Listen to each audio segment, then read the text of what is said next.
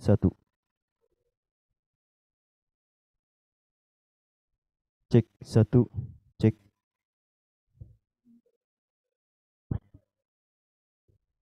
Cek. Tes. Enggak. Tes. Cek. Satu. Satu. Satu. Tes sound.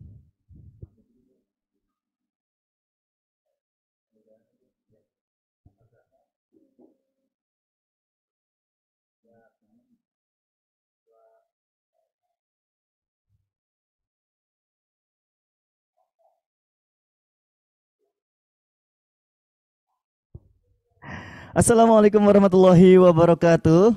Selamat pagi sahabat HFN semua.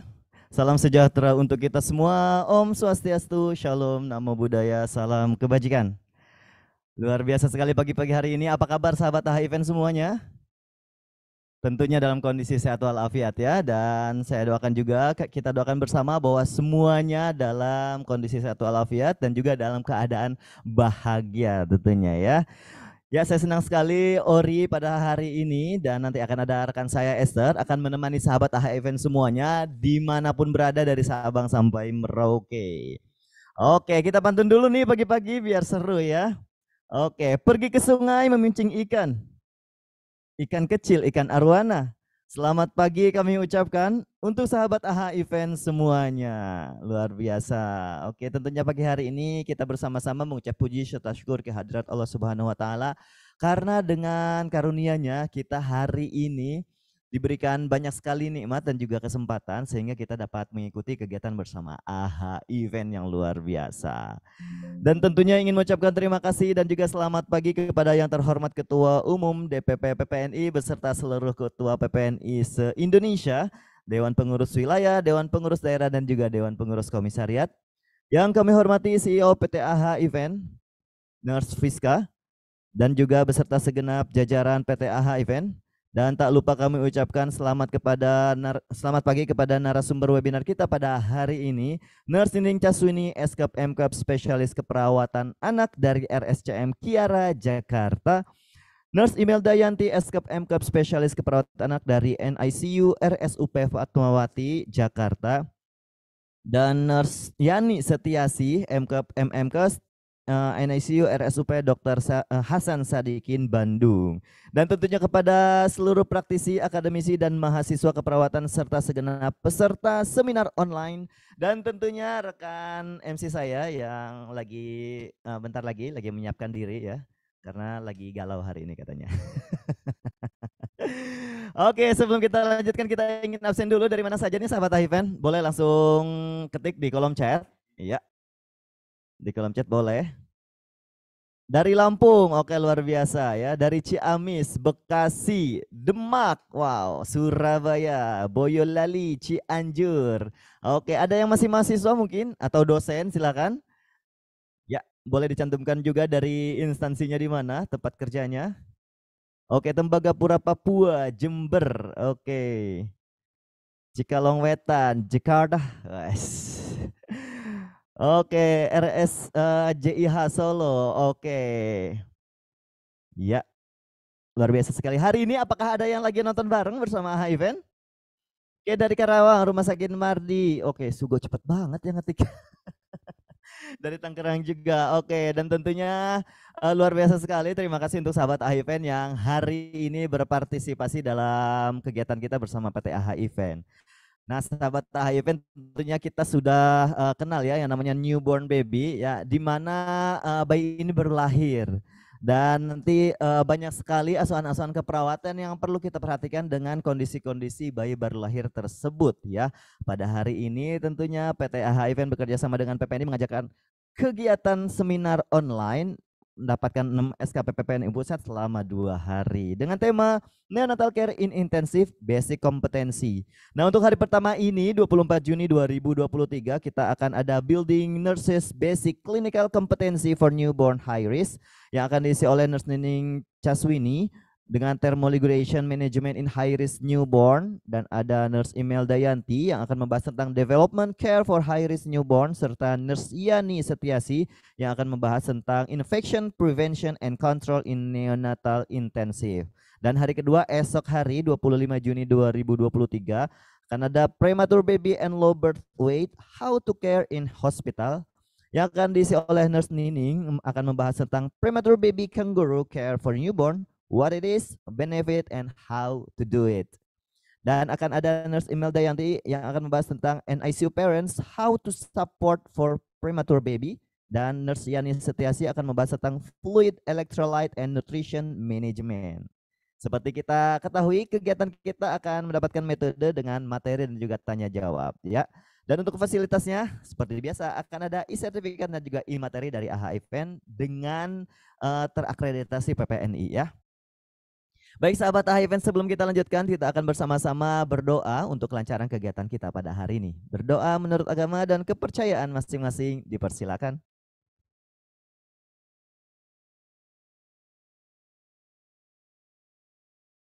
Berdoa selesai. Untuk selanjutnya kita akan menyanyikan bersama lagu Indonesia Raya dan juga lagu Mars PPNI.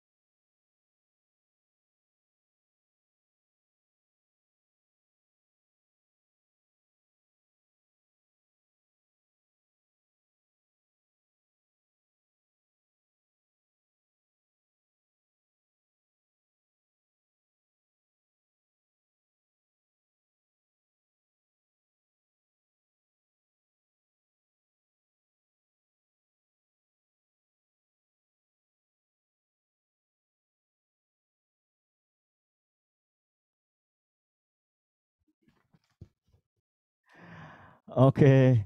Kami mengucapkan permohonan maaf sekali lagi. Ini ada kendala dari Zoom-nya hari ini. Uh, jadi suara tadi untuk uh, pemutaran lagu Indonesia Raya dan juga lagu Mars PPNI tidak bisa connect nih ke Zoom ya. Mohon maaf kami ucapkan. Dan mudah-mudahan tidak mengurangi kekhidmatan kita dalam menyanyikan lagu Indonesia Raya dan juga lagu Mars PPNI. Baik sahabat AHI sebelum kita lanjutkan, kita uh, sudah online ya, Ibu Nining ya. Oke, baik. Sebelumnya kami ingin mengingatkan kembali untuk kepoin terus Instagram kami di @aha_event dan buat uh, sahabat AHA Event yang ingin menonton ulang kegiatan kita, jangan khawatir. Kita selalu connect live YouTube channel. Jadi kalau misalnya sahabat AHA Event pengen mengulang lagi, boleh ditonton ulang. Jangan lupa di subscribe dan juga di likes ya. Dan jangan lupa juga untuk add friends untuk Facebook. Untuk kontak personnya kalau misalnya sahabat AHA Event uh, mau ngadain kegiatan atau bekerja sama dengan AHA Event silahkan. Oke. Okay. Ya, dan juga mau follow-follow MC boleh juga. Nanti di sana juga akan ada beberapa kru, boleh langsung di tag kegiatan kita hari ini di screenshot dan juga boleh di-share uh, di Instastory-nya ya. Dan kami himbau untuk absen, bukan pakai kol-kolah nih, absen ya. Jadi untuk absen itu cukup uh, satu kali saja ya dan hanya mengisi link absen dari admin AH Event. Jangan mengisi absen dari link yang di-share oleh orang lain. Kami tidak uh, bertanggung jawab untuk uh, sesuatu hal yang terjadi jika terdapat uh, penyalahgunaan dalam data-data sahabat AHA Event ya. Dan kami mohon untuk teman-teman sahabat AHA Event untuk tidak men-share ulang jika ada uh, peserta yang meminta link absen. Tidak perlu ya, nanti admin yang akan mengatasinya ya. Dan juga kami imbau untuk uh, privasinya ya perhatikan juga jika ada yang ingin berganti baju pulang kerja atau mau siap-siap berangkat kerja, hati-hati kameranya di off-kan dulu ya. Oke, sebelum saya lanjutkan ke ke Pak eh, ke Ibu Nining, mohon maaf. Sebelumnya kita akan bacakan CV beliau terlebih dahulu ya. Hari ini beliau akan membahas tentang thermoregulation management in high risk newborn. Ya. Oke, kita share dulu. Iya. Ya, oke. Ya, boleh kita lihat ya untuk namanya nih Nurse Nining Caswini MCAP spesialis keperawatan anak. Untuk kontak personnya boleh di screenshot ya. Mungkin nanti kalau misalnya sahabat AH event pengen diskusi atau pengen konsul, boleh ya. Ya, kalau misalnya mau main juga boleh, silakan yang di Pasar Rebo Jakarta Timur, mampir-mampir. Jangan lupa bawa tentengan ya. kunci mobil. Oke, untuk educational backgroundnya ya, oke, mulai dari S1 keperawatannya FIKUI ya sampai S2-nya program pro, uh, profesi spesialis keperawatan anak di FIKUI juga 2018. Untuk workshop and trainingnya ini hanya sekelumit ya, masih banyak lagi, luar biasa. Dan untuk experience-nya ya sampai saat ini beliau selaku CI di perinatologi RSCM dan juga pernah juga kepala ruangan perinatologi dan juga selaku asesor keperawatan PJ rawat khusus dan juga PJ keperawatan luar biasa. Ya, beliau sudah senyum-senyum manis ya. Oke, Assalamualaikum Nurse Nining. Waalaikumsalam warahmatullahi wabarakatuh. Nurse Ori, apa kabar? Gimana, Alhamdulillah. Gimana Nurse Nining kabarnya hari ini? Alhamdulillah. Luar Baik. biasa. Ya. Ini, ini berhubungan dengan thermoregulation management in high risk newborn. How important is it?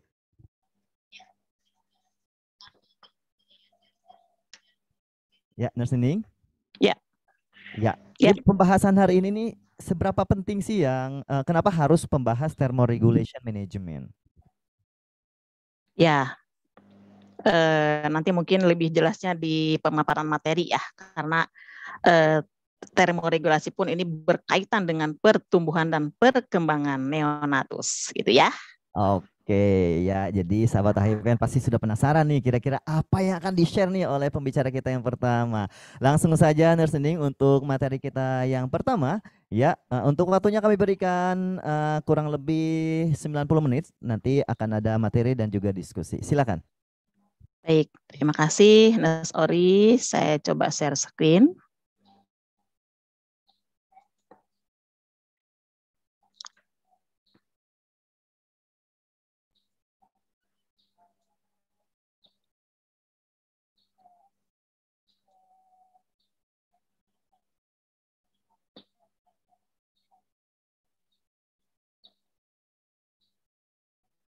Apakah sudah terlihat? Ya, Mas terlihat. Sudah. Sudah terlihat. Ya. Suara Nurse Nining sudah jelas. Boleh dipersilakan. Suara saya sudah terdengar jelas? Terdengar jelas. Ya, Baik. Mohon eh, peserta tidak mencoret-coret slide ya, karena akan mengganggu eh, konsentrasi saya ya. Iya. Jadi tidak ada satu orang pun yang ya. mencoret-coret ini sudah mulai nih, coretnya siapa nih? Iya. Salah Ya. pencet kayaknya. Salah pencet, nah udah hilang. Iya, Soalnya suka berkelanjutan nih sorry nih, makanya dari awal saya informasikan supaya eh, yuk sama-sama kita share ilmu ya, share eh, pengetahuan terkait dengan apalagi nih bayi-bayi neonatus yang dirawat di unit neonatal tentunya gitu ya. Eh, supaya eh, tumbuh kembangnya optimal tentunya gitu ya. Baik, saya buka dengan Assalamualaikum warahmatullahi wabarakatuh. Selamat pagi semuanya. Nes-nes semuanya dari Sabang sampai Merauke. Tadi saya lihat di layar kok ini banyak teman-teman apa namanya yang ada lagi gendong bayi gitu ya, ada yang lagi mencium bayi, ada yang sedang wah pokoknya fotonya keren-keren tadi yang eh, saat dita- ditayangkan di eh, layar ya. Nah, saya akan eh, share terkait dengan bagaimana melakukan suatu manajemen termoregulasi pada bayi-bayi yang beresiko maupun bayi baru lahir. Teman-teman, kita tahu bahwa di dalam kandungan ini si bayi walaupun ada cairan ketuban gitu ya. Air kan cairan ketuban tuh air ya. Kemudian dia direndam dalam cairan ketuban tersebut.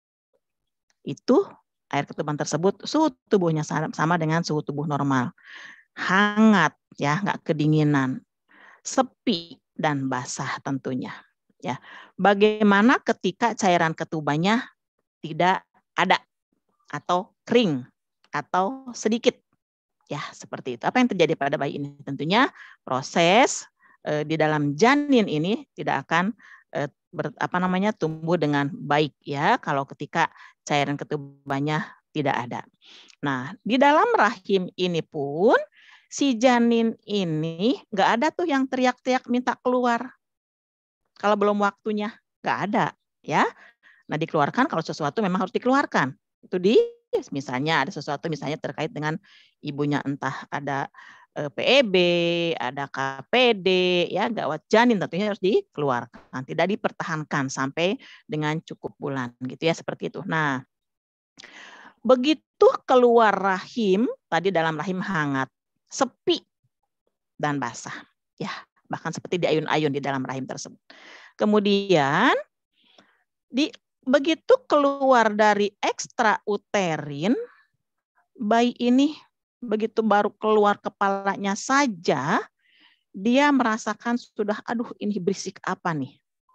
Ya, belum berisik tenaga kesehatan, tiga orang melakukan resusitasi itu bunyi lagi mulutnya, bunyi lagi dalam hal ini alat-alat yang digunakan.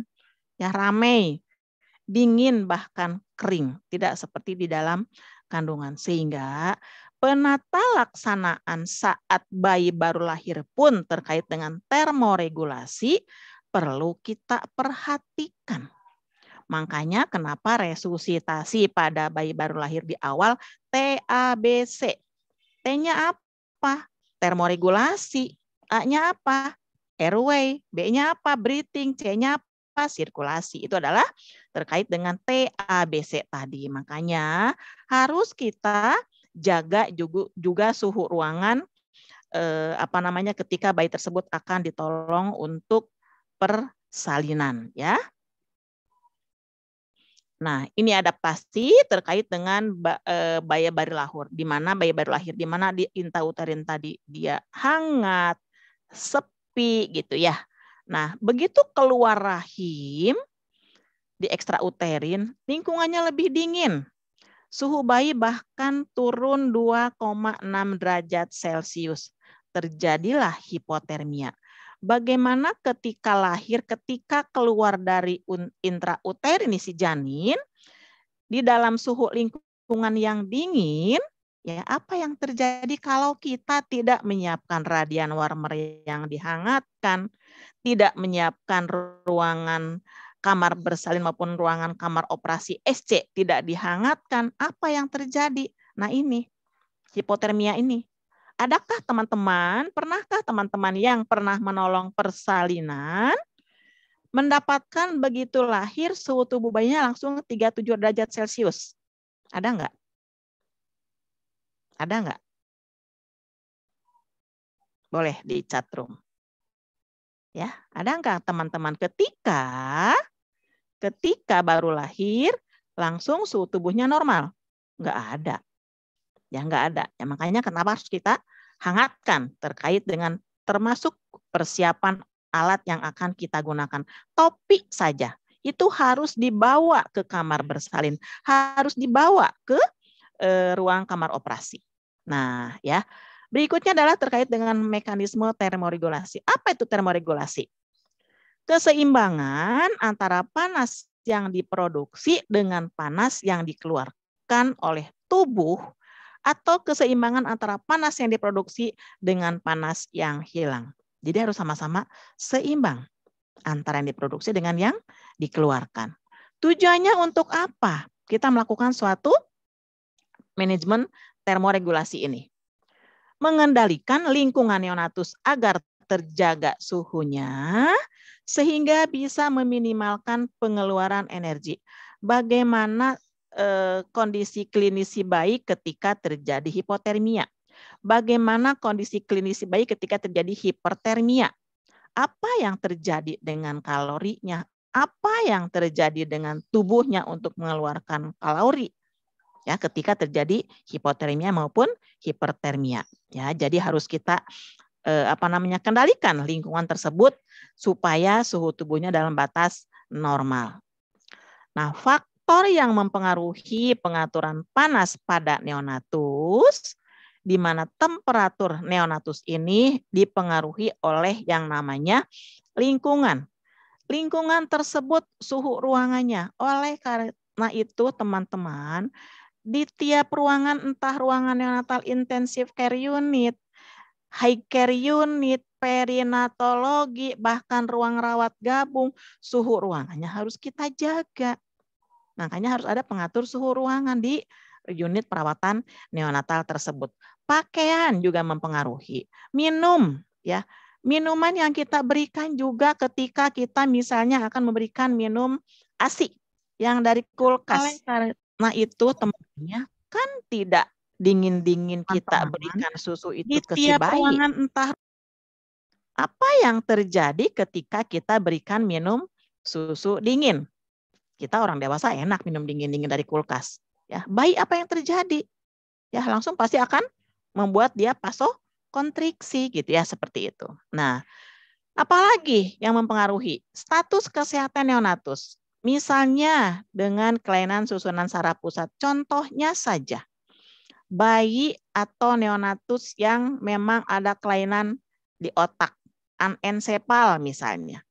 Apa yang terjadi ketika bayi tersebut anensepal tidak punya otak? Bagaimana dia mau menjaga termoregulasinya dengan baik? Otaknya aja nggak ada gitu ya.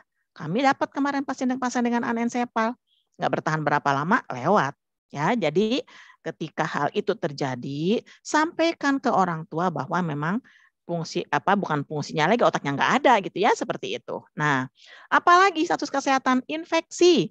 Nah di sini ketika terjadi infeksi tidak ada kontrol dari hipotalamus ya di mana hipotalamus ini salah satu fungsinya adalah untuk mempertahankan homeostasis ya di mana bahwa memastikan dan mempertahankan semua sistem tubuh berjalan dengan stabil dengan baik. Bagaimana kalau eh, hipotalamusnya ter terganggu tentunya. Nah, teman-teman, ini adalah mekanisme hilangnya panas. Empat komponen ini ya harus kita perhatikan dalam melakukan suatu asuhan sehari-hari di unit perawatan neonatus. Baik itu di intranatal maupun postnatal. Baik itu di ruang perawatan high care atau di ruang perawatan neonatal intensive care unit. Ya, evaporasi, konduksi, konveksi, radiasi itu harus kita cegah tentunya ya. Nah, ini adalah evaporasi misalnya ini. Jadi ada empat metode kehilangan panas. Kadang kita suka lupa. Kadang kita suka, ah cuman sebentar kok, nggak lama. Nah, sebentar nggak lama, ini juga harus kita perhatikan ya. Terkait misalnya evaporasi. Kehilangan panas yang disebabkan karena penguapan atau badan bayi yang basah. Contohnya, ketika bayi tersebut lahir, tadi basah kuyup bayinya. Apa yang kita lakukan? Segera keringkan tubuh bayi tersebut ya. Nah, kemudian juga setelah dimandikan jangan lupa segera keringkan setelah bayi tersebut dimandikan. Konduksi. Kehilangan panas karena kontak langsung dengan objek yang lebih dingin. Misalnya akan mengganti diapes di atas perlak. Perlaknya tanpa dialasi. Bisa hilang nggak panasnya? Bisa. Satu lagi yang sering kali kita lupa. Ya, contohnya dengan menimbang berat badan bayi. Nah, ya jadi menimbang berat badan bayi ini juga jangan lupa timbangan tersebut alasin dengan pengalas. Ya, intinya saat menimbang dalam keadaan 0 0 0 ya. Jadi angka nolnya muncul tuh di timbangan. Ya, jadi memang usahakan timbangan pun yang digital, bukan timbangan yang jarum, yang mana jarumnya ketika digoyang dia kan loncat, loncat gitu ya, seperti itu. Apalagi konveksi, kehilangan panas karena udara dingin. Oleh karena itu, bayi tempatkan di inkubator apalagi bayi prematur yang mudah sekali terjadi hipotermia. Apalagi komponen berikutnya, radiasi, perpindahan panas dari bayi ke objek lain tanpa kontak langsung. Misalnya, ya, bayi ditempatkan di bawah hembusan angin, misalnya di bawah kipas angin, di bawah AC, itu adalah radiasi. Ya, jadi ini adalah temperatur, di mana temperatur ini mekanisme yang tadi, ya jangan lupa pakaikan topi ya konduksi nih. Kainnya hangat, tutupi dengan plastik untuk bayi yang dengan beratnya kurang dari 1.500 gram. Hangatkan alat yang yang ditaruh ke bayi, misalnya stetoskop. Teman-teman pernah enggak memperhatikan ketika kita akan mendengarkan bunyi jantung, ketika kita akan mendengarkan bunyi usus, ya, auskultasi usus bayi. Langsung ditempelkan nih ke perut si bayi, misalnya mendengarkan bising usus. Pernah enggak teman-teman memperhatikan reaksi dari bayi tersebut, perilaku bayi tersebut ketika kita menempelkan stetoskop? Ya, tangannya misalnya langsung dia kaget. Ya kenapa? Karena dingin diafragmanya kita hangatkan dulu. Dengan apa? Nah, tangan kita sudah cuci tangan, hangatkan dengan telapak tangan. Ya, seperti itu. Tentunya sebelumnya kita harus dilap dulu diafragmanya dengan alkohol swab baru kita hangatkan dengan tangan telapak tangan kita yang sudah kita cuci tangan tadi. Konveksi, tingkatkan suhu ruangan menjadi suhu yang lebih hangat ya. Makanya eh, tadi harus kita ada pengatur suhu ruangan baik itu di high care ya, NICU maupun di ruang perawatan perinatologi ya, seperti itu. Evaporasi, nah tadi yang saya sebutkan dengan keringkan dengan segera. Radiasi tentunya tadi harus kita jauhkan bayi dari hembusan angin. Dari kipas angin, misalnya bawah AC gitu ya, seperti itu. Nah, produksi panas itu ada tiga metode. Di mana yang pertama adalah, tadi ingat, keseimbangan antara produksi panas dan kehilangan panas ya jadi dan panas yang diproduksi dan panas yang dikeluarkan itu termoregulasi. Nah, ada tiga metode nih. Yang pertama apa? Aktivitas volunteer otot. Misalnya posisi fleksi. Apakah bayi ini bisa memfleksikan tubuhnya sendiri? tanpa kita bantu. Bisa nggak? Apalagi bayi prematur, bisa nggak? Nah, enggak, kita harus bantu dengan kita dengan menggunakan ya dengan menggunakan yang namanya sarang atau nesting ya, seperti ini. Kemudian menggigil atau savoring itu memang paling efektif. Ketika kita contohnya ketika kita kedinginan ya kedinginan. Apa yang kita lakukan? Ya kita langsung ya dengan melakukan ya dengan cara eh, apa namanya meringkukkan badan kita, mempleksikan badan kita gitu ya. Itu paling efektif dengan eh, ciphering ini. Termogenesis kimiawi. Ya, hipotalamus meningkatkan produksi hormon norepinefrin yang menstimulasi metabolisme lemak coklat sehingga menimbulkan energi panas ya. Bagaimana ke ketika misalnya terjadi hipot, hipotermia ya, apa yang terjadi ketika hipotermia? Pusat pengaturan termoregulasi adanya di hipotalamus ya. Bagaimana ketika terjadi hipotermia, apa yang terjadi juga pada bayinya? Ingat tadi bahwa fungsinya adalah mempertahankan homeostasis ya. Nah, Suhu tubuh normal pada neonatus, teman-teman yang di ruang perawatan neonatus tentunya sudah paham semua. 36,5, 37,5 derajat Celcius. Namun ketika misalnya mendapatkan suhu tubuhnya ambang batas minimal 36,5, hati-hati. Bisa saja ketika melakukan suatu asuhan salah, tidak memperhatikan empat komponen tadi, bisa menjadi turun. Ya, ketika misalnya 37,5, hati-hati bisa juga dia naik ya ketika misalnya kita tidak memperhatikan suhu inkubator yang kita setting berapa gitu ya seperti itu. Nah, ini adalah eh, hati-hati ketika mendapatkan suhu tubuh yang di bawah normal. Nah, jadi ya tiga kategori ini ada yang disebut dengan cold stress itu 36 sampai dengan 36,4. Hati-hati karena kalau sudah terjadi hipotermia apalagi bayi prematur, kita sangat dalam hal ini perlu waktu untuk menaikkan suhu tubuh sampai menjadi suhu tubuh normal. Ya, ada yang moderate hipotermia 32 sampai dengan 35,9 derajat Celcius, bahkan yang sangat parah ini kurang dari 30 derajat 2 derajat Celcius. Bayi bayi prematur yang beratnya di bawah 1000 gram sering kali mengalami hipotermia tersebut entah cold stress ya, moderate maupun yang parah sekali. Ya ini eh, apa namanya terjadi pada bayi-bayi yang di bawah 1000 gram. Nah, tentunya di sini sangat dibutuhkan dalam menciptakan lingkungan perawatan stres eh, tanpa stres dingin melalui asuhan yang dilakukan sehari-hari salah satunya adalah dengan melakukan perawatan met metode kanguru salah satunya ya. Jadi besok kita akan bahas habis terkait dengan melakukan perawatan metode kanguru ya. Di hari pertama saya singgung dulu terkait dengan PMK ini. Besok lebih jelas ya bagaimana PMK ini bisa kita lakukan terhadap bayi-bayi prematur.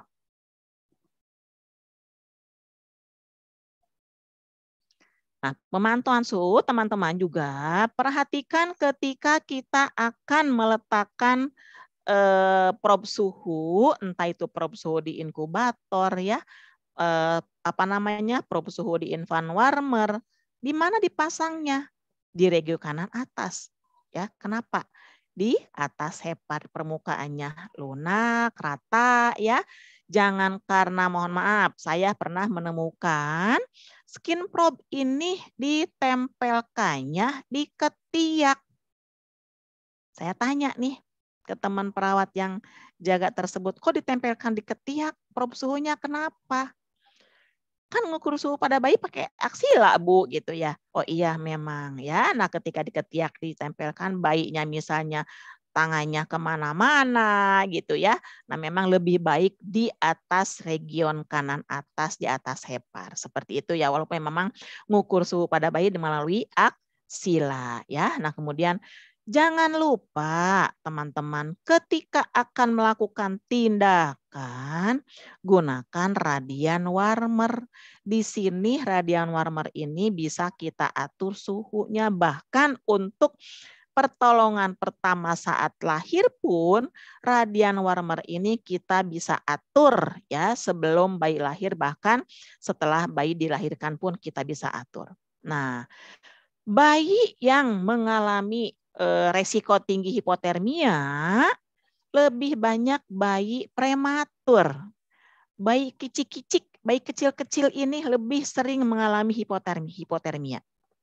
Bagaimana dia mau tumbuh kembang dengan baik kalau terjadi hipotermia dalam sehari-hari, dalam asuh, dalam perawatan sehari-hari. Ya, bagaimana pertumbuhan berikutnya ketika hipotermianya bukan hanya terkait dengan suhu tubuhnya saja, tetapi sistem tubuh yang lain pun kalau sudah mengalami hipotermia itu sangat berpengaruh. Ya, kenapa bayi prematur di sini? Luas permukaan yang besar. Ya, kenapa makanya bayi prematur itu harus gunakan topi. Ingat topi. Kepala ya, permukaan luas kepala itu lebih besar dari permukaan tubuhnya. Makanya gunakan topi. Belum berkembangnya respon terhadap stres termal ya. Tadi karena dia lahirnya dengan prematur. Dikatakan prematur itu usia gestasinya kurang dari 37 derajat Celcius, 36 ke bawah ya. Nah, jumlah lemak coklatnya yang lebih sedikit tadi dengan kaitannya dengan hormon-hormon norepinefrin tersebut ya.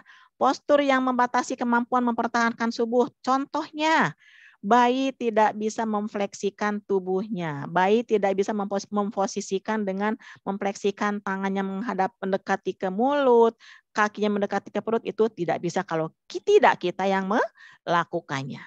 Lapisan kulit imatur memperbesar evaporasi. Ya, makanya kenapa harus kita lakukan terkait dengan tadi karena kulitnya sangat imatur segera keringkan kecuali bayi-bayi yang memang yang di bawah 1500 gram langsung bungkus dengan plastik bening ingat plastik bening bukan plastik yang berwarna hitam ya bungkusnya dengan plastik bening nah cara paling tepat dan mudah dilakukan untuk mencegah hipotermia pada BBLR maupun prematur ya dengan melakukan perawatan metode kanguru tersebut. Besok akan kita bahas juga.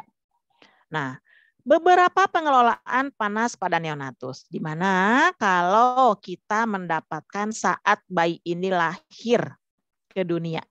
Ya, makanya sebelum dilahirkan dari tim obstetri memberikan konsul nih ke bagian neonatus dikonsul dan konsulnya usia gestasinya berapa, TBJ-nya berapa, ya. Kemudian apakah ada faktor resiko ibunya. Ketika misalnya dikonsulkan usia gestasinya 30 minggu misalnya. Ya. Dengan TBJ-nya 1,4 apa yang perlu kita siapkan? Ya tentunya kit resusitasi kita siapkan, plastik jangan lupa ya. Plastik jangan lupa kita siapkan ya untuk membungkus. Gunakan plastik bening atau plastik yang ukuran 2 kilo di dilebarkan gitu ya seperti itu. Kemudian radian warmer sangat efektif dan efisien jika digunakan pada bayi baru lahir. Ingat, bayi baru lahir. Namun juga dapat meningkatkan unstable water loss dan kebutuhan oksigen juga lebih tinggi jika dibandingkan dengan perawatan dalam inkubator. Makanya radian warmer ini digunakannya untuk melakukan tindakan bukan untuk perawatan gitu ya. Nah, nggak punya lagi inkubatornya gitu ya seperti itu ya. Di bayinya overload terus nih gimana nih? Gitu. Bahkan satu infan biasanya bertiga berempat ya. Saya tutup muka juga karena di RSCM memang sering kali terdapat bayi-bayi baru lahir sampai satu infan bisa tiga tiga bayi ya. Tentunya setelah itu setelah stabilisasi kita harus pindahkan ke inkubator. Inkubator boleh satu berdua? Ya enggak lah harus satu inkubator satu bayi tentunya. Nah, berikutnya adalah beberapa pengelolaan panas ya. Inkubator merupakan lingkungan ideal untuk bayi yang tidak mampu mengatur suhu tubuhnya sendiri. Di mana keuntungan dari inkubator ini kehilangan panas secara radiasi dan konveksi dapat dipertahankan dalam batas minimum. Suhu inkubator diatur sesuai dengan kebutuhan bayi. Lihat apakah misalnya di sini kan ada skin tentunya suhu inkubator dan suhu, uh, suhu bayi skin itu adalah suhu bayi dan air ya harus kita setting ya terkait dengan inkubator yang akan digunakan pada bayi-bayi yang akan kita rawat. Nah, tentunya inkubator pun ada kerugian di mana ketika kita melakukan suatu tindakan misalnya ya itu sudah jelas-jelas inkubator tersebut ada lubang di depan, lubang di belakang, dua lubang depan, dua lubang belakang. Untuk apa gunanya? Untuk tangan kita masuk ke dalam inkubator tersebut. Bukan pintunya dibuka lebar-lebar, bukan pintunya dibuka ngablak-ngablak. Ya, itu ruginya di situ. Kenapa rugi? Langsung turun turun drastis suhunya dan perlu menstabilkannya lagi memerlukan waktu sekitar 10 sampai dengan 20 menit. Ya, ketika kita membuka pintu inkubator lebar-lebar. Kemudian head shield di mana penggunaan pelindung yang menyerupai terowongan yang terbuat dari eh, flexiglass tents ya atau berupa pelindung plastik. Ini metode ini memang eh, nggak ada kami pun di RSCM tidak menggunakan head shield tersebut ya. Berikutnya adalah apalagi? Topi jangan lupa. Ya. Permukaan paling luas pada bayi prematur khususnya adalah kepala. Sehingga gunakan topi, gunakan topi, topi, topi. Ingat saat akan menolong persalinan pun cek kelengkapan terkait dengan kit resusitasinya, bahkan topi dan kain bedong yang akan kita gunakan. Berapa helai kan? Berapa helaikah kain bedong tersebut? Ketika kita akan menolong persalinan pada bayi baru lahir ya pada bayi di ruang bersalin maupun di ruang eh, kamar operasi. Perawatan metode kanguru merupakan upaya pengganti inkubator alami dan mempunyai banyak keuntungan tentunya. Ya. Jadi eh, PMK merupakan inkubator biologis, merupakan inkubator alami dan memang banyak sekali keuntungannya. Nah, Masalah yang sering kali terjadi pada bayi-bayi yang kita rawat ini adalah hipotermia. Di mana apa yang kita lakukan ketika terjadi hipotermia? Suhu tubuhnya di bawah 36 setengah derajat Celcius. Tentunya ketika terjadi hipotermia ini, sistem tubuh yang lain pun, organ tubuh yang lain pun akan mempengaruhi. Teman-teman pernahkah bayi yang mendapatkan hipotermia Contohnya suhunya 36 pas. Apa yang terjadi ketika kita cek CRT-nya? Ketika kita pegang akralnya, kita lihat kondisi daripada pernapasannya, sistem tubuh yang lainnya, ekstremitasnya bagaimana ketika terjadi hipotermia. Tentunya dia keplek, CRT-nya memanjang, ya, bayinya lunglai, gitu ya ketika terjadi hipotermia. Ya bahkan dia tidak bisa mem memfleksikan tubuhnya. Tadi seperti tadi yang eh, tiga metode untuk memproduksi panas tersebut. Ya apa yang kita lakukan kalau terjadi hipotermia? Pastikan tempat tidur atau inkubatornya hangat. Ya kalau terjadi hipotermia. Sudah sesuai kok nih suhu tubuh eh suhu inkubatornya. Kok masih juga hipotermia? Kenapa? Iya misalnya. Ya nah kemudian ternyata suhu ruangannya misalnya nggak sesuai dingin ya. Hangatkan kembali dengan perlahan tentunya teman-teman ketika kita akan intervensi kita akan menaikkan suhu inkubator. Ya, jadi kita naikinnya berapa suhu inkubator? Misalnya awalnya suhu inkubatornya 32 derajat Celcius.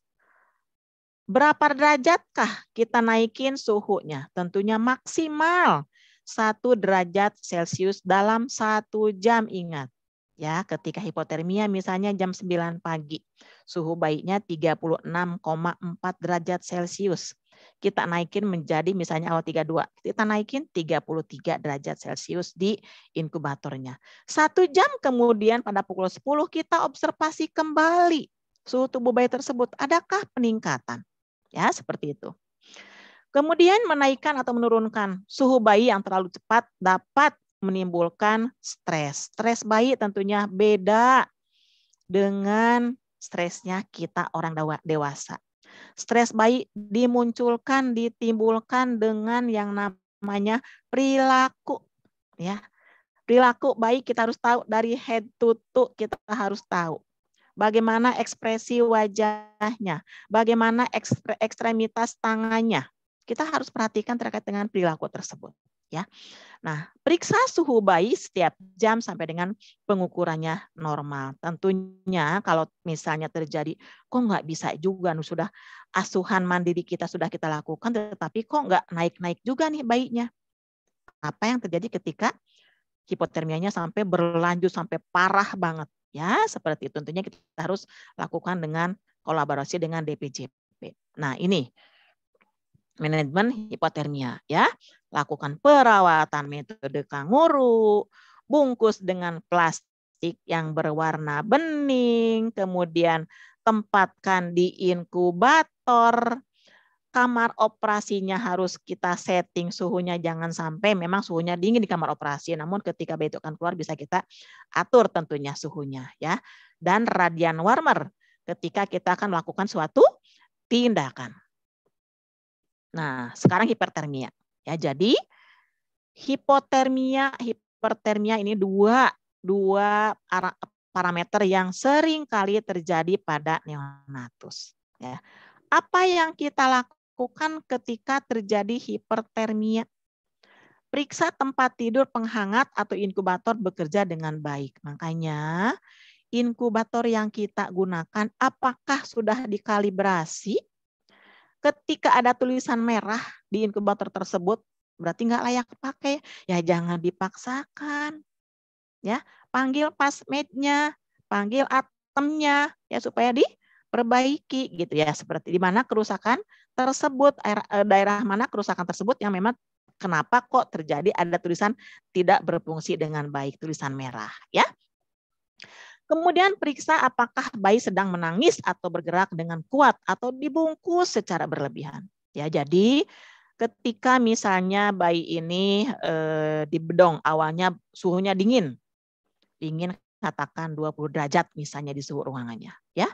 Bayi eh, perawatnya pun kedinginan dibungkuslah tuh si bayi sampai tebal-tebal. Ya, yang terjadi bayi nangis kejar kenapa? Kok mukanya merah misalnya, ya. Nah, kemudian loh, ini kebanyakan dibungkusnya bedongnya misalnya karena tadi awalnya suhunya dingin. Makanya perhatikan ketika suhu. Setiap ruangan itu jangan lupa temparo itu yang namanya pengatur suhu ruangan.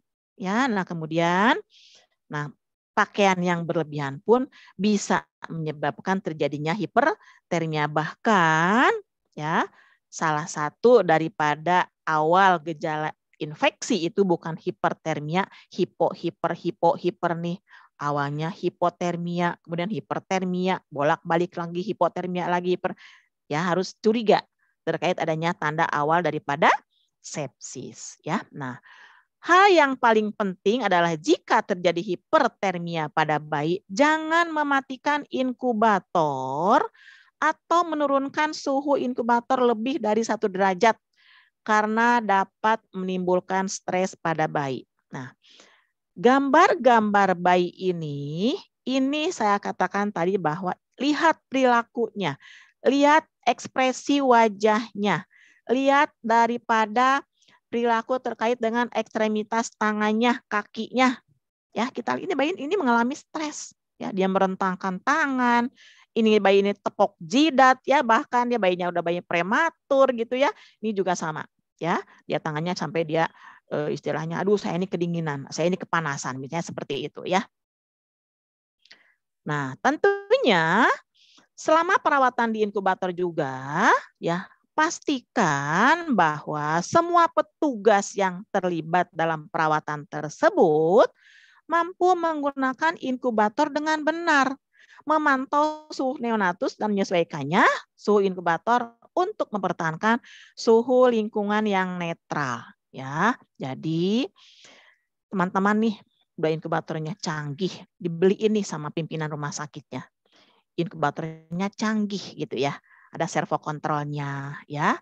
Kemudian bisa digunakan bisa difungsikan sebagai inkubator, bisa juga difungsikan sebagai radian warmer misalnya. Dapat nih lima misalnya. Oh keren banget kalau dapat satu ruangan dapat lima inkubator dalam waktu yang sama ya.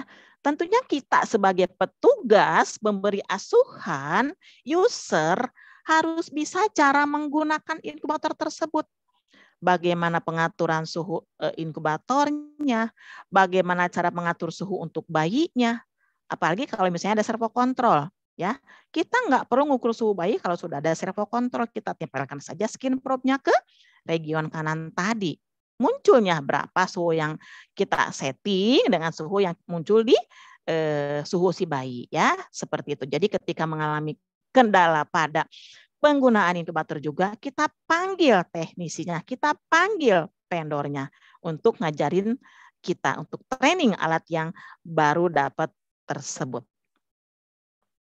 Nah, tentunya inkubator memerlukan listrik yang tidak terputus. Petugas terlatih untuk memelihara dan perbaikan serta ketersediaan suku cadang jika ada perbaikan. Ya, jadi sebaiknya nih ketika misalnya teman-teman punya kapasitas bed nicunya katakan 20 ya, 20 bed.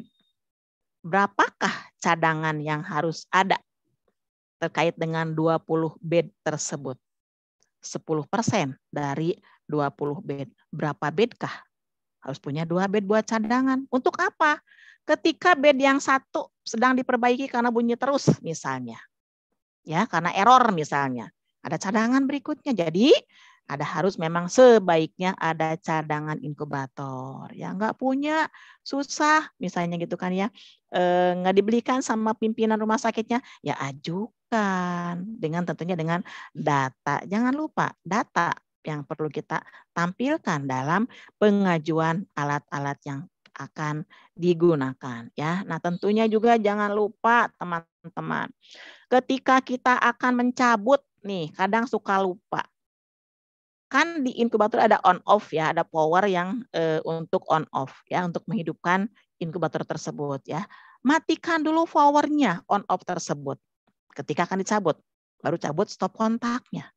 Begitu juga kalau kita akan pakai pasangkan dulu stop kontaknya, colokin dulu stop kontaknya baru kita on off kan powernya ya. Kadang saya aduh suka gergetan banget nih ketika misalnya teman-teman saking buru-burunya ingin ingin menggeser inkubator ya yang terjadi apa? Main cabut aja tuh si, si stop kontak dari e, colokan inkubator yang terjadi apa? Bunyi kan? Mending kalau bunyinya kencang di atas 45 desibel. Apa yang terjadi ketika bunyinya sangat bising tersebut Kemudian eh, selama perawatan inkubator juga, jika bayi memerlukan perawatan inkubator, penting untuk menganjurkan orang tua bayi berkunjung dan memeluk bayinya dan memanfaatkan kontak kulit ibu agar suhunya stabil. Tentunya dengan kanguru mother care. Ya, ini kadang ya mohon maaf, udah ibunya nengok nih ke ruang perawatan intensif neonatal bayinya ditutupin dengan tutup inkubator misalnya. Emang harus tutup inkubator digunakan, ya. Berkunjunglah si ibu tersebut ke bayinya. Yang terjadi ibunya bingung, celengak, celinguk, perawatnya sementara jauh di jauh dari dari inkubator gitu ya. Yang terjadi apa? Si ibunya bingung, ini anak saya pakai apa? Kok ini layar apa, ini gantungan apa gitu ya. Nah, oleh karena itu juga teman-teman walaupun dirawat di inkubator, boleh si ibunya megang, menstimulasi, ngelus-ngelus, ajak bicara. Tentunya bagian atas inkubatornya jangan ya jangan cahayanya jangan juga harus ditutup atasnya karena pencahayaan juga mempengaruhi terkait dengan perkembangan. Ya, ingat bahwa fokus daripada asuhan neonatus salah satunya adalah family center care. Ya, family center care bisa dilakukan di ruang neonatal intensive care unit atau bahkan di high care unit ya. Nah, suhu bayi harus dipantau secara berkala tentunya setiap satu jam atau untuk mempertahankan suhu tubuh normal. Nah, ini Lubang di inkubator harus digunakan sebisa mungkin saat melakukan perawatan bayi dan tidak dengan membuka pintu inkubator yang lebih besar. Ingat tadi, memerlukan waktu 10 sampai dengan 20 menit untuk menaikkan suhu inkubator ke posisi suhu semula. Ketika kita membuka pintu inkubator lebar-lebar gitu ya. Jadi gunakan dua jendela ini untuk melakukan suatu asuhan. Nah, teman-teman, ini adalah NTE, Neutral Thermal Environment, di mana ya Pengaturan suhu ini, pengaturan suhu inkubator ini ditempel, digantung di inkubator. Untuk apa? Supaya kita tahu ketika kita mendapatkan bayinya dengan berat 1000 gram. Baru lahir usianya baru satu jam. Berapa suhu yang suhu inkubator yang kita setting ya kemudian rata-ratanya berapa nah ini jadi ini patokannya adalah ketika kita akan men-setting suhu inkubator yang akan digunakan pada bayi. Makanya ya tadi kenapa ada konsultasi pra eh, prenatal dalam arti sebelum lahir tentunya harus kita lihat tadi terkait dengan TBJ-nya berapa. Bahkan inkubator harus kita siapkan terlebih dahulu sebelum di, digunakan. Nah, jadi yang kita lihat adalah usia bayinya berapa jam kah? Berat badannya berapa jam, eh berapa gram kah? Start suhunya berapa derajat yang kita setting. Ya, jadi semakin bayi ini semakin kecil, usianya semakin muda, suhu yang kita setting tentunya semakin tinggi. Ya. Nah, kebalikannya, semakin besar bayinya, semakin tua usianya, tentunya juga suhu yang kita setting semakin kecil. Karena tidak ada bayi yang selama perawatan dirawat di inkubator terus-menerus. Ada sih, tapi kalau memang itu misalnya pulangnya pulang pulang paksa, pulang APS atas permintaan sendiri. Ya. Nah, ketika bayi juga bukan hanya penggunaan ventilasi mekanik saja yang diwinning, tetapi penggunaan inkubator pun harus diwinning. Ya, ke baby code tentunya ya. Lahirnya prematur juga sama, tetap harus kita winning terkait dengan penggunaan inkubator tersebut ya. Nah, ini jadi semakin tua usianya, semakin besar bayinya, tentunya semakin eh, kecil eh, apa namanya suhu inkubator yang kita setting ya seperti itu. Nah ini adalah metode pengelolaan panas pada bayi baru lahir atau neonatus, penggunaan radian warmer untuk suatu tindakan. Ingat tindakan hangatkan dulu radian warmernya ya. Kemudian penggunaan topi ingat bayi prematur gunakan topi walaupun di ruang perawatan sudah di ruang perawatan. Apalagi saat akan menolong persalinan. Topi dibawa. Topinya nggak ada, nggak punya topi bayi. Perawat nih, perawat neonatus punya seni tersendiri. Kadang ada yang menggunakan popok yang dibuat segitiga, eh dipakai kupluk gitu ya. Boleh, silahkan asal tutupin kepalanya. Penggunaan inkubator Nah, ya jadi walaupun si bayi ini menggunakan penutup inkubator seperti ini, ini kan ada enam jendela ya. Yang paling depan ini depan muka si bayi kita buka ya buka untuk si ibunya supaya bisa melihat terkait dengan kondisi bayinya seperti apa gitu ya seperti itu. Perawatan metode kanguru. Ini pengelolaan panas dan penggunaan plastik ketika di awal lahir. Ingat di awal lahir gunakan plastik ya. Nah, teman-teman mungkin nih ya kenapa yang temperatur ini saya beri tanda tulisan merah. Supaya menjadi perhatian yang teman-teman bertugas di ruang perawatan neonatus bahkan saat menolong persalinan. Ingat bahwa pasca resusitasi itu harus stable ya. Stable itu apa? Teman-teman yang sudah pelatihan resusitasi neonatus pasti di luar kepala ya. Bukan di luar kepala dalam arti harus memang benar-benar paham, benar-benar tahu dan bahkan diaplikasikan. Sugar and self care ya. Gula darahnya berapa? Perawatannya tentunya harus aman juga periksa gula darah, pasang infus, dan atau pasang melalui umbilical S-nya. Temperatur ingat, saat lahir tadi bayi ini turun ber, eh, suhunya sekitar 2,6 derajat Celcius ya. Jangan pernah dipindahkan ya, dipindahkan ketika suhu tubuhnya belum mencapai suhu tubuh normal. Ingat, tunggu sampai dengan suhu tubuhnya 36 setengah sampai dengan 37 setengah derajat Celcius. Ya, baru kita transfer ke unit perawatan. Apakah menggunakan inkubator transport atau PMK? Ya, terkait dengan saat akan mentransfer bayi ini. Karena katanya dengan termoregulasi suhu tubuh ini. Airway, ya ini adalah saat transfer apakah menggunakan eh, nasal kanul, CPAP maupun intubasi. Blood pressure tentunya pasang infus, umbilikal, ya loading NaCl, pastikan sirkulasinya baik. CRT-nya lebih dari 3 detik. Lab walk, ingat juga ini L-nya ya. AGD, DPL, septic up sesuai kebutuhan. Bahkan emosional support jangan lupa. Tentunya terkait dengan E ini, inform consent jangan lupa. ya Tentang kondisi bayi, bahkan kita harus empati empati bukan simpati harus empati ya dan tertulis tentunya terkait dengan inform concern yang kaitannya dengan emosional support tersebut.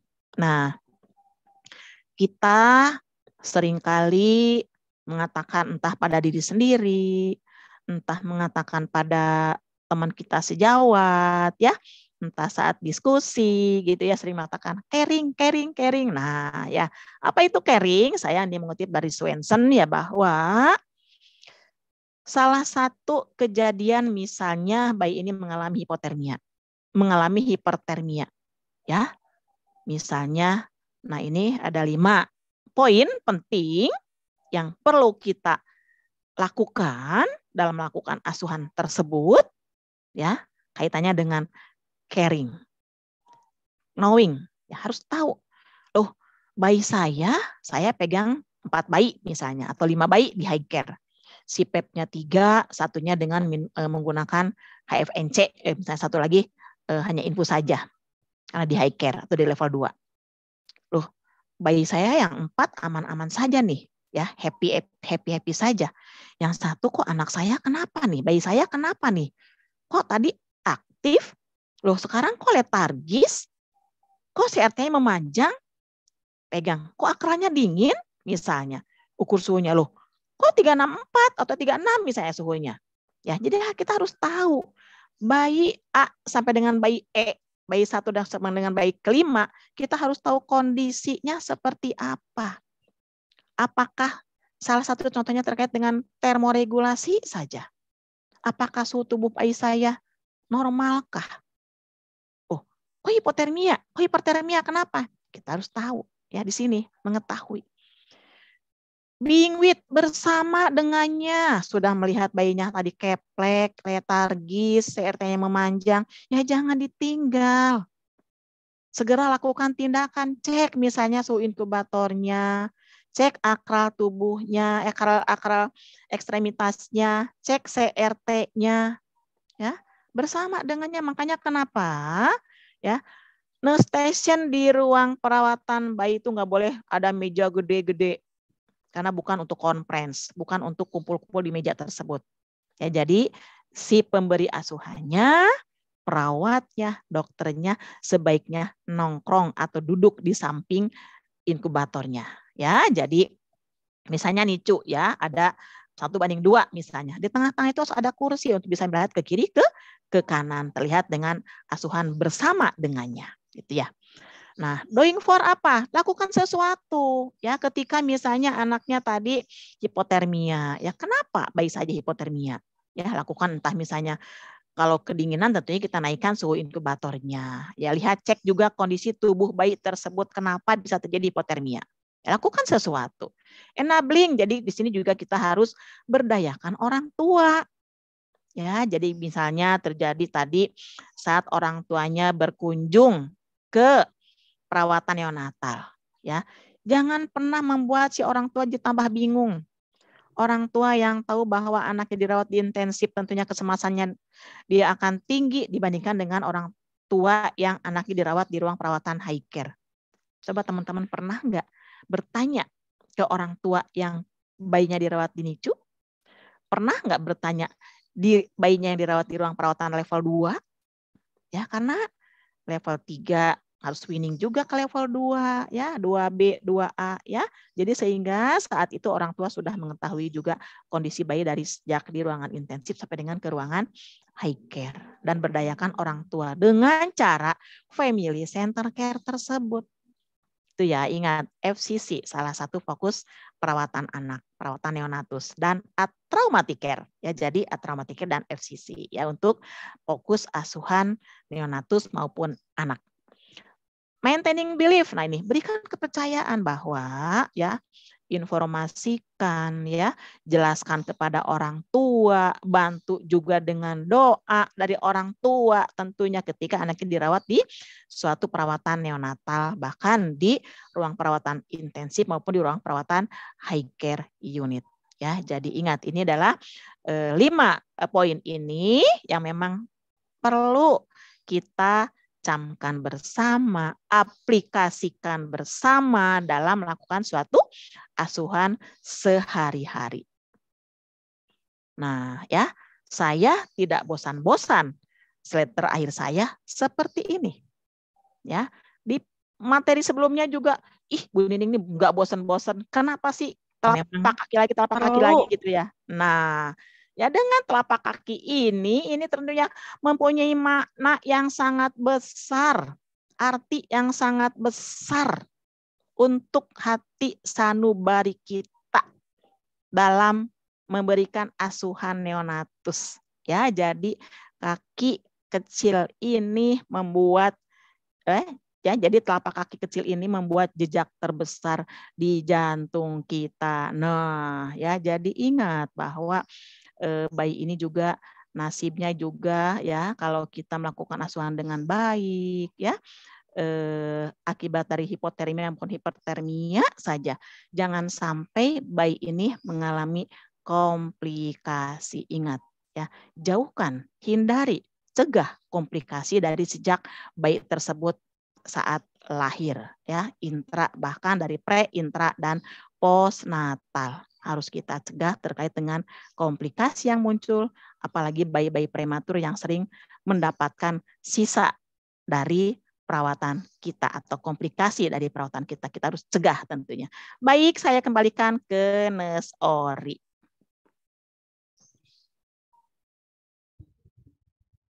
Nes Ori. Ya, siap hadir.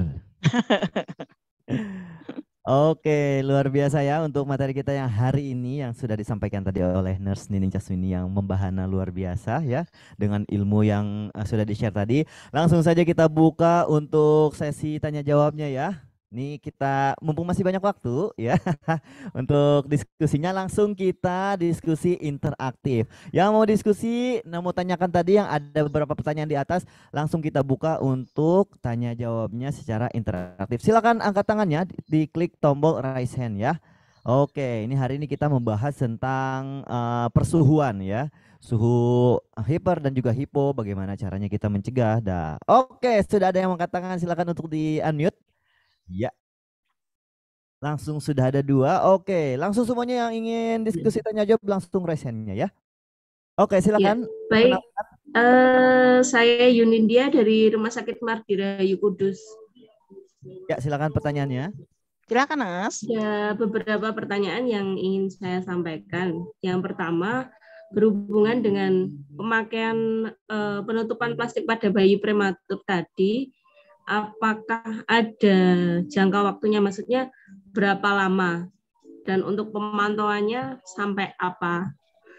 Terus yang kedua, apakah ada IWL bayi normal dan bayi prematur apakah ada perbedaannya? Terus yang ketiga, eh, di tempat kami untuk pengukuran suhu tubuh itu kita lakukan setiap tiga jam karena ada monitoring balan cairan di tempat kita itu tiga jam. Jadi untuk pengaturan suhu inkubator, jadi kita uh, atur sesuai dengan balan cairan. Kecuali memang kalau uh, kita lihat setiap jamnya suhunya memang ada perbedaan, kita baru monitoring. Apakah itu sudah cukup untuk setiap tiga jam? Itu saja tiga pertanyaan yang ingin saya sampaikan. Terima kasih.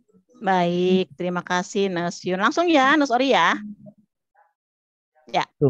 Ya, saya langsung jawab ya. Terkait dengan penggunaan plastik tadi. Ingat, plastik yang digunakan adalah bukan plastik berwarna gelap, bukan plastik berwarna hitam, tapi plastik bening. Berapa lamakah plastik bening tersebut digunakan untuk membungkus bayi? Ya, ketika bayi ini lahir ke dunia, saat di ruang bersalin gitu ya. Nah, gunakan plastik ini begitu bayinya lahirnya dengan berat kurang dari 1500 gram. Ya, kita bungkus plastik. Atau misalnya suhu suhu ruangannya kok dingin banget nih. Berat bayinya 1,8. Boleh nggak dibungkus? Boleh. Ya, silahkan. Tapi memang dari AAP mengatakan eh, bahwa dikhususkan untuk yang beratnya kurang dari 1.500 gram. Sampai kapan nih akan dibungkus plastik terus gitu ya Nes ya? Nah, apakah sampai perawatan atau selama di ruang bersalin? Ya. Boleh nggak sampai perawatan sampai ke tempat perawatan dibungkus plastik? Ingat tadi bahwa stable tadi salah satunya adalah T temperatur ya. Nah, dengan temperatur ini transportnya boleh dengan inkubator transport atau bahkan dengan perawatan metode kanguru. Ketika menggunakan transport inkubator dari ruang bersalin ke ruang perawatan. Selama perjalanan apakah suhu inkubator transport tersebut tetap sama dengan saat dicolokin? Ya, tentunya akan beda. Ya, jadi selama transfer dari ruang bersalin ke atau kamar operasi ke ruang perawatan boleh masih boleh menggunakan plastik tersebut. Ya, jika ditempatkan di inkubator. Sampai kapan?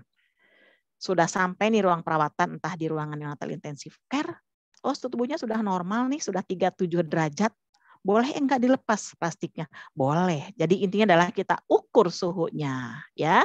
Ketika sudah normal suhu tubuhnya kita boleh lepaskan plastik tersebut. Gitu ya, Nesiun. Nah, ingat plastik bening yang digunakan gitu ya. Eh, berikutnya IWL. Tentunya memang semakin kecil bayi semakin besar IWL-nya. Beda ya dengan IWL pada orang dewasa sama kan 30 40 gitu kalau dewasa ya tapi kalau bayi tidak semakin kecil bayi semakin besar IWL-nya. Semakin cukup bulan semakin kecil tentunya itu ada ada ada batasan sesuai dengan berat badannya.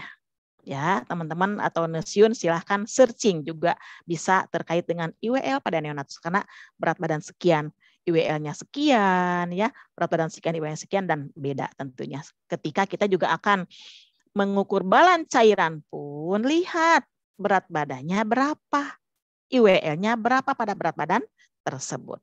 Nah, berikutnya adalah tiga jam pemantauan suhu tubuh. Ya, nomor nomor tiga kalau nggak salah ya. Nah, pada pemantauan tiga jam tersebut ya, misalnya bayinya dirawat di ruangan high care, ya high care unit atau, atau level 2 ya.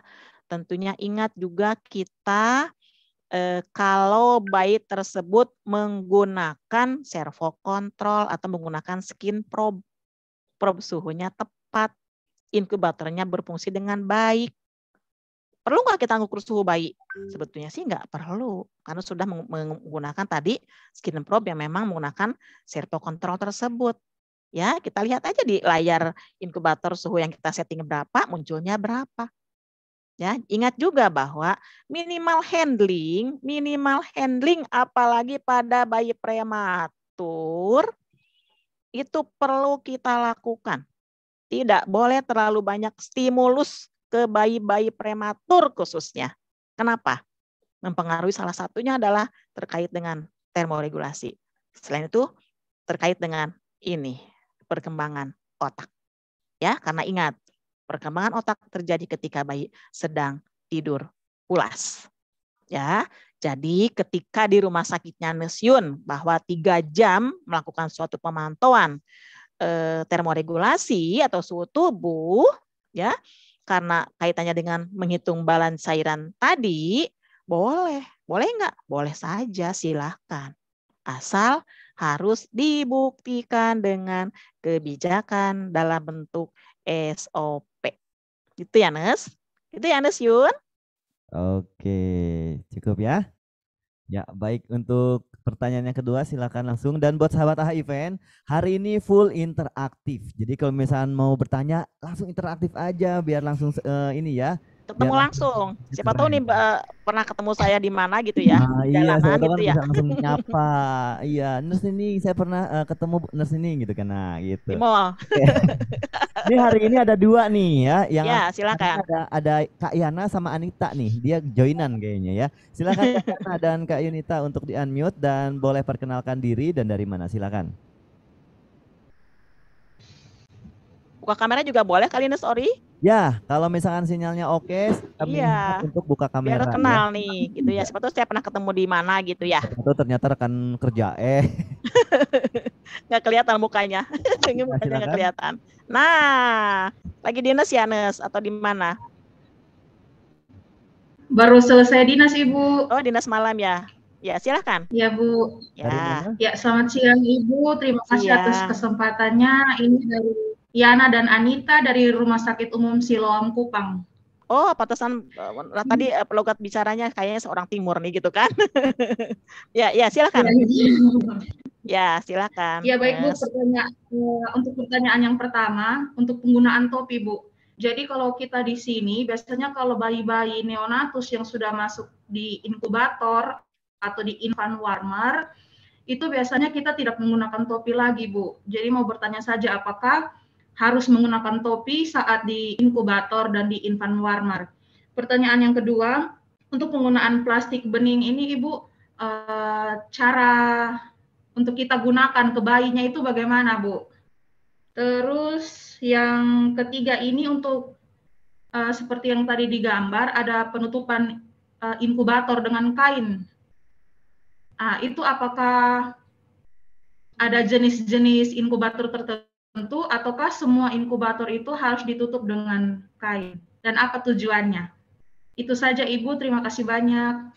Ya, pertanyaan yang sangat aplikasi banget ya teman-teman eh, pengalaman di lapangan seperti apa ya. gitu ya. Nah, terkait dengan topi ya, topi bayi. Ya, ingat apalagi bayi prematur, high risk eh, hipotermia adalah pada bayi prematur. Ya, bolehkah bayi-bayi yang dirawat di inkubator ya nggak pakai topi misalnya? Ya karena ingat bahwa permukaan paling luas pada bayi prematur adalah kepala. Ya jadi sebaiknya memang gunakan topi. Ya sebaiknya gunakan topi sebaiknya. Topinya nggak ada nggak pakai topi juga bayinya misalnya nggak pakai topi juga asal ingat asal terjaga suhu inkubatornya berapa ketika kita melakukan tindakan tidak boleh membuka pintu inkubator lebar-lebar. Ya, kalau saya di di RSCM ya saya walaupun dilakukan perawatan di inkubator apalagi bayi prematur pakai topi. Topinya mana? Gitu ya. Pakaikan topi. Ya saya selalu bawel terkait dengan topi ini karena ingat permukaan paling luas adalah kepala. Jika misalnya Nes eh, Yana dan Nes Anita di Kupang misalnya di kami kebijakannya nggak pakai topi, Bu. Di rumah sakit kami misalnya. Asal selama perawatan tidak terjadi hipotermia maupun hipertermia, ya monggo saja. Artinya ya bahwa kita harus menjaga termoregulasi suhu bayi ini dalam keadaan batas normal. 36 setengah, 37 setengah. Intinya itu. Itu ya, Nes. Dan yang paling penting adalah ketika bayi ini lahir itu wajib pakai topi, itu aja. Wajib pakai topi. Ya, ketika bayi itu lahir karena tadi ingat 2,6 2,6 derajat ini tidak bukan angka yang sangat kecil, itu angka besar dan pengaruh terhadap pertumbuhan berikutnya, perkembangan berikutnya kalau sudah terjadi hipotermia. Itu ya, Nes. Oke. Ya. Ini semisal nih uh, tadi kan pakai topi, semisal mm. nih pas lahir kan kadang uh, sekarang itu di bedong sama sampai ke kepalanya no. Itu boleh nggak? Kalau memang dirawatnya bayi yang dirawat di inkubator, ingat teman-teman ya, ketika masih menggunakan ventilasi mekanik, menggunakan infus, di bedong nggak bayinya? Nggak perlu, nggak perlu di bedong. Yang di bedong itu ketika bayi ini dirawat di baby, box gitu. Itu boleh di bedong, pakai topi, bahkan bedongan tadi kata Nes Ori sampai ke kepala, boleh. Hmm. Monggo silahkan as. Yang penting intinya adalah ditutupin kepalanya dengan kain. Oke. Walaupun kainnya nggak ada, eh, topinya nggak ada, gunakan dengan bedong tadi yang sampai ke ke kepala. Jangan Itu ya. gitu. Itu ya Nes. Ya jadi awal lahir perlu itu mau bayi gede, bayi besar, awal lahir itu perlu pakai topi. Apalagi kalau dirawat di baby box ya, itu pakaikan topi. Bayi prematur di inkubator pakai topi. Kalau saya sebaiknya pakaikan topi bayi prematur. Cukup bulan mungkin karena memang eh, ototnya sudah mulai banyak ya. Kalau cukup bulan ya tidak wajib juga. Itu ya Nes. Nes Yana dan Nes Anita. Iya. Pertanyaan kedua. Plastik bening. Sesampai semanakah plastik bening tersebut? Ya. Plastik bening yang buat bungkus bayi tentunya tidak sampai kepala kita bungkus plastik, enggak. Tetap kepalanya pakaikan topi, area badan ke bawah, dada ke bawah baru dibungkus dengan plastik. Gitu ya, Nes? Nes Yana, saya sekarang kembali pertanyaan ke Nes Yana dan Nes Anita. Ketika Nes Yana atau Nes Anita pernah mendapatkan bayi prematur di kamar bersalin. Pernahkah melakukan eh, bungkus plastik bening tersebut kepada bayi yang dengan berat kurang dari 1.500 gram? Oke, Nersiana silakan. Punya pengalaman? Ya, Nersiana. Dibuka? Boleh Nah. dong. Ya. Pernahkah? Sudah ada pengalaman Jadi, Ibu. Udah. Baru ya? kali itu ada bayi yang lahirnya enam bulan dan di bawah 700 gram Ibu Hmm, berat badannya. Itu dibungkus menggunakan plastik. mm-mm. Nah, jadi yang ketika lahir yang hanya kita melakukan evaporasi ya terkait dengan evaporasi adalah mengeringkan area kepala saja, pakaikan topi langsung, bagian badannya langsung dibungkus dengan plastik. Seperti itu kan? Ya kan, Iya, Nes? Nah, ya seperti jadi bungkusnya dari dada sampai ke bawah, ya terkait sampai ke kaki tentunya untuk bungkus plastik. Plastik bening ingat, plastik bening yang kita gunakan. Kepalanya pakai topi, nggak pakai plastik lagi. Kalau kalau kepala nggak pakai plastik, licin plastik itu kan, jadi pakai topi untuk area kepalanya. Badannya dibungkus dengan plastik. Itu ya, Nes. Oke. Dan Oke, yang ketiga. lupa ya. Satu lagi, Nes. Pertanyaannya ada tiga. Inkubator. penutup inkubator. Ya. Nah, semua bayi yang dirawat dengan inkubator merek apa pun, model apa pun, sebaiknya tutup dengan inkubator, penutup inkubator. Bolehkah dengan menggunakan kain bedong? Boleh. Bolehkah dengan menggunakan kain yang seperti tadi saya tayangkan di slide? Boleh, silahkan. Kenapa ya ditutup dengan penutup inkubator? Nanti bayinya nggak kelihatan. Itu sering kali terjadi pertanyaan kepada saya. Awal-awal kami menggunakan tutup inkubator tersebut, kami pun ditentang oleh beberapa orang. Dengan evidence based practice nursing, kenapa saya kekeh harus pakai tutup inkubator? Punya tujuan tertentu. Tujuannya apa? Kita nih coba saya tanya Nusiana dan Nus Anita. Ketika kita tidur, di atas kepala kita ada lampu. Bisa nggak tidur? Nus Ori bisa nggak tidur nggak? di atas kita ada lampu terang-terang. Enggak ya? Silau kan? Silau. Silau. Bayi juga sama. Apalagi bayi dalam masa perkembangan. Pernahkah mendengar istilah developmental care, Nes Yana, Nes Anita? Pernah? Developmental care, asuhan perkembangan? Pernah dengar nggak? Pernah Ibu. Nah, salah satu asuhan perkembangan, salah satu aplikasi developmental care adalah dengan penggunaan tutup inkubator tersebut. Untuk apa tujuannya? Ingat bahwa pencahayaan itu sangat mengganggu kualitas tidur bayi. Bayi itu perkembangan otaknya berkembang dengan baik ketika bayi tersebut tidur pulas. Silo dong kalau nggak dipakai tutup inkubator ya. Jadi boleh menggunakan kain bedong, boleh menggunakan kain apa pun asal area atasnya tuh ditutup dan tidak silo tentunya ya karena pencahayaan merupakan ya eh, asuhan daripada perkembangan atau developmental care tersebut gitu ya Nes. Jadi kalau mau buat seperti yang RSN punya, ya monggo silahkan gitu ya. Nanti misalnya mengukur panjangnya berapa, lebarnya berapa, monggo silahkan diukur inkubatornya karena beberapa inkubator beda ukurannya, gitu ya. Gitu ya Nes. Oke, luar biasa. Terima kasih Bu. Ya. Sukses ya di Kupang ya. Oke, baik. Terima kasih Nurse eh, Nurse Yana dan juga Nurse Anita ya dari Kupang. Dan ini pertanyaan terakhir yang akan disampaikan oleh eh, Nurse Indah. Silakan untuk unmute dan perkenalkan diri.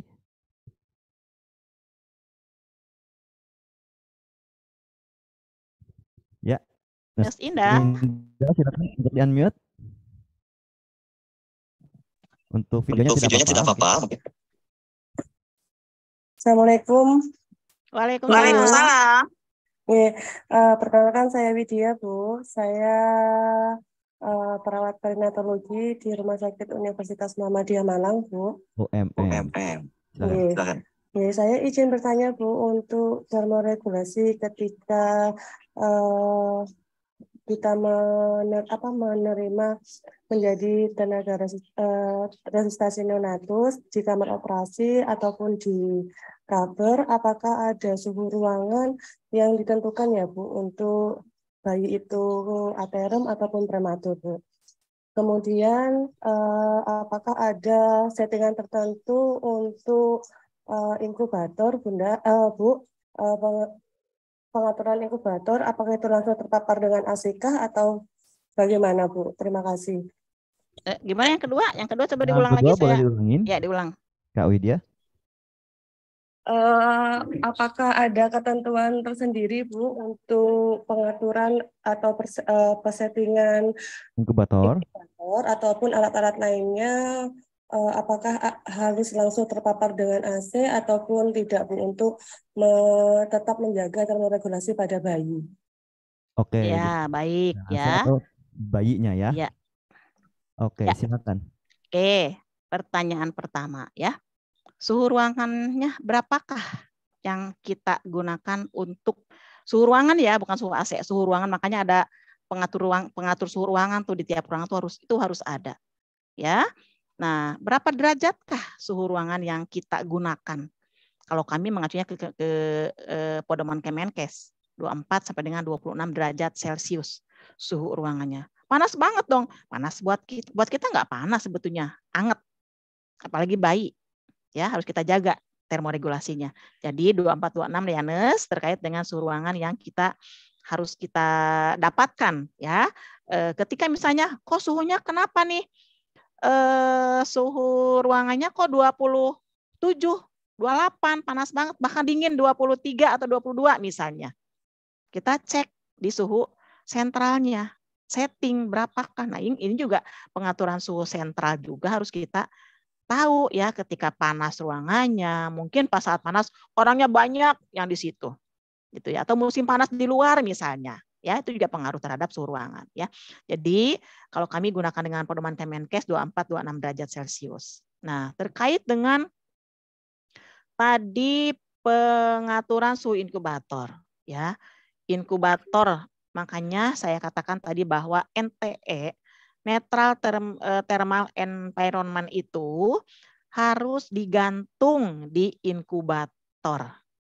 Jadi semakin muda usianya, semakin kecil usia bayinya, eh, beratnya, harus kita setting berapakah? Tentunya sesuaikan dengan NTE tadi. Enggak sama bayi dengan berat 30 eh, 3.200 gram misalnya dengan berat 1.000 gram. Settingnya enggak sama. Ya, ingat nanti Nes eh, Widya bisa searching teman-teman lain pun yang belum punya NTE bisa searching itu di print, di Hmm. laminating, tempel di inkubator, gantung di inkubator terkait dengan eh, apa namanya eh, panduan NTE tersebut supaya kita tahu berat bayi ini sekian, usianya sekian, suhunya berapa yang kita setting. Nah, itu harus ada tentunya tertuang dalam eh, SOP juga jangan lupa. Dan pedoman uh, eh, apa NT tersebut harus ada di masing-masing inkubator. Gitu ya, Nes. Jadi uh, sebaiknya memang disediakan gitu ya, di dicantumkan, digantungkan di situ di inkubator tersebut dengan terkait dengan NTE, Neutral Thermal Environment. Gitu ya, seperti itu. Gitu ya, Nes, Nes Widya. Oke, baik. Terima kasih Nurse Widya dan juga Nurse Nining untuk uh, sharingnya pada hari ini. Dan itu tadi merupakan penanya terakhir. Dan mungkin ada beberapa pertanyaan di kolom. Nanti mohon izin Nurse Nining untuk bantu menjawabnya ya. Karena waktunya mungkin sudah selesai. Nah, sorry perlu sampaikan nih karena saya ada cara berikutnya, mungkin saya nggak sempat menjawab di, di chat eh, room. apa-apa. Boleh WA ke ya. saya. Pertanyaan nah, yang tidak terjawab, Siap. silahkan untuk WA. Mungkin kalau misalnya saya menjawabnya agak lama, mohon dimaklumin ya. Nah. Pasti akan saya jawab pertanyaan tersebut kan beberapa peserta AHA ini nih minta AHA ini banyak sekali yang masih sekarang masih banyak yang WA WA ke saya terkait dengan perawatan neonatus. Silahkan, saya sangat senang kali berbagi ilmu dengan teman-teman ya. Nah. Jadi mohon untuk yang tidak terjawab, yang belum terjawab di chat room, silahkan untuk WhatsApp ke saya, gitu ya, Nes semuanya sudah diberikan izin oleh Nurse Nining ya tadi nomor handphone di awal udah di share kalau misalnya belum uh, masih ada yang belum di share boleh nanti lihat ke YouTube channel bisa dilihat ulang ya. Jadi nanti uh, di sana sudah ada nomornya oke? Okay?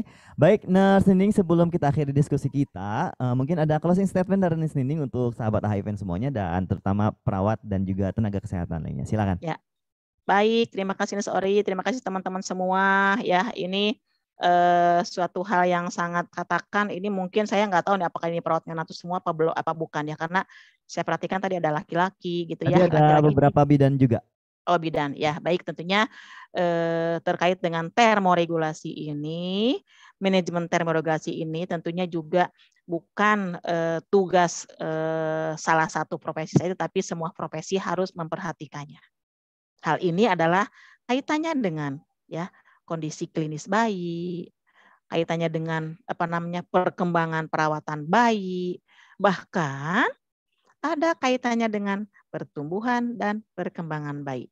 Ya, bahwa kita berharap bayi ini tidak lepas dari eh, apa namanya? tidak lepas dari hanya ah sudah nggak hipotermia lagi, tapi ingat perjalanan panjang pada bayi yang pasca perawatan di unit unit neonatal ini perlu kita ketahui juga tentunya. Apalagi terkait dengan pertumbuhan dan perkembangan. Ya ingat tadi yang saya katakan caring, caring, caring. Lima poin tersebut teman-teman harus lakukan dalam asuhan sehari-hari ya supaya kualitas hidupnya baik nggak ada komplikasi apa pun. Karena dengan salah satu gangguan termoregulasi saja akan mempengaruhi pertumbuhan. Pertumbuhan terkait apa? Bayi saya kok nggak beratnya nggak naik naik kenapa nih? Nah ingat ketika hipotermia harus banyak kalori yang kebuang untuk memproduksi panas. Salah satunya itu. Itu ya. Nah jadi pertumbuhan ter, eh, panas bergantung juga terhadap termoregulasi bergantung terhadap pertumbuhan. Perkembangannya apa ini? Ya karena kalau hipotermia si hipotalamus akan terganggu. Tentunya mempengaruhi juga sistem tubuh yang yang lainnya ya. Jadi ingat ya, asuhan yang kita berikan tentunya berdasarkan evidence based practice nursing. Gitu ya, Nes. Semuanya semoga sukses untuk semuanya dapat mengaplikasikan di unit perawatan neonatal ya dan tentunya eh, teman-teman eh, ingat bahwa jangan pernah ada komplikasi yang tersisa di tubuh bayi ketika bayi yang kita pulangkan tersebut. Ya, asuhan dengan baik tentunya akan berdampak baik juga terhadap pertumbuhan perkembangan bayi tersebut. Itu ya, Nes. Baik. Terima kasih semuanya. Saya tutup dengan wassalamualaikum warahmatullahi wabarakatuh. Waalaikumsalam warahmatullahi wabarakatuh. Terima kasih Nening ya.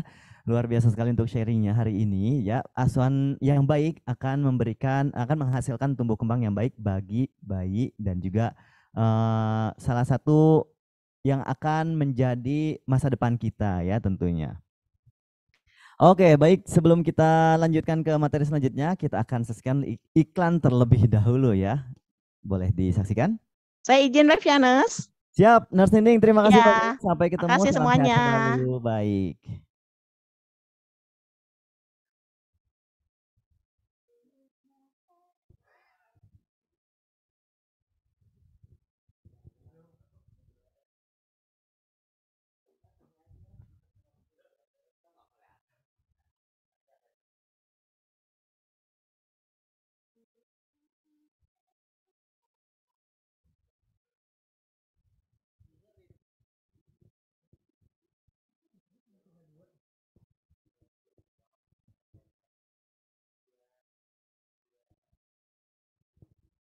Oke, luar biasa. Terima kasih Nurse Ori yang sudah tampil terlebih dahulu membuka eh, webinar kita hari ini dan luar biasa juga semangat ya dari sahabat AHA.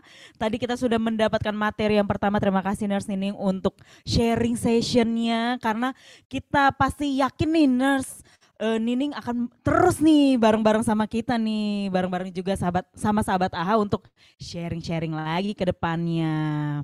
Nah, dan jangan lupa untuk sahabat AHA yang eh, memiliki pertanyaan tadi boleh diizinkan nih sama Nurse Nining untuk eh, melayangkan pertanyaannya via WhatsApp. Yang nggak tahu nomor WhatsAppnya Nurse Nining tadi kelewatan, yuk langsung cek YouTube channel kita aja. Di agak digeser-geser sedikit ya kan. Lihat dulu ke depan, nah nanti kelihatan deh tuh nomornya Nurse Nining. Oke, dengan senang hati saya Esther Dia yang eh, menemani juga sahabat AHA hari ini. Kita akan sharing eh, materi kedua, ketiga, dan selanjutnya sampai esok hari. Mohon maaf ya sahabat AHA, aku nggak muncul pagi-pagi soalnya emang tadi bener lagi galau-galau sama eh, Jakarta. macet banget hari Sabtu, heran ya hari Sabtu masih macet-macet aja. Oke, iya.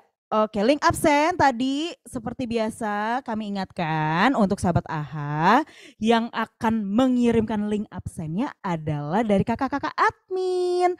Jadi untuk sahabat AHA tidak perlu nih untuk eh, kirim-kirim link lagi karena nanti akan di-share dan cukup satu kali absen saja untuk satu hari pelaksanaan. Jadi besok akan ada Oh, sorry. Ya, jadi dua hari beda-beda nih link absennya. Jadi untuk yang sudah ngabsen hari ini Oke, sorry, mohon maaf ternyata info lagi terbaru nih dari kakak admin ya. Jadi yang link absen hari ini bisa berfungsi untuk sampai absen esok hari. Nah, dua hari cukup satu kali absen. Nah, udah kayak minum obat ya. oh, enggak, enggak, enggak ya. Oke, baik. Udah capek ya kayaknya dengar suara saya. Kita mau langsung masuk ke materi kita yang kedua, yang pastinya dengan Nurse Imelda Yanti Eskep Mkep spesialis keperawatan anak yang akan sharing bareng sama kita terkait developmental care for high risk newborn. Namun sebelum kita sapa beliau, kita mau membacakan CV beliau terlebih dahulu. Oke. Ya sudah hadir di layar masing-masing. Jadi sahabat AHA nggak usah lihat layar tetangga ya. Oke, kita baca bareng-bareng di sini ada Nurse Imelda Yanti Eskep, Magister, Magister Keperawatan, Spesialis Keperawatan Anak. Sudah ada kontak beliau di situ, ada emailnya, ada nomor uh, handphonenya, kemudian lokasi beliau tinggal langsung screenshot. Nah, siapa tahu nanti dibuka kan sharing session pertanyaan setelah ini bisa langsung sahabat AHA menghubungi beliau langsung. Oke, kita lihat di sini ada education background dari beliau sendiri eh, berkuliah di Poltekkes Jakarta 1 tahun 2001 sampai 2003 menyelesaikan program sarjana keperawatan FIKI program nurse di tahun 2005 sampai 2008 kemudian program magister ilmu keperawatan anak FIK UI di tahun 2011 sampai 2013 kemudian menyelesaikan program nurse spesialis keperawatan di FIK UI tahun 2013 sampai 2004 Oke, banyak sekali training dari beliau yang sudah beliau eh, berikan, banyak sekali nih kita bisa baca bareng-bareng di sini. Dan experience yang sudah beliau dapatkan dari tahun 2021 sampai sekarang eh, neonatologi Fatmawati sebagai dosen dan juga pakar eh, dosen pakar di Stikes Mitra Keluarga, Tikim, Stikes Bani Saleh, Unjani, Akper YPDR, Akper Fatmawati dan wow luar biasa banyak sekali sampai ke Poltekkes Padang. Oke, beliau juga aktif praktik dokter spesialis di Poliklinik Paru, THT, Bedah, Syaraf, Wow, luar biasa dari tahun 98 sampai 2011. Dan beliau juga pernah uh, menjadi petugas kesehatan haji Indonesia di tahun 2010, kemudian trainer dan praktisi hipnoterapi, baby kids massage, postpartum treatment dan owner HNT, INC, CCTC, Mel's Bento and Cookies. Wow, luar biasa.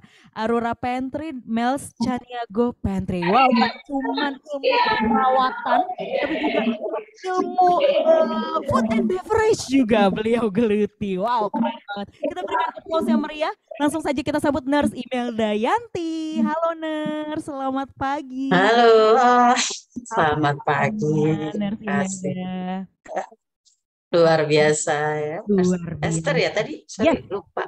Betul, ya. aku Esther Nars. Iya, oke, Nurse Imelda sebelum kita masuk ke materi, kira-kira uh, Nurse Imelda bisa sampaikan key point apa sih yang harus dipahami betul oleh sahabat AHA terkait materi yang akan Nurse Imelda sampaikan kali ini? Oke, ini suara saya cukup jelas ya? Sudah terdengar dengan sangat jelas. Oke sebentar sebelum mulai di yang kepo-kepo, sedikit ada tambahan tadi uh, pendidikan saya dari SPK ya Nurse Esther tahun oh, 96 lulus 96. Jadi supaya dianggap juga itu perawat gitu karena SPK zaman dulu itu uh, sudah seperti lulusan D3. Betul. Ya. Dan di Fatmawati itu sudah sejak 96. Memang di oh. neonatus masih baru ya, baru selesai sekolah. S2-nya baru ditempatkan di neonatus. Ya, jadi masih uh, Bu Nining adalah senior saya ya, salam hormat. ya, gini ya, uh, terkait materi kita pada kesempatan ini uh, banyak sekali ya sebenarnya yang mestinya tuh teman-teman sangat kepo ya karena tadi nyangkut nih di materinya Bu Nining ya namanya developmental care tadi katanya ada yang bilang udah tahu udah pernah gitu ya tapi kayak apa? Nah, kayak apa sih developmental care itu gitu? Apa cuma sekedar nutup atau atau ada kayak lain gitu. Dan ternyata efeknya luar biasa kan ketika kita terapkan ini ini ke kualitas hidup generasi bangsa kita. Wow kan kalau seandainya kita semua perawat neonatus mau menerapkan developmental care artinya kita semua itu punya punya apa namanya kontribusi gitu ya terhadap generasi bangsa yang luar biasa gitu. Oke, jadi kita akan nyambung nih. Tadi karena udah sempat disinggung sebelumnya ya, Nurse, sama Nurse Nining ya. Iya. Oke, baik. Sudah tidak sabar lagi kita akan masuk ke sharing session. Nurse Imelda akan kita berikan waktu untuk materi 60 menit, kemudian kita akan lanjut diskusi 30 menit ya, Nurse. Oke, baik. Saya Oke, baik. Nurse Imelda, langsung saja the stage is yours. Oke, okay, thank you. Sudah tampak ya? Sudah terlihat dengan jelas. Oke, terima kasih. Bismillahirrahmanirrahim. Assalamualaikum warahmatullahi wabarakatuh. Luar biasa ya. Terima kasih uh, AHA yang sudah mengundang ya untuk perdana ya. Pertama kali saya diundang oleh AHA ya. Uh, dan jumpa dengan teman-teman nurse dan bidan ya yang luar biasa masih mau menyempatkan diri ya di hari Sabtu ini yang walaupun Sabtu ternyata macet ya. Saya juga tadi ngerasain macet. Ya, jadi uh, materi kita pada yang kedua ini adalah tentang developmental care ya for high risk newborn. Jadi uh, apa sih uh, developmental care itu ya tadi sekilas Bu Nini sudah menyampaikan tuh. Oke, tadi sudah perkenalan sudah disampaikan ya oleh Dr. Esther ya. Makanya saya itu punya pantry karena saya hobi memasak. Jadi kalau ada yang mau nyoba boleh ke kantin Rumah Sakit Fatmawati atau kantin RSUD pasar minggu ya bagi yang ke Jakarta nanti silakan. Oke, hasil belajar di materi kita pada kesempatan ini adalah uh, setelah mengikuti materi ini diharapkan kita semua mampu menerapkan developmental care di ruang perawatan neonatus. Jadi kalau ada yang masih belum menerapkan, ayo setelah kita sama-sama ini kita terapin ya walaupun belum sempurna, tapi setidaknya sudah mulai. Kalau yang sudah menerapkan, berarti tinggal cross. Udah sesuai belum ya? Atau ada yang mesti dioptimalisasikan gitu ya. Nah, ini indikator hasil belajar kita diharapkan kita semua mampu menjelaskan konsep dasar developmental care dan menjelaskan strategi implementasi development care di ruang perawatan neonatus. Nah, sebagai pendahuluan, ya udah canggih, teknologi sudah sangat canggih. Wah, di rumah sakit, rumah sakit vertikal ya, RSUD bahkan sekarang sudah banyak sekali dibekali oleh pemerintah alat-alat yang canggih ya. RSUD sudah ventilatornya sudah keren-keren, HFO-nya bagus gitu ya. Banyak sekali yang bisa dibanggakan. Tapi ya sayangnya dengan diselamatkannya neonatus ini tidak dibarengi ternyata dengan upaya-upaya untuk meningkatkan atau mengoptimalkan kualitas hidup gitu ya. Jadi banyak juga bayi-bayi prematur yang alhamdulillah dia hidup gitu ya. Alhamdulillah dia hidup. Kelihatannya sehat gitu ya. Tapi sehatnya kayak apa? Hidupnya bagaimana? Gitu ya. Jadi eh, ada penelitian juga yang apa namanya melakukan retrofleksi yaitu ternyata melakukan penelitian untuk bayi-bayi yang pernah dirawat di ruang NICU perinatologinya. Ternyata hasilnya banyak juga saya lupa persentasenya gitu ya. Jadi bayi-bayi itu yang mengalami cerebral palsy, kemudian kognitifnya juga tidak optimal ya, kognitifnya rendah, IQ-nya rendah gitu ya. Ada yang buta, ada yang tuli. Nah, kalau kayak gini yang salah siapa? Salahnya takdir. Nggak boleh nyalahin takdir ya memang sudah ada takdir sendiri tapi ya seandainya kita menanyakan pada diri kita sendiri ya ternyata itu ada kontribusi kita di situ ya. Kontribusi kita di mana kita tidak menjaga ya. Menjaga bayi-bayi yang kita rawat untuk dia itu merasakan kenyamanan selama dirawat. Karena dia betul-betul penuh dengan stresor. Bayangin dari tempat yang sudah nyaman dia dalam uterus. Enak, redup. Suara itu suara jantung ibunya yang dia dengar, teratur. Dia dengar suara ibunya, dia dengar suara ayahnya yang agak-agak kedap, tidak terlalu tinggi nadanya. Hangat, ya kan? Nah, lalu dia dia lahir ke dunia. Biasanya kamar bersalin atau oka itu dingin sekali kan? sudah ada perubahan lingkungan. Saya yakin kita semua ya ketika mutasi ya dari satu ruangan ke ruangan yang lain pasti awalnya stres dulu. Karena aduh ini lingkungan yang baru. Aduh ini ketemu orang-orang baru. Kira-kira saya bisa nggak ya beradaptasi? Apalagi mereka ya bayi prematur. Tentunya mereka juga stres tuh karena mereka mutasi. Mereka dari uterus ke ekstra uterus ya. Ya, jadi eh, ini yang mereka rasakan. Nah, ruangan perinatologi, ruangan NICU itu adalah ruangan stres buat bayi. Kenapa? Suara alarm. Ya. Suara, kakak mau pesan makan apa kak? Teriak-teriak dari pintu. Ya, masih ada nggak tuh kayak gitu? Suara pintu, jebret. Suara telepon, kencang ya. Luar biasa. Saya bilang saya aja yang bukan neonatus itu uh, pusing kalau dengar suara kayak gitu. Enggak Bu, kita ngobrolnya pelan-pelan. Iya ngobrolnya pelan-pelan tapi banyak orang akhirnya apa? Tetap aja ya. Desibelnya tetap tinggi jadinya pusing. Bagaimana lah bayi prematur kita ya. Overstimuli yang dihadapi sama mereka itu ya sangat mengganggu ya. Mengganggu istirahat dan tidurnya ya. Penggunaan energi juga yang harusnya bisa untuk meningkatkan berat badan, meningkatkan panjang badannya, meningkatkan apa perkembangan otaknya itu jadinya terhambat ya, bermasalah karena terganggu-terganggu terus ya. Ini ya akibat banyak stresor yang dihadapi oleh bayi ya.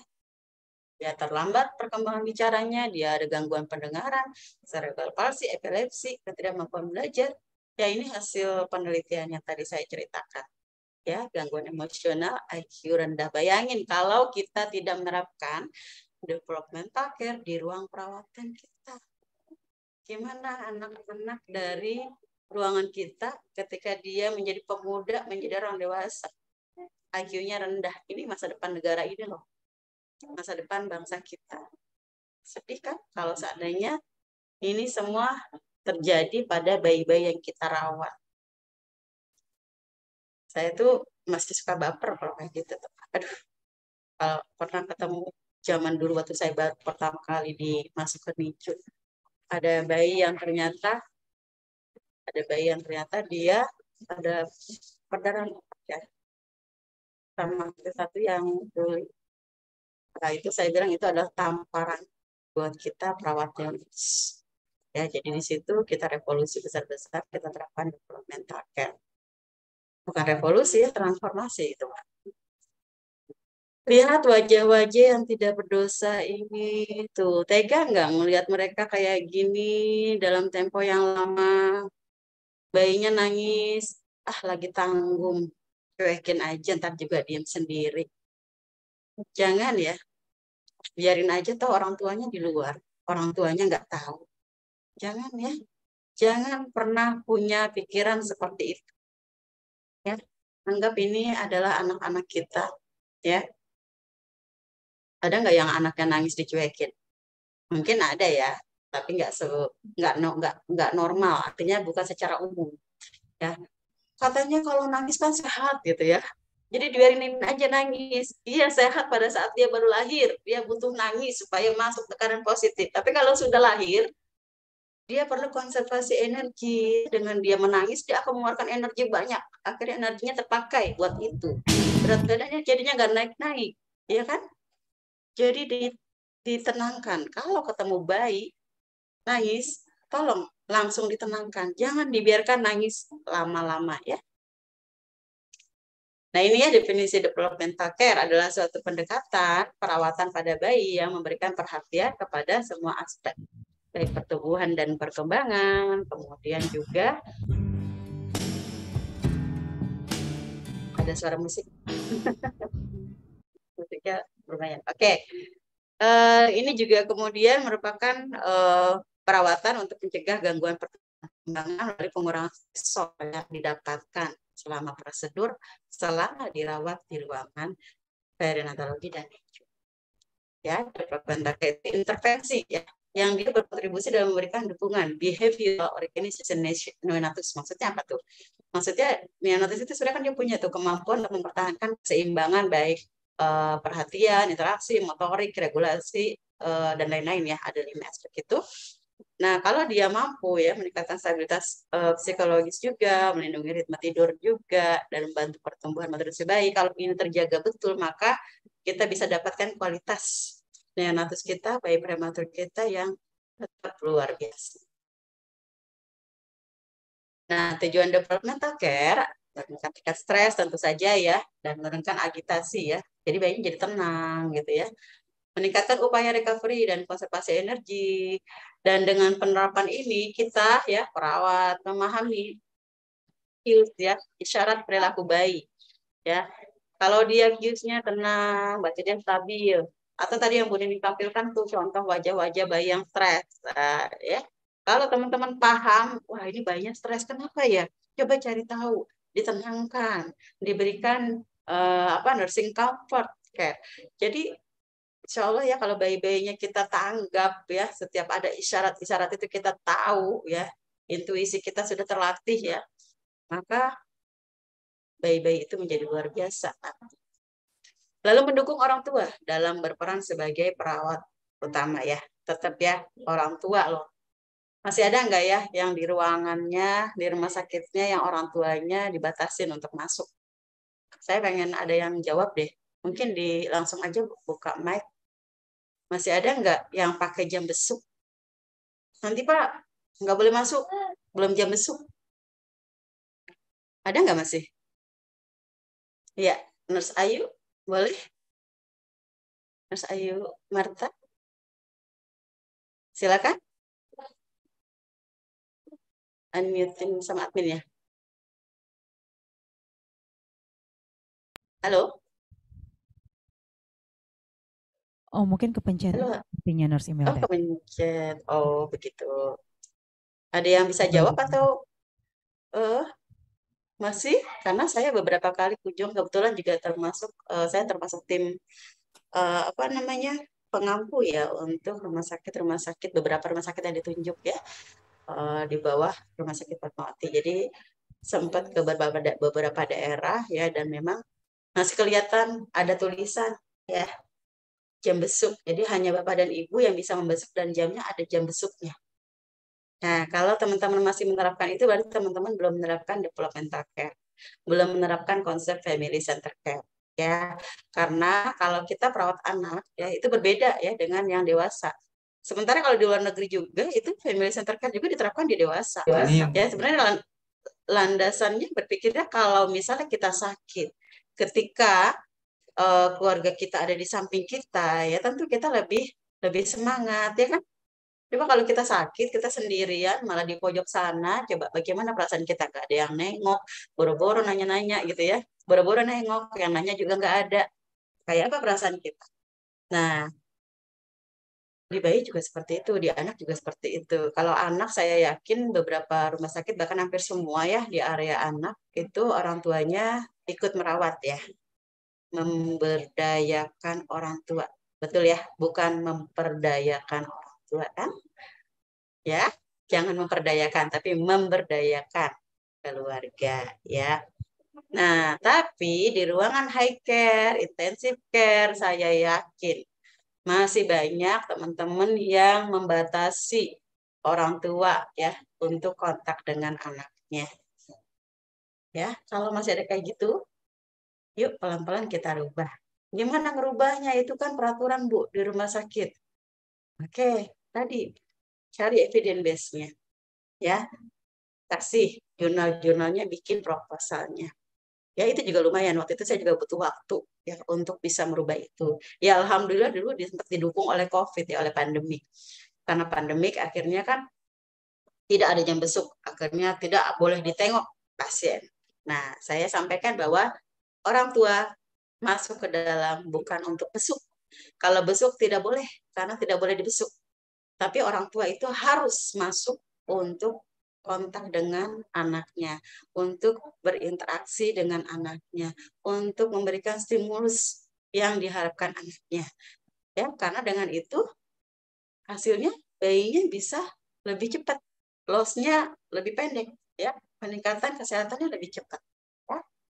Sekarang saya lagi mengembangkan juga untuk eh, apa namanya memberikan stimulasi uh, suara ibu ya dengan suara solawat ya solawat syifa Ya, jadi nanti hasil sih belum ini masih dilakukan uh, penelitian.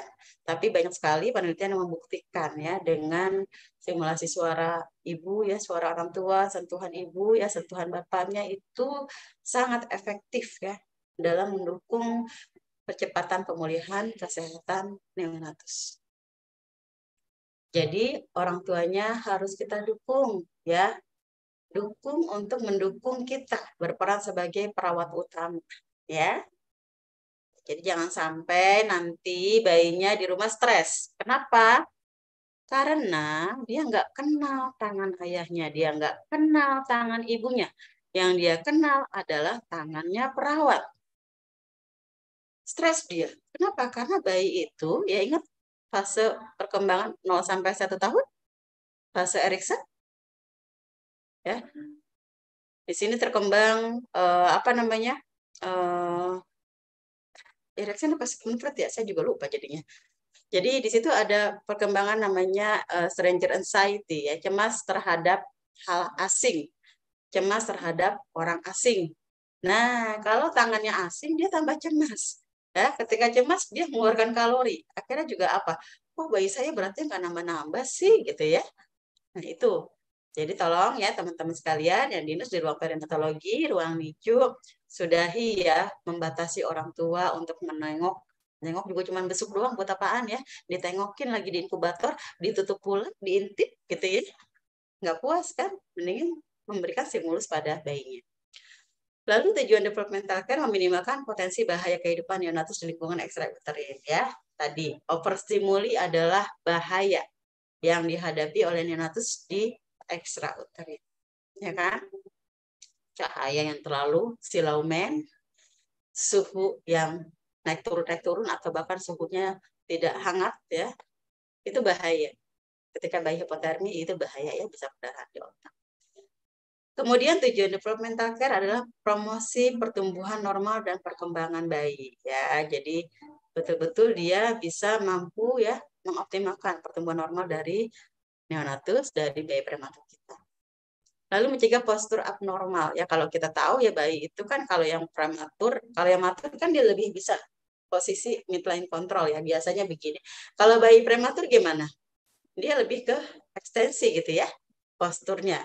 Nah, tadi saya juga nanya, ada yang nanya juga ya, kenapa posisi prone itu bisa mem, uh, memperbaiki suhu gitu ya, hipotermi gitu ya. Oke, teman-teman kan kalau misalnya permukaan tubuh kita kalau kita terlentang gitu ya, maka itu uh, evaporasi kah atau misalnya konveksi atau misalnya radiasi itu kan mengenai semua sehingga suhu tubuh itu bisa turun. Tapi ketika midline control, mungkin posisinya miring atau di sini tadi yang prone contohnya ya, yang tengkurap, maka itu dia akan melindungi ya, akan meminimalisir uh, apa namanya kejadian-kejadian uh, yang bisa menghilangkan panas bayi gitu. Nah, postur abnormal bayi bisa dicegah karena kalau dia uh, misalnya posisinya begini ya, itu akan bahaya buat pernafasan karena bayi itu dibantu bernafasnya dengan otot-otot di perut. Kalau teman-teman tidur ya, tidurnya ngeplek ya bahasanya ngeplek, bahasanya tidurnya terlentang tapi gitu ya. Itu kan perut lebih rileks kan ya. Betul ya? Nah, sehingga napas teman-teman karena teman-teman napasnya dada aman ya. Tapi kalau misalnya teman-teman misalnya agak e, mempleksikan sedikit ya, memusatkan berat tubuh kita ya di tengah atau di mid ya, midline tubuh, ya itu membantu ya untuk menguatkan otot-otot napas gitu ya. Coba nanti rasakan deh bedanya. Di bayi terutama ya, tapi coba yang sendiri dulu sebelum di bayi. Ya, tapi kalau di bayi teman-teman insya Allah langsung juga kelihatan bisa dilihat dari saturasi oksigennya nanti ya suhunya juga Lalu tujuan developmental care selain itu adalah stabilisasi pada setiap tahapan perkembangan saraf neonatus, mendukung adanya perilaku dan koordinasi ya, karena memang masih dalam tahap pertumbuhan yang cepat dari otak ya, sehingga ketika terjadi banyak stres, banyak stresor, maka itu akan mengganggu neuron-neuron sinap-sinapnya ya, yang tadinya harusnya dia cerdas banget jadi cerdas aja. Itu masih mending. Kalau sampai nanti jadinya uh, idiot kan kasihan ya. Lalu meningkatkan kesejahteraan emosi dan sosial keluarga. Kenapa? Karena keluarga dilibatkan keluarga tahu perkembangan anaknya ya. Kami dapat apresiasi dari dinas kesehatan karena memang uh, kebetulan waktu itu ada laporan ya bukan laporan ini ya bukan laporan kejahatan.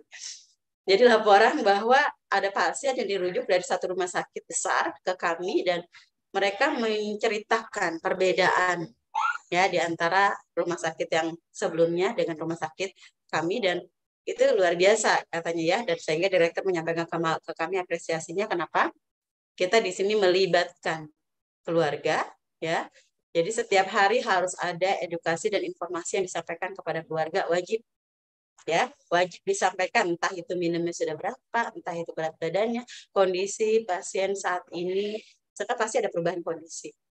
Nah jadi keluarga merasa selalu ada akses akses informasi dan edukasi tanpa harus nyari-nyari nanya ke siapa tanpa harus e, bertanya-tanya sampai ke mana bolak-balik nggak perlu bertanya karena kita menyediakan informasi itu untuk ayah dan ibunya tentunya jadi emosinya menjadi semakin kan jadi nggak terlalu panik gitu ya atau juga lebih siap juga ketika memang nanti prognosisnya tidak baik gitu.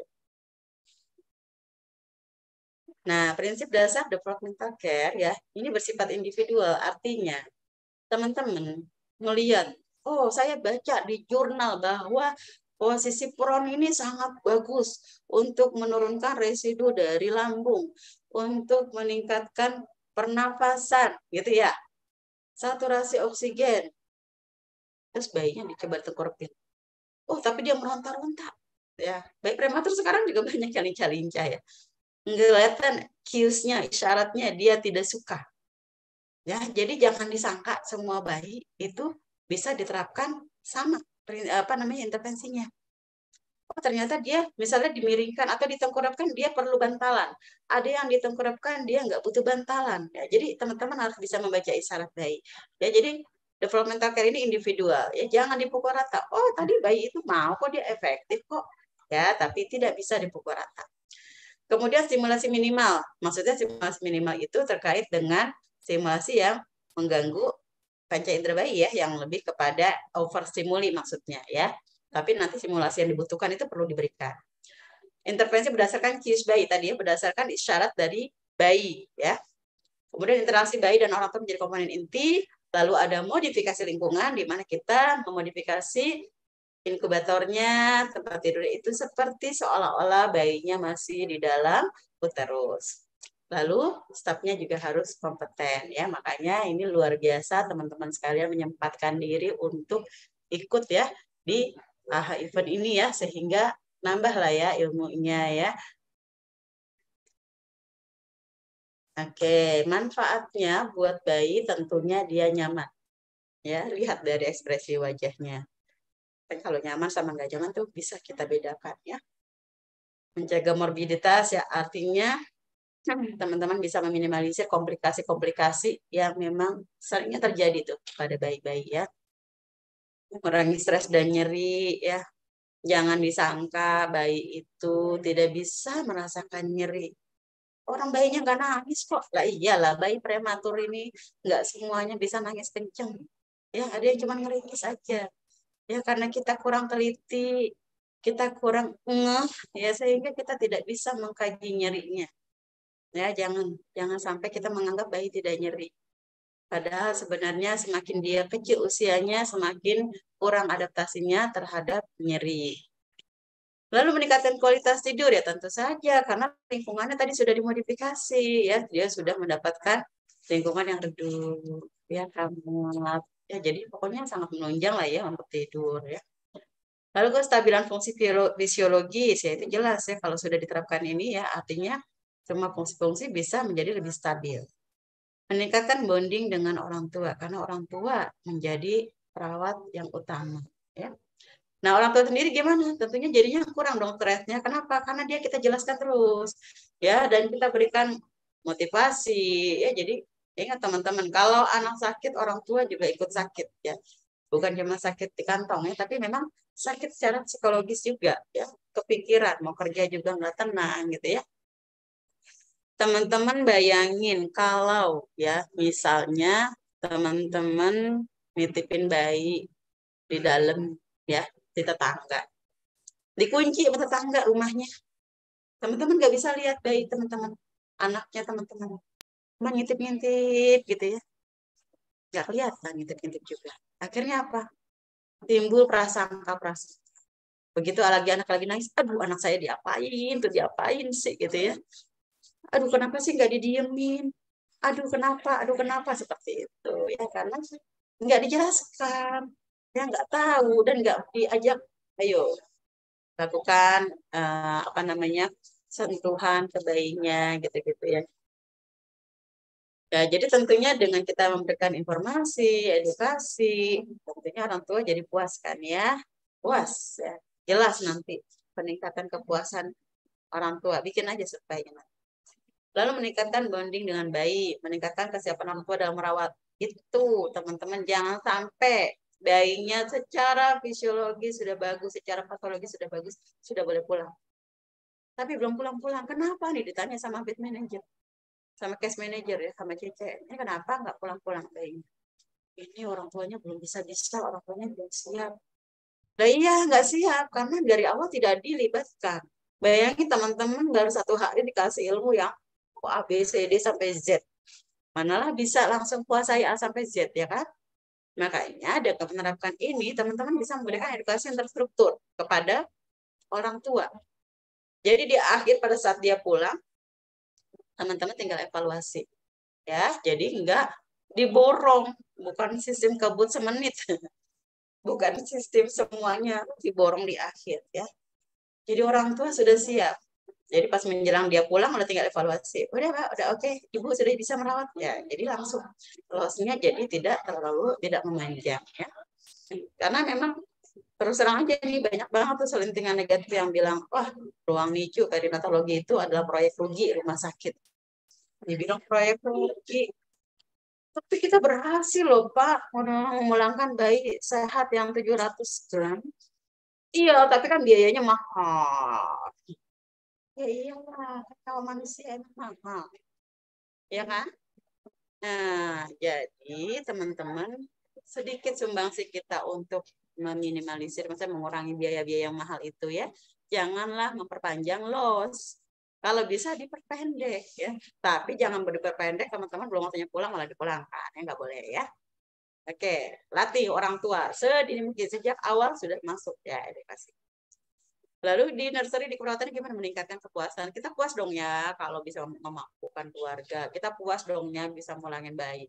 Tahu-tahu dapat WA dari ibunya Kak Asen. Suster, anak saya nih lihat nih udah loncat-loncatan di mall. Bayi kita yang kemarin kecil tuh, yang kemarin di resusitasi, eh yang kemarin dia udah sempat diligasi, eh yang kemarin udah sempat di peritoneal dialisis, kan teman-teman puas ya pasti ada kepuasan tersendiri itu adalah gaji yang paling besar yang kita dapatkan ya daripada sekadar cuan mengurangi beban perawatan mengurangi lama rawat udah jelas ya oke okay, ya ini kalau teman-teman lihat ya yang pertama itu ada ini jenis suplementasi yang kita terapkan yang pertama adalah healing environment jadi uh, lingkungan yang ada efek healing ya. Kalau teman-teman sekarang suka gitu ya, oh Sabtu kita healing ke mana nih gitu ya. Minggu ini healing ke mana? Nah, baik kita juga perlu healing tuh lingkungannya dengan apa? Dengan memfasilitasi apa namanya kebutuhan-kebutuhan stimulus mereka yang sesuai. Jadi jangan over stimuli kayak penciuman. Biar wangi, kasih minyak apa ya? Minyak kayu putih. Jangan ya. Kasih parfum masih ada nggak nyebokin bayi pakai tisu basah? Tisu basahnya wangi pula.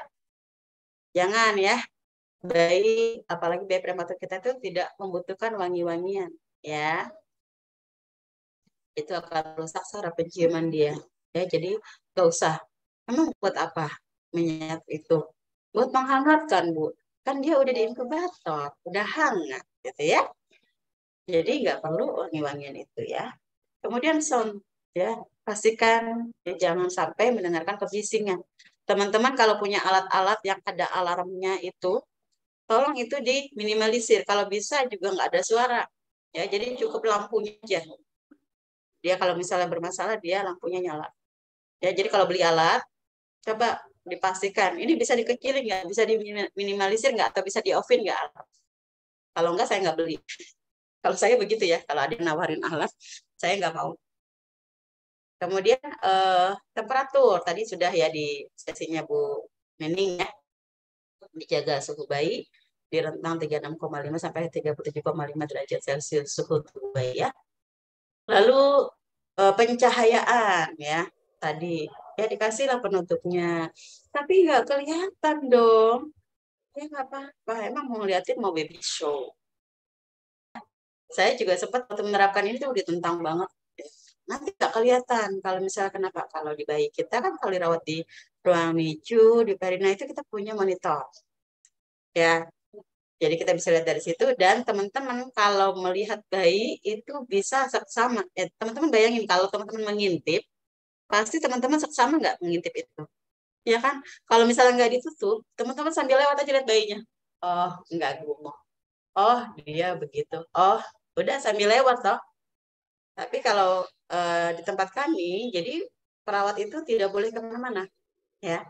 Megang tiga bayi ya udah di situ. Kalau mau ke kamar mandi, mau makan, mau apa, nitip sama temennya, ya. Mana itu punya harta yang luar biasa. Ketika kita mau pergi, kita nggak bisa tinggalkan begitu saja dong. Kita titip sama orang yang kita percaya. Nah, titip sama teman kita. Titip ya, mau ke kamar mandi, nih bayi gue lagi begini-begini nanti liatin gitu ya. Nanti habis balik tanya, gimana tadi? Bayi bayi saya gimana? Aman. Nah, gitu ya. Jadi harus menitipkan. Oke, kemudian eh, apa namanya? Eh, untuk tadi ya udah dijelasin tentang eh, parenting tentang keluarga ya keterlibatan keluarga.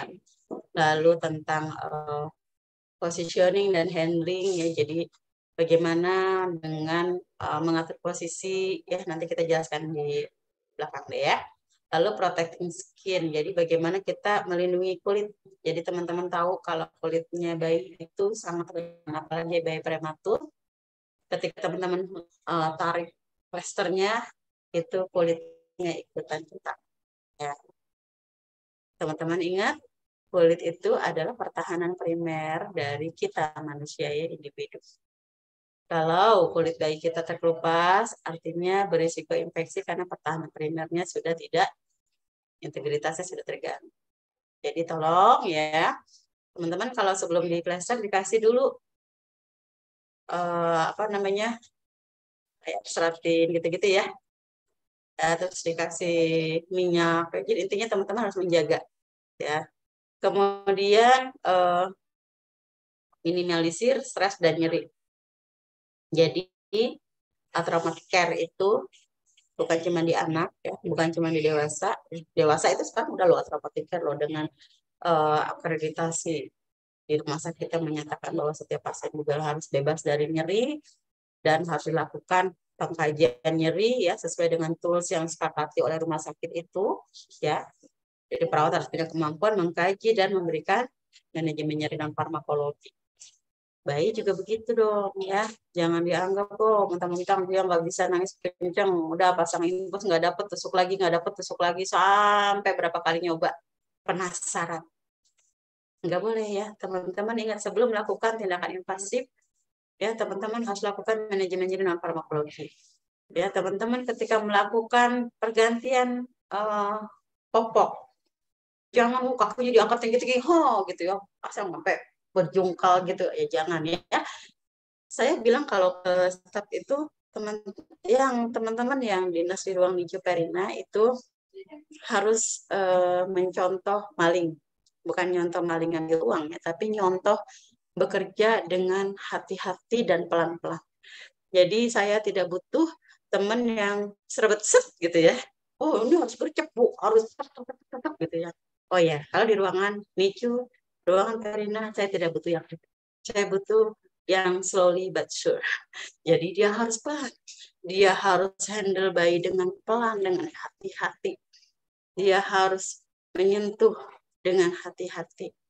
Gak boleh yang set set set ya. Nutup inkubator, nutup jendelanya, nggak boleh bunyi. Kalau nggak sebunyi masih salah. Coba latihan ya, jangan sampai eh, teman-teman uh, bunyi tak gitu ya. Nah, terus jangan juga naruh mau nyuntik oh baksonya taruh di atas. Tak ah itu juga ya jangan juga begitu. Kemudian eh, optimalisasi nutrisi. Teman-teman melatih latih bayinya. Kalau misalnya memang dia belum ada refleks hisap refleks latih orang motor. Kemudian latih orang tua juga untuk ya breastfeeding yang ibunya menyusui langsung. Kalau sudah bisa sudah ada refleks hisapnya dan latih untuk memberikan minuman oral kalau seandainya memang pas uh, tidak breastfeeding ya diberikan botol ya bisa botol ya jadi dilatih. Jadi orang tua punya kemampuan. Lalu terkait tidur ya kita tahu bahwa tidur itu adalah istirahat yang sempurna. Jadi kalau teman-teman mau istirahat yang sempurna tidur. Nah, pada saat kita tidur, maka itu eh, apa namanya neuron-neuron, terus kemudian growth hormone growth hormone juga itu uh, terstimulus ya.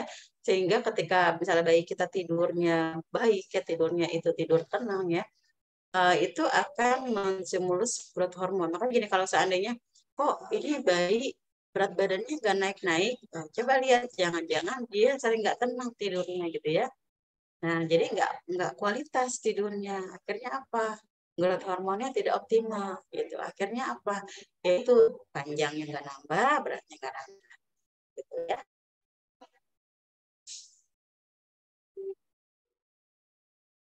Strateginya gimana sih ya? Kalau diterapin di rumah sakit bisa nggak ya? Di rumah sakit saya diterapin itu gitu ya. Bisa kalau mau. Kebetulan memang ini nanti akan banyak uh, kendala ya terkait misalnya tadi masalah pencahayaan aja gitu ya jangan ditutup-tutupin aduh sempat frontal juga untuk kita dapetin yang jangan ditutupin dong saya nggak kelihatan. Gimana sih gitu. Saya mau periksa gimana? Ya kalau mau periksa silakan diperiksa gitu. Tapi ya dibuka pada saat jam yang sudah kita uh, jadi sekarang uh, kami tim kami itu dokter perawat itu sudah kompak. Kita menyatukan uh, intervensi itu dalam satu waktu. Jadi nggak ada tuh misalnya, oh, sekarang kita ganti popok, ya ganti dulu satu-satu satu bayinya. Oh, sekarang jamnya jam nyusuin baru set. Oh, terus habis itu jam nyuntik set. Jadi bayinya nggak jadi tidur-tidur. Mau tidur keganggu, mau tidur keganggu. Coba kalau teman-teman mau tidur lagi ngantuk-ngantuk terus keganggu gimana ya? Rasanya pengen nabok ya pasti. Ngantuk diganggu gitu ya. Bayi juga begitu ya. Jadi teman-teman tinggal komunikasikan yang baik ya baik ke pimpinan, kemudian ke sejawat kita ya terkait penerapan ini pasti bisa dan uh, alhamdulillah sekarang juga eh, teman-teman uh, yang di kedokteran di IDAI juga sudah mendukung ini ya. Ya, jadi kalau teman-teman ikutan di ANU, anu, annual neonatal update itu sudah mereka juga sudah share nih tentang developmental care ya. Namanya neonatal comfort. Jadi saya juga pernah ikut pertama kali launching ya pas saya ikut wah ini mah developmental care cuman namanya beda. Oke okay, ya. Nah ini kalau tentang uh, menciptakan suasana perawatan seperti di intrauter ini strategi ya. Strategi pertama adalah ciptakan suasana perawatan bayi itu seperti di intrauterin supaya dia tidak stres dia menganggap dia seolah-olah masih di situ, jadi dia masih merasakan nyaman, masih merasakan damai, masih merasakan tenang, ya dengan pertama proteksi pola tidurnya tadi ya. Proteksi pola tidur dengan cara apa sih? Ya dengan pertama kayak posisinya pencahayaannya. Tadi pun ini bilang coba kalau tidur di atasnya terang kan gak enak ya gitu kan. Nah, jadi diredupkan ya. Nah untuk tidur sendiri teman-teman bisa lihat di tabel ini ya ada uh, tidur tenang ada tidur aktif ada tidur transisi ada bangun ya di sini kalau tidur tenang itu matanya tertutup, nggak ada gerakan mata ya. Kemudian tubuh juga tidak ada gerakannya ya. Kelihatannya enak gitu tidurnya ya.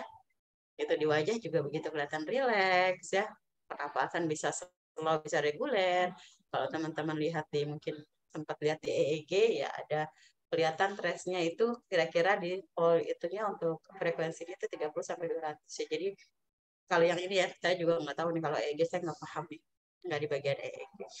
Tapi begini ya, menurut uh, sumber ya, kalau yang tidur aktif, matanya ketutup, tapi sering ada pergerakan cepat pada mata, ya, rem ya. Matanya mungkin bola matanya ke kiri ke kanan. Sering kita kalau ngomong gitu, wah lagi mimpi nih, lagi mimpi gitu ya. Atau bola matanya ke atas gitu ya. Terus juga kalau tubuhnya kadang-kadang ada gerakan sedikit gitu ya ada startup kaget-kaget dikit lah gitu ya lagi tidur kaget dikit gitu ya. Kalau wajah mungkin kadang-kadang kayak lagi gitu misalnya. Dan seterusnya ya teman-teman nanti sambil dibaca aja nanti materinya dibagikan. Nah selanjutnya adalah pengaturan paparan cahaya. Jadi kita kan ya suasana redup seperti di intrauterin ya di mana kalau panduan untuk simulasi penglihatan pada bayi kalau dari usia gestasi kurang dari 32 minggu paparannya sinarnya kurang dari 25 lux. Gimana nih ukuran-ukuran 25 lux? Udah itu serahkan kepada orang is, orang apa eh, IPSRS ya. Saya juga nggak paham. Jadi ajak mereka untuk datang ukur desibel, ukur pencahayaan gitu ya. Minta tolong, tolong dong saya pengen pencahayaan di sini diukur. Tolong dong saya pengen desibelnya diukur gitu ya. Nah, kemudian usia 32 sampai 34 minggu bisa dipaparkan pada cahaya yang sedang ya, tapi jangan eh, paparan cahaya langsung ya. 33 sampai 34 bisa mulai diperkenalkan wajah orang tua, lalu 35 sampai 37 baru kita mulai ya paparan cahayanya lebih sering, mulai dikenalkan oh ini sudah siang gitu ya. Misal kalau malam kita tutup nih gitu ya, lebih banyak ditutup gitu. Kalau siang udah mulai dibuka sedikit sudah siang ya. Jadi dia sudah tahu nih irama sirkadian gitu ya. Dari lihat usia gestasi ya. Jadi jangan oke ditutup terus sampai usianya udah 37 udah bahkan 40 minggu usia koreksi gitu ya. Masih ditutup aja gitu. Masih ini saya nerapin developmental care. Ya, berarti masih lupa nih terkait panduan simulasinya ya. Nah, kemudian nesting. Nah, teman-teman mungkin nggak asing ya nesting itu sekarang juga ada yang udah jadi ya. Tapi teman-teman bisa modifikasi ya dengan tiga atau empat kain bedongan. Kalau saya sih sukanya pakai kain yang lebih tebal di dalamnya ya. Jadi sebenarnya kalau ini lebih tinggi dari ini ya lebih tinggi dan lebih kokoh dari ini prinsipnya adalah uh, ini dia di dalam ya bayi itu di dalam. Ya dulu waktu pertama saya datang di ruang perina baru jadi orang baru di situ. Ya itu sempat wah itu kok nesting? Udah benar tapi dipasang alas di atasnya terus bayinya di atasnya akhirnya apa? Ya karena di atas lebih itu jadi kepalanya kepalanya ke belakang. Jadi karena belum paham gitu ya apa sih nesting fungsinya apa sih kenapa sih harus digituin gitu ya. Nah ini saya cerita sedikit ya. Bahwasanya neonatis itu respon tonus dan kekuatan ototnya masih lemah gitu ya sehingga nggak bisa kalau misalnya di atas posisi begini nggak bisa tuh dia gitu ya dia masih harus disangga ya harus disangga harus ada sokongan. Nah ya, jadi extended positioning ini berdampak pada kemampuan makan dia nanti ya. Gangguan perkembangan motorik dan menghambat regulasinya dia juga kalau ini tidak kita dukung ya. Jadi kalau memang supaya bisa didukung dengan penggunaan nesting ya. Jadi nest, nest itu kan sarang burung. Jadi buatlah bayi itu seperti burung yang di dalam sarangnya gitu ya. Tapi kalau burung kan bayi burungnya kecil, sarangnya besar. Nah kalau ini dibikin kepala sama kaki. Buat apa? Oh iya nanti kalau dia tuh dia nyundul-nyundul gitu ya. Dia masih berasa seperti dalam ketuban. Dia nyundul-nyundul, oh iya masih di dalam perut mama. Dia sikut-sikut, iya masih ada tahanan nih. Dia nendang-nendang, masih ada tahanan gitu ya. Jadi itu sebenarnya fungsinya. Jadi harus benar makainya ya. Di plester ya supaya nyambung. Jangan cuma u doang, kepala doang, kakinya enggak. Kepalanya doang yang disangga atau kepalanya doang, kakinya enggak. Dia pernah tanya, maka ini buat apa? Biar bayinya enggak kontak-kontak, Bu. Seperti itu kalau bayi prematur yang betul-betul ini biasanya sih nggak sampai begitu mentok ke inkubator ya. Tapi ada sih bayi prematur yang canggih, udah lincah. Tapi bukan itu maksudnya ya, bukan sekedar itu. Oke lah itu termasuk dalam uh, jadi dalam membantu bayi supaya jangan sampai cedera. Tapi ingat ini bukan restrain ya, ini lebih kepada posisi. Kalau teman-teman lihat gambar ini ya, ini bukan mengekang sehingga dia tidak nyaman, bukan ya.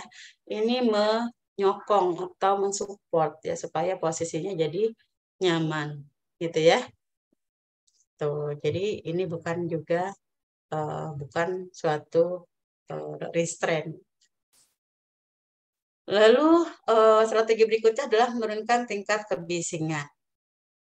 Yang direkomendasikan kalau dulu tuh kita tahu ada 60 desibel ya, jadi nggak boleh lebih dari 60 desibel. Oke, yang terbaru kita uh, temukan ada uh, tingkat kebisingan itu harus kurang dari 55 desibel. Gitu ya. Nah, ternyata udah pernah nyoba belum teman-teman? Saya tuh coba ngomong biasa gitu ya. Ngomong biasa kayak gini ini 90 sampai 100 desibel. Jadi kalau ngomong di dekat bayi itu harus berbisik. Berbisik. Makanya kalau perawat bayi itu harus jaga gitu ya. Kalau udah biasa, ah saya itu kan orang Sumatera, nggak bisa saya ngomong pelan-pelan. Saya biasa ngomong kencang-kencang teriak-teriak gitu ya kalau di ruang NICU Perina, teman-teman harus belajar ya. Jadi be yourself-nya nggak berlaku di sini. Teman-teman harus harus menjaga supaya tidak memberikan overstimuli bising kepada neonatusnya ya. Jadi kecilin suaranya, saling mengingatkan kalau udah lagi rame, gitu ya. Kadang-kadang yang tapi 10 orang yang begitu, shh, jadi desibelnya jadi naik. Jadi udah atau ditegur. Gitu ya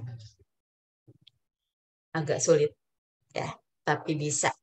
Tapi bisa. Ya, saya juga di ruangan masih kadang-kadang menemukan ya. Ada yang datang teriak-teriak gitu ya. Tegur. Tegur ya. Jadi harus ada. Kalau memang nggak bisa ditegur baik-baik harus ada punishment. Denda. Kalau ada yang keceplosan denda coklat yang besar. Terserah ya. Intinya adalah ini harus dijalankan ya suara alarm, suara telepon, nah handphone, hati-hati ya. Makanya kadang-kadang nih teman-teman, mama kadang-kadang saya tuh kalau ditelepon siang-siang, pokoknya jam lagi dinas saya itu suka nggak kedenger karena sedang posisi silent.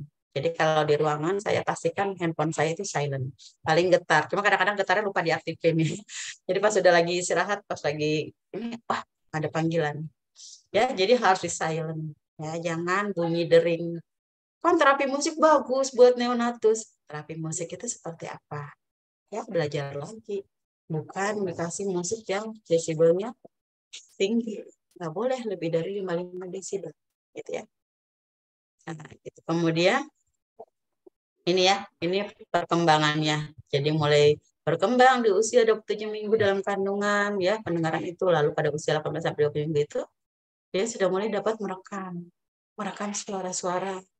Walaupun nggak bisa bedain ya itu suara ibunya suara bapaknya tapi dia udah ngerekam. Ya artinya kalau udah ngerekam apa? Bisa dong ditarik lagi ingatannya nanti. Oh iya saya tahu nih suara ini. Saya pernah dengar waktu itu. Gitu ya? Pernah loh kejadian uh, ketika teman saya gitu ketika dia um, udah besar gitu ya diajakin ngomong uh, ngomong Cina ya waktu itu kan film-film Ohara ya film Cina gitu. Terus dia bilang kayaknya kok gampang ya ngikutin itu Cina. Ternyata ibunya waktu dia hamil waktu ibunya hamil ibunya sering lagu-lagu Cina gitu. Jadi karena rekaman itu berlangsung loh seumur, seumur hidup. Jadi jangan disangka bayi udah habis itu fasenya selesai selesai sudah. Enggak. Masih berlangsung sampai nanti dia dewasa usia 24 sampai 25 minggu sudah dapat membedakan suara. Ya sudah mulai terbentuk sempurna sistem auditorinya. Nah tapi kalau dikasih overstimuli bisa rusak ya. Jangankan yang nanti siang ini teman-teman kalau bawa anak ya bawa bayi kondangan gitu ya tahu-tahu ada musiknya kencang bener ya. Jangan ya, jangan sampai itu akan merusak juga. Oke, kalau bisa, ya kalau bisa ya, saya juga nggak punya nih paling kalau pas lagi mau di evidence base baru beli ini. Saya pasangin uh, apa namanya uh, alat gitu ya untuk menjaga. Tapi ya silakanlah itu mah dimodifikasi atau diatur masing-masing. Yang paling penting adalah teman-teman lakukan audit teratur di ruangan level suaranya kalau misalnya saya tuh itu masih pas lagi kebetulan ditaruh lama di ruangan jadi ketika pas lagi ada yang saya kasih nih desibel kamu segini gitu ya. Jadi supaya tahu gitu. Kalau nggak gitu nanti nggak tahu nggak sadar. Kita sebagai manusia itu kadang kalau nggak diingetin nggak sadar. Tutup inkubator tanpa suara. Hindarkan meletak barang di atas inkubator. Kecilkan alarm. Nggak ada TV bukan karena kita tidak mampu beli ya. Bukan. Bukan juga karena susternya nggak boleh nonton TV. Ya bukan cuma sekedar itu, tapi kita menghindari tadi bising. Ya. Oke, pertimbangkan menggunakan earmuff. Tapi ya nggak apa-apa sih kalau nggak ada. Tapi intinya itu. Nah ini faktor-faktor risiko ya untuk mengalami defisit pendengaran. Bisa faktor risikonya dari in utero ya, apa ibunya kena sitomegalovirus, kah, kena rubella, kena sifilis, dan lain-lain atau faktor dari perinatalnya berat badan kurang dari 1500 atau kurang dari 800 itu kejadiannya ya ini tingkat kejadiannya atau ini ini yang saya sedih lama dirawat ini tuh gitu ya gara-gara dirawat padahal dirawat niatnya mau nolong. Kok jadi begitu gitu ya? Ya ini yang kita bisa cegah. Ya kalau ini mungkin udah di luar rentang kendali kita tapi ini yang bisa kita cegah. Jadi tolong ya teman-teman ya, janganlah kasih komplikasi atau masalah lainnya ya, baik kita sudah banyak masalah. Oke, yang lainnya nanti dibaca aja. Kemudian positioning, tadi kita bilang membahas positioning ya. Ini adalah intervensi memberikan posisi yang mendukung terhadap perkembangan bayi sesuai toleransi kode kesehatan dan asuhan keperawatan. Ingat, sesuai toleransi, tadi individual. Jadi teman-teman nggak bisa maksa orang bayi sebelah enak kok ditengkorepin diganjel kan gambarnya begitu tuh kalau ditengkorepin kan dikasih bantalan tuh dari dada sampai ke uh, lutut gitu kan biar dia agak fleksibel tapi ternyata nggak semua bayi senang ada yang senangnya prone tapi nggak pakai di cangga. Uh, maksudnya di dadanya ya. Nah teman-teman harus paham tuh. Bayinya seneng nggak seneng bayinya nyaman nggak nyaman. Makanya kalau katanya gitu eh, yang paling mahal itu adalah intuisi perawat. Ya jadi intuisi itu yang kayaknya kalau misal perawat udah lama di ruang nicu perina terus dimutasi sayang banget. Sayang banget. Kenapa? Karena intuisinya itu sudah sudah bekerja sudah bagus. Nanti kalau ada orang baru lagi berarti latihan lagi ya. Latihan intuisi itu perlu waktu. Gak bisa lebih cepat. Atau ya kayak saya sempat belajar sama Romi Rafael tentang intuisi. Ya iya itu kan menajamkan. Tapi kan maksudnya tetap harus ada uh, waktu ya. Latihan gitu harus ada pengalaman-pengalaman, makin banyak jam terbangnya melihat uh, isyarat bayi, melihat feelingnya, intuisi kita itu dirasakan, oh tepat sesuai latihan menajamkan intuisi itu perlu waktu teman-teman ya. Jadi kalau di sini ada manajer keperawatan, ya tolong ya jangan memutasi teman-temannya yang sudah pertama itu dia sudah peminatannya di situ. Ya, saya waktu pertama kali jadi kepala ruangan di Ijuperina yang saya tanya adalah kamu minat nggak di sini? Hatimu ada nggak di sini? Ini passionmu apa bukan? Kalau bukan, saya akan usulkan ke bidang keperawatan untuk memutasi kamu. Karena saya butuh orang-orang yang hatinya ada di sini. Karena saya butuh butuh orang-orang yang memang dia senang dengan bayi. Kenapa? Karena bayi kita tidak bisa protes. Bayi kita nggak bisa komplain. Ya, pasrah mau diapain aja. Teman-teman kalau mau bikin dosa di situ nggak ketahuan. Ya, bayinya udah basah atau udah kotorannya lengket-lengket ya, mekoniumnya udah keras gitu ya. Itu dosa, tapi nggak ada yang tahu. Ya, selain teman-teman sendiri sama Tuhan. Karena bayinya nggak ya udahlah dia nangis akhirnya sampai nangis karena nggak ditengok-tengok udah akhirnya dia diam karena capek pasrah ya janganlah itu kayak gitu terjadi ya kalau nggak minat di situ teman-teman langsung bilang bu saya nggak minat belum minat bu tolonglah bu saya dikasih aja. Kasihan bayinya dan kasihan saya. Gitu ya. Oke, juga posisi pada neonatus mendukung mengoptimalkan perkembangan bayi menunjang dan dalam meningkatkan organisasi perilaku muskuloskeletal menjadi salah satu strategi non farmakologi menurunkan jadi pada neonatus. Kok bisa? Ada penelitiannya. Ya banyak dan itu sudah terbukti. Ya meningkatkan kualitas tidur tentu ya. Nah, ini jenis-jenis posisi. Kalau lupa, teman-teman supinasi ya atau supine adalah terlentang gitu ya. Pronasi atau pron ya itu tengkurap ya ini ya. Jadi ini disangga ya. Nah kalau ini nih nanti ini ya ini sebenarnya nanti teman-teman nestingnya tuh harus nutupin gini ya nggak boleh di atas. Ini karena gambar nggak begitu jelas ya nah untuk pron ada yang senang dikasih penyangga di bawah sini ada yang ternyata dia nggak senang teman-teman pelajari ya isyarat baiknya nah ini posisi miring ya lateral ya nah ini posisi uh, apa namanya sepinas apa pronasi tapi bisa juga ini yang uh, quarter prone. Jadi kalau misalnya teman-teman mbak ini diintubasi, kayaknya kalau untuk prone itu dia kurang ini deh, kurang berani, saya kurang pede gitu. Ya. udah kalau gitu quarter prone atau semi prone gitu ya. Gitu. Caranya gimana nih? Kayaknya kalau caranya teman-teman perlu di workshopin. Oke, penelitiannya sudah banyak. Kalau nggak percaya, silakan searching. Tanya ke UGM, Universitas Google Mania. Lalu sentuhan.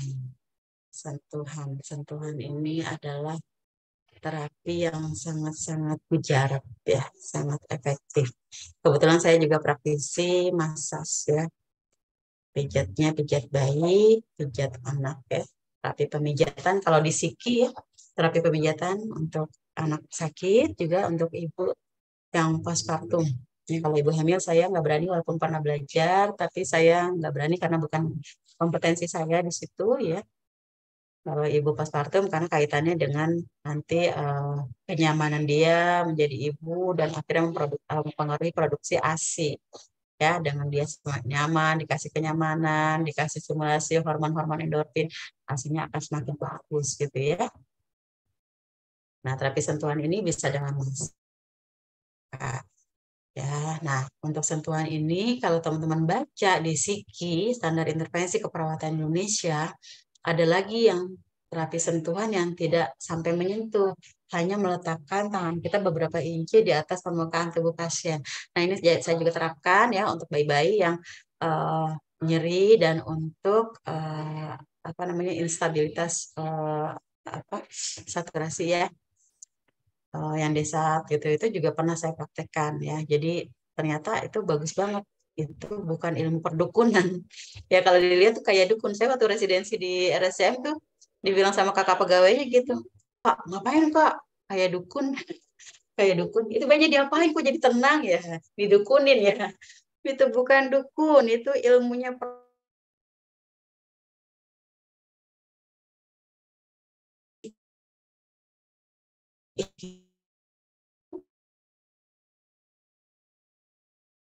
yang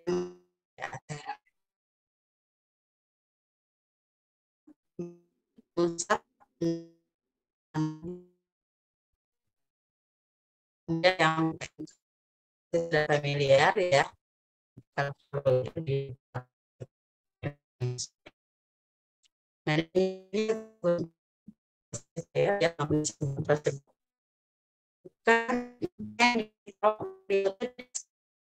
kan itu salah.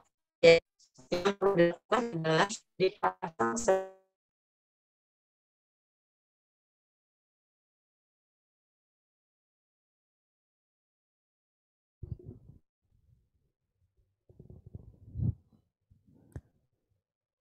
Oke, mohon maaf eh, kami sampaikan untuk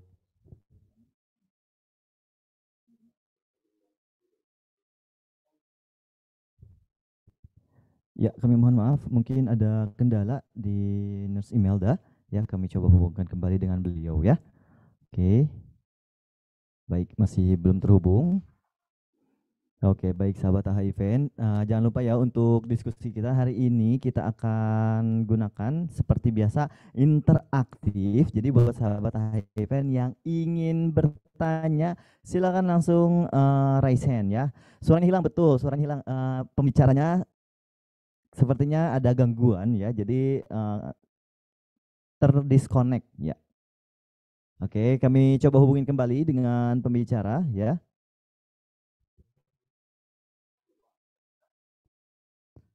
Ya, sebentar kami coba hubungi ke Nurse Imelda ya.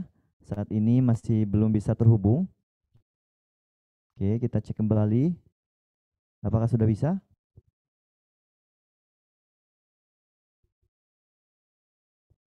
Oke.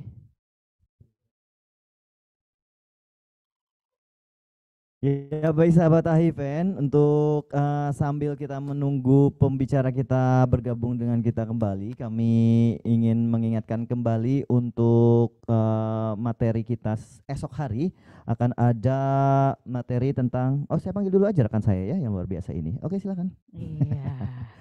Biar kayak kembar ya. Betul, uh, bareng-bareng kita muncul kan. iya. Oke, jadi untuk esok ya jangan lupa kita ada hari kedua tanggal 25 Juni 2023 yang akan membahas uh, tentang premature baby and uh, low low birth weight How to care in hospital akan ada apa aja, Kak Esther? Yang pastinya dari Nurse Nining akan memberikan sharing kepada kita premature baby kangaroo care for newborn, what its benefit and how do it ya. Tadi udah disinggung juga sama nurse ini. Betul, ya. Nah, besok juga nurse Imelda akan hadir lagi nih membawakan sharing terkait NICU parents, how to support for premature baby. Bukan parents ya, parents. Bukan, parents, orang tua ya kan. Dan juga nanti pembicara kita yang ketiga nurse Yani akan hadir lagi esok memberikan sharing terkait fluid, elektrolit, and Nutrition Management. Wow, oke. Okay. Jadi seru banget nih. Besok pokoknya lebih seru lagi ya. ya.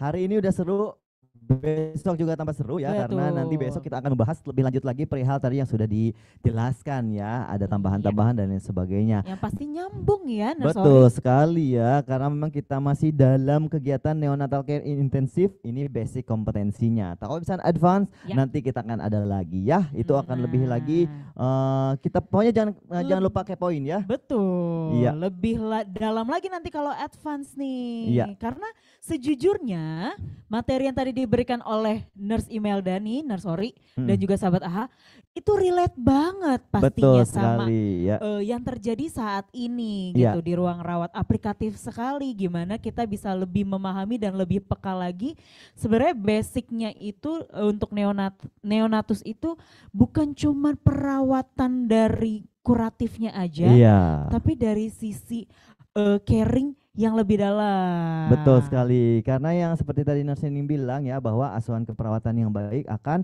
memberikan dampak yaitu uh, pertumbuhan dan perkembangan Betul. yang optimal juga. Kan kita inginkan punya generasi muda, generasi penerus bangsa yeah. yang super ya. Dalam artian super itu ya uh, pertumbuhannya bagus, Betul. perkembangannya bagus. baik. Dan iya saat ini kan kita lagi penggalakan nih untuk mengurangi stunting. Betul sekali. Jadi Nah, memang di- butuh sekali nih eh, hal-hal yang seperti ini yang sepertinya mungkin dipandang ah sederhana. sederhana gitu Iya, kan. simple, Masa tapi- suara aja sih bikin pertumbuhan terganggu gitu Nah, kan. kadang banyak suka nih kita temuin eh, teman-teman sejawat kita Iya. kurang peka nih. Iya, karena Nah, belum belajar ya. Betul, belum Heeh. belum kenal lebih dalam. Nah, sekarang sudah kenal harusnya makin sayang Betul dong. sekali. Jangan sampai kalau udah sayang itu dibuang atau Aduh, ditinggal. jangan. Ah. itu seperti siapa ya? Ya, karena Eh, tadi juga aku mendengar dari eh, Nurse Imelda tadi Hmm. menanyakan beliau pernah eh, menjadi kepala ruangan, Betul. ya kan, Iya. di NICU, sehingga beliau juga eh, menanyakan nih timnya, Mhm. sebenarnya kamu passion gak sih di Iya. newborn, passion gak sih di bayi? Karena itu basic menurut Betul, aku. betul, betul, betul, betul. Ya kan ketika kita bekerja dengan hati pastinya kita akan memberikan eh, flawless aja nih Iya. perawatannya sama pasien terlebih untuk eh, kasus-kasus bayi-bayi prematur. Jadi memang harus from a deep heart. Iya. Aduh. Iya, karena memang betul sekali. eh, apa sih istilahnya memberikan asuhan keperawatan dewasa, Ya, anak-anak sampai newborn itu betul-betul hal yang berbeda-beda. jauh ya. sekali. Jadi jangan sampai kita berpikir bahwa ah, gua kan Anak udah pernah aja, gitu kan. Ya cuma nah. sama aja, cuman bedanya ini kecil itu besar, beda. Nah, beda. Jadi konsep itu yang harus kita lebih pahami Betul lagi, harus sekali. lebih kita mengerti lagi sebagai tenaga medis. Jadi nggak cuma hanya oh kuratif-kuratif aja nih, karena ada Hmm. sentuhan-sentuhan lain yang harus kita patenin juga nih dari awal nih Iya. sahabat AHA. Dari kami yakin di sini sahabat Ya. HIV di sini memang sudah eh, berpengalaman ya dan juga betul sudah Betul. mengerti dasarnya dan saat ini Ya. kita eh, menggal- Mau menambahkan, menambahkan ya, lebih advance lagi nih terutama skill and knowledge-nya ya tentunya. Iya dong. Oke coba Walaupun kita mungkin eh, ada yang bukan dari Perina mungkin Iya, ya, atau bukan ha. dari Nicu, eh, sahabat AHA yang dari ada beberapa lain. bidan juga. Nah, heeh. Jadi ini ilmu luas. Betul sekali, iya. Oke, coba Oke, kita cek kembali. menunggu, kita sapa lagi. Halo Nurse Imelda, apakah sudah join bareng kita? Belum ada. Iya, masih mungkin gangguan device atau sinyalnya dari sana ya. mungkin ya. Oke, karena ya ini Betul. salah satu kendala yang kita khawatirkan ketika mengadakan Hmm. kegiatan online ya. Salah satunya adalah kondisi sinyal atau kondisi cuaca. Iya, Iya. betul. Jadi Kan mohon maaf ya sahabat AHA, bukan kita nggak sayang nih. Tapi mungkin karena ada kendala jadi kita mau bersabar juga nih. Kan latih kesabaran. Betul, karena kalau merawat uh, newborn Bayi, itu betul. butuh kesabaran yang ekstra. Iya, ditambah ekstra jos. Oh, oh Beda, beda. ya. Beda, Itu malah tiba- tanpa pencicilan. Nanti tiba-tiba lo kok jadi terlalu bersemangat. Iya, oke, siap ya. Oke. Kita sebentar lagi mencoba untuk berhubung kembali dengan uh, Nurse Imelda. Ya, Iya. saat ini kami mencoba untuk mencarikan solusi kira-kira seperti apa. Iya, Oke. jadi dipersiapkan nih sahabat AHA yang mau bertanya tadi kita udah kasih eh, sorry, Nurse Imelda juga sudah memberikan sudah sharing tadi terkait suara, Iya, positioning, betul. terus apalagi sih efek-efeknya, terus apalagi sih yang bisa kita lakukan nesting contohnya. Wah, Mm-mm. ternyata simpel ya Iya. nesting, tapi ternyata pengaruhnya luar biasa loh sahabat AHA. Mm-mm, biasa Ya di luar kan? ya. Jadi dipikirnya kita akan memberikan eh, nesting itu memberikan eh, efek yang baik nih untuk newborn. Oke.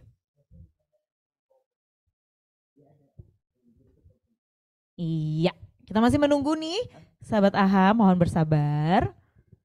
Oke, Nurse Imelda. Oke, kita masih Oke, menunggu. Nurse Imelda boleh join audionya bersama kita ya. Kita udah kangen banget nih sama Nurse Imelda. Iya. Oh, maaf, maaf ya Allah. iya. Tidak Udah asik ngobrol, gak taunya.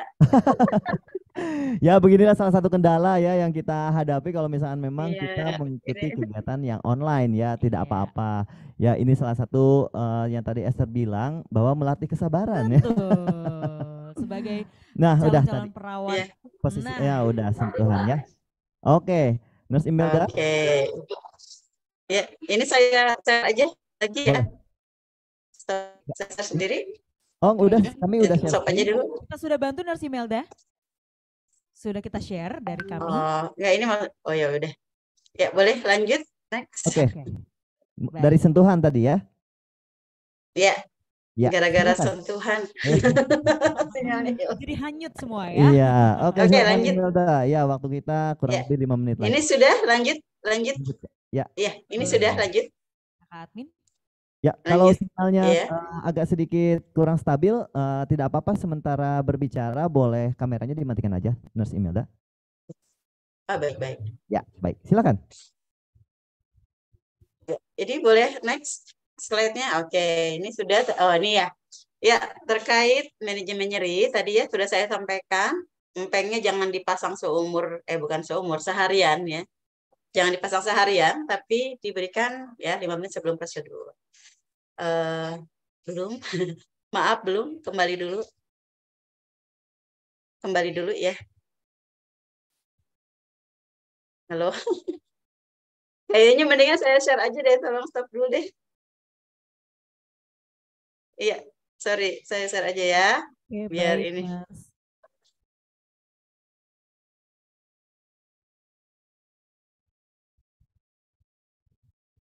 Sudah kelihatan? Oke, masih on proses di kami Nurse. Oh, Masih oh, proses Ya, ya? sudah terlihat. Sudah, baik. Ya, jadi kemudian eh, ada juga yang empeng dikombinasi dengan sukrosa, ya.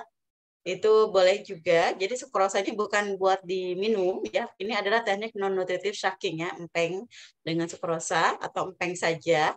Atau maksudnya ada yang orang pakai dextrose bisa enggak? Ada juga boleh ya, tapi memang dibandingkan ada penelitian bandingkan antara dextrose sukrosa ya itu eh, lebih disarankan sukrosa tapi yang terbaik itu ASI ya, ASI juga bisa. ASI untuk teknik non nutritive shaking. Jadi bukan untuk nutrisi ya, tapi memang untuk teknik manajemen nyeri. Lalu gentle human touch ya teman-teman bisa lihat di gambar ya, ini dilakukan oleh ibu lebih baik lagi ya. Eh, bagaimana tangan ya, tangan eh taruh ini jadi kameranya nggak kelihatan. Ya, jadi tangan kita atau tangan ibu yang satu itu meng apa menghandle kepalanya, yang satu menghandle bokongnya gitu ya. Seperti ini, mantap. Kemudian ditahan ya, ditahan 5 menit sebelum prosedur. Atau kalau mau ditambahkan dengan mengusap ya, mengusap eh, tulang belakang ya, maksudnya supaya punggungnya dengan gentle. Jadi mengusapnya bukan lepas, lepas enggak, tapi dengan tetap melakukan kontak di kulitnya ya. Jadi tangan kita tidak dilepas-lepas gitu. Ya, itu juga teknik gentle human touch ya ini juga sangat efektif untuk dilakukan sebagai teknik manajemen nyeri non farmakologi ya. Jadi posisinya kayak tucking tadi yang di itu ya. Kemudian therapeutic touch ini yang saya sampaikan di buku Siki yang tidak perlu maksudnya tidak sampai kontak kulitnya. Meletakkan tangan beberapa inci saja ya di sini ya. Ini sebenarnya kalau teman-teman baca di buku Siki itu bagus banget ya. Jadi kita bisa screening keluhannya di sebelah mana. Dengan kita menggerakkan tangan kita dari ujung kepala bayi sampai ke ujung kaki. Nanti dirasakan sensasi yang berbeda. Misalnya, oh sebagian besar dari permukaan ini dia dingin, di area tertentu dia hangat. Atau sebagian besar hangat, di area tertentu dingin. Atau di daerah tertentu kayak ada kesemutan, atau di daerah tertentu kayak ada sesuatu sensasi yang beda. Maka permasalahannya ada di situ, organ itu. Nah, lalu bagaimana melakukan eh, apa, pengontrolan nyerinya dengan meletakkan tangan di situ selama 5 sampai 15 menit. Niatkan memodulasi energi, memodulasi energi, energi sekitar, jangan energi kita. Kalau energi kita kita lemes, baru dua bayi tahu-tahu kita lemes ya. Itu teknik therapeutic touch, bukan perdukunan, teman-teman bisa baca di Siki ya. Di buku di itu juga ada di NIC. Oke, ini penelitian membandingkan antara empeng dengan pembedongan ya. Ini juga sangat efektif ya untuk eh, apa namanya mengontrol nyeri bayi yang diberikan apa yang dilakukan intervensi dengan penusukan di tumit ya. Dan juga eh, terkait heart rate-nya ya lebih apa namanya lebih stabil. Lalu juga ini mengkombinasikan antara eh, saking eh, susu ASI ya dengan taking dan saking, lalu dengan ASI juga, ya. Ternyata ini juga efektif ya teman-teman. Nanti silakan dibaca banyak sekali teknik-teknik manajemen non farmakologi yang bisa kita terapkan di neonatus kita. Ya, selain tadi eh, apa namanya dengan kangguru juga sebenarnya bisa ya membuat bayi menjadi nyaman sehingga dia terdistraksi sehingga dia nyerinya bisa diabaikan, dia bisa mengontrol. Ya kalau ingat teori get control ya teman-teman ketika kita melakukan suatu intervensi, maka gerbangnya untuk mempersepsikan nyerinya ditutup, sehingga nyeri tidak dipersepsikan. Oke, kemudian family center care. Ini bagian dari developmental care, di mana teman-teman pastikan ya, bahwa tidak ada separasi ya. Jadi artinya tidak ada pembatasan, teman-teman nggak boleh membatasi orang tua. Bahkan kalau di luar itu siblingnya ikutan. Kalau kita belum ya, kita baru ayah dan ibunya aja. Ya, ternyata ini sangat baik sekali ya mensupport bayi ya dengan skin to skin contact, bagaimana neuroprotective care-nya, pain manajemennya, bagaimana juga sampai ke multidisiplin. Artinya ini adalah uh, inti dari family center care ya sebenarnya. Jadi bukan cuma sekedar melibatkan ibunya untuk KMC saja, bukan hanya untuk memberikan minum saja ya, tapi semua. Ibunya juga diajarkan bagaimana gentle human touch untuk manajemen nyeri gitu ya bagaimana cara membedong yang benar? Teman-teman ingat ya kalau ngebedong zaman dulu kita kan kakinya dilurusin terus set dilibetin ya. Tangannya dilurusin bahkan ada yang tangannya ditaruh di bawah bayinya ya supaya wah bayinya biar nggak gerak-gerak. Kasihan ya teman-teman kalau masih ada yang kayak gitu ya itu penyiksaan buat bayinya. Oke itu ya nih family center care di luar ya waktu itu saya pernah kunjungan juga ke Bangkok itu bahkan untuk orang tuanya disiapkan juga tempat tidur. Apa namanya velvet ya. Nah, ini konsep inti dari FCC di mana kita pasti ya meningkatkan harga diri kita dan kita menghargai orang tua ya. Ada rasa saling menghargai di situ karena kita dan orang tua adalah partner ya. Saling berbagi informasi ya. Karena orang tua adalah uh, komponen inti yang konsisten ya, yang menjadi lingkungan baik. Jadi artinya kita perlu banyak informasi dari orang tua ya dan orang tua juga perlu mendapatkan informasi dari kita gitu lalu partisipasi aktif dari orang tua ya. Kemudian juga ada kolaborasi antara kita dan orang tua. Jadi orang tua itu bukanlah objek ya tapi adalah partner kita ya subjek ya. Mereka bisa kita libatkan. Ingat bukan memperdayakan memberdayakan ya. Oke, saya ingin teman-teman uh, menjadi perawat yang super ya. Ini kalau di tempat kami saya sebutnya namanya super nipper. Jadi perawat yang uh, super ya di NICU dan Karina, di mana kita merawat bayi yang kecil dengan cinta yang besar. Jadi di tangan kita lah ya uh, terlepas dari takdir pokoknya di tangan kita ya itu yang akan menjadikan bayi-bayi di negeri ini seperti apa kelak ya ketika dia dewasa. Mungkin itu yang bisa saya sampaikan. Terima kasih banyak. Mohon maaf atas kendalanya, atas kilap saya. Terima kasih. Assalamualaikum warahmatullahi wabarakatuh. Waalaikumsalam warahmatullahi wabarakatuh. Terima kasih banyak Nurse Imelda ya, sudah memberikan hati. materi yang sangat luar biasa. Namun uh, kita bisa kita izin dulu Nurse dan sahabat AHA karena di sini sedang uh, azan. Jadi kita mau break dulu sebentar dua menit. Siap. Oke. Okay.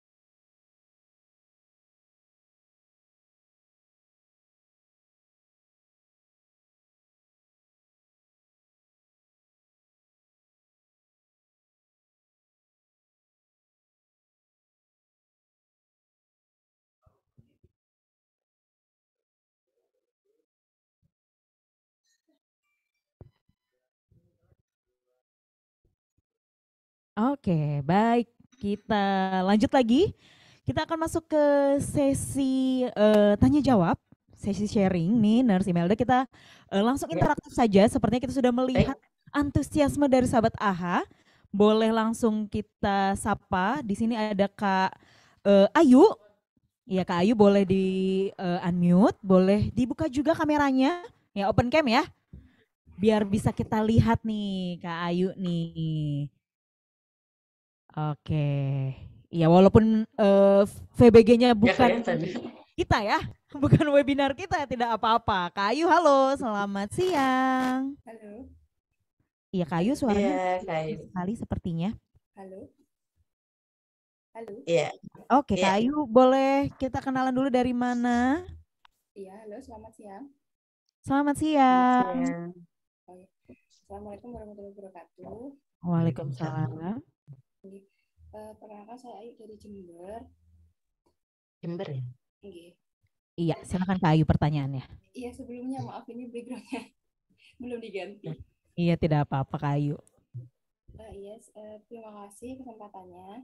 Saya ingin menanyakan beberapa pertanyaan. Uh, yang pertama, ini terkait dengan kunjungan orang tua, di mana uh, di tempat kami masih menerapkan batasan uh, hanya satu kali sehari. Dan itu pun juga sekitar 15 menit. Dan juga tidak ada sentuhan antara orang tua dan juga bayi.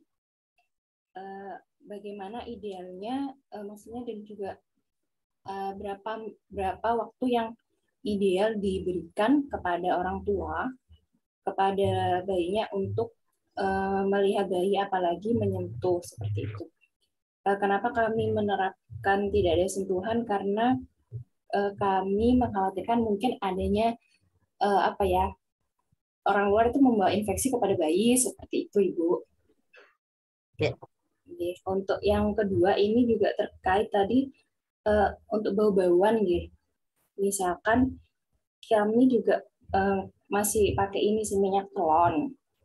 Kan ada minyak telon yang baunya itu yang bau apa itu sereh itu kan kadang bau banget ya, bau wangi seperti itu. Apakah seperti itu masih diperbolehkan untuk dipakaikan kepada bayi? Dan untuk yang ketiga ini tadi terkait uh, yang safeguarding sleep. Terkadang kan kami menerima avis dari dokter anaknya memberikan ASI 12 kali dalam 24 jam. Jadi kan setiap dua jam kami melakukan touching kepada bayi. Sementara untuk bayi-bayi prematur itu kan sangat rentan sekali untuk infeksi, enggak ibu. Nah itu eh, bagaimana kami istilahnya untuk memanajemen minimal handling juga kepada bayi-bayi yang sangat rentan tersebut. Eh, dan juga dan juga terkait ini ibu yang pertanyaan selanjutnya cahaya dan nesting mohon maaf ya bu kalau misalkan pertanyaan terlalu banyak.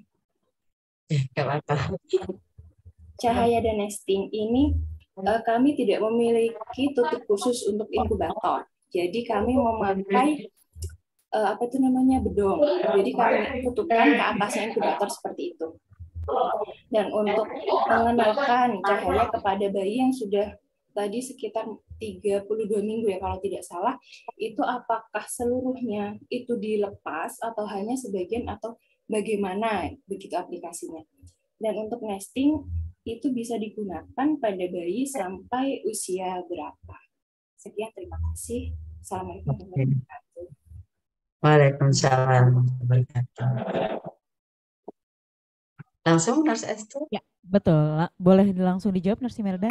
Iya. Saya nanti mohon diingatnya kalau ada pertanyaan yang terlewat ya. Tadi sudah nggak nyatet, aku ya, Betul.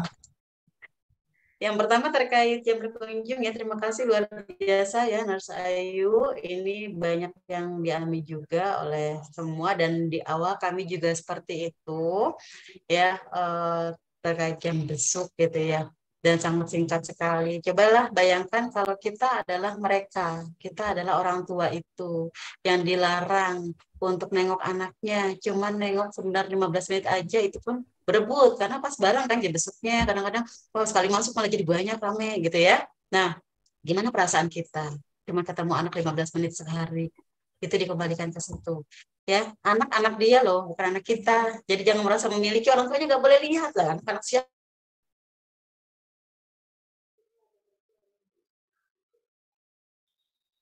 kunjung kecuali dia tidak bisa cuci tangan. Jadi yang dipastikan mereka harus bisa cuci tangan dengan benar. Sebentar saya tutup kamera dulu deh. Dan ya. Jadi yang dipastikan cuci tangannya Nurse Ayu. Nurse Ayu harus latih. Jadi ketika dia pasien baru masuk, ajarkan, terus evaluasi, terus evaluasi sampai cuci tangannya benar ya. Mohon maaf karena jangankan orang tua pasien, teman-teman kita juga ya sering kali masih belum pas langkah-langkahnya five momennya.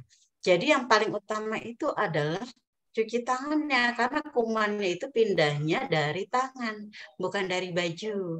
Mereka kan tidak menggendong ya. Kalau nanti mereka menggendong seperti KMC mereka kan suruh mandi.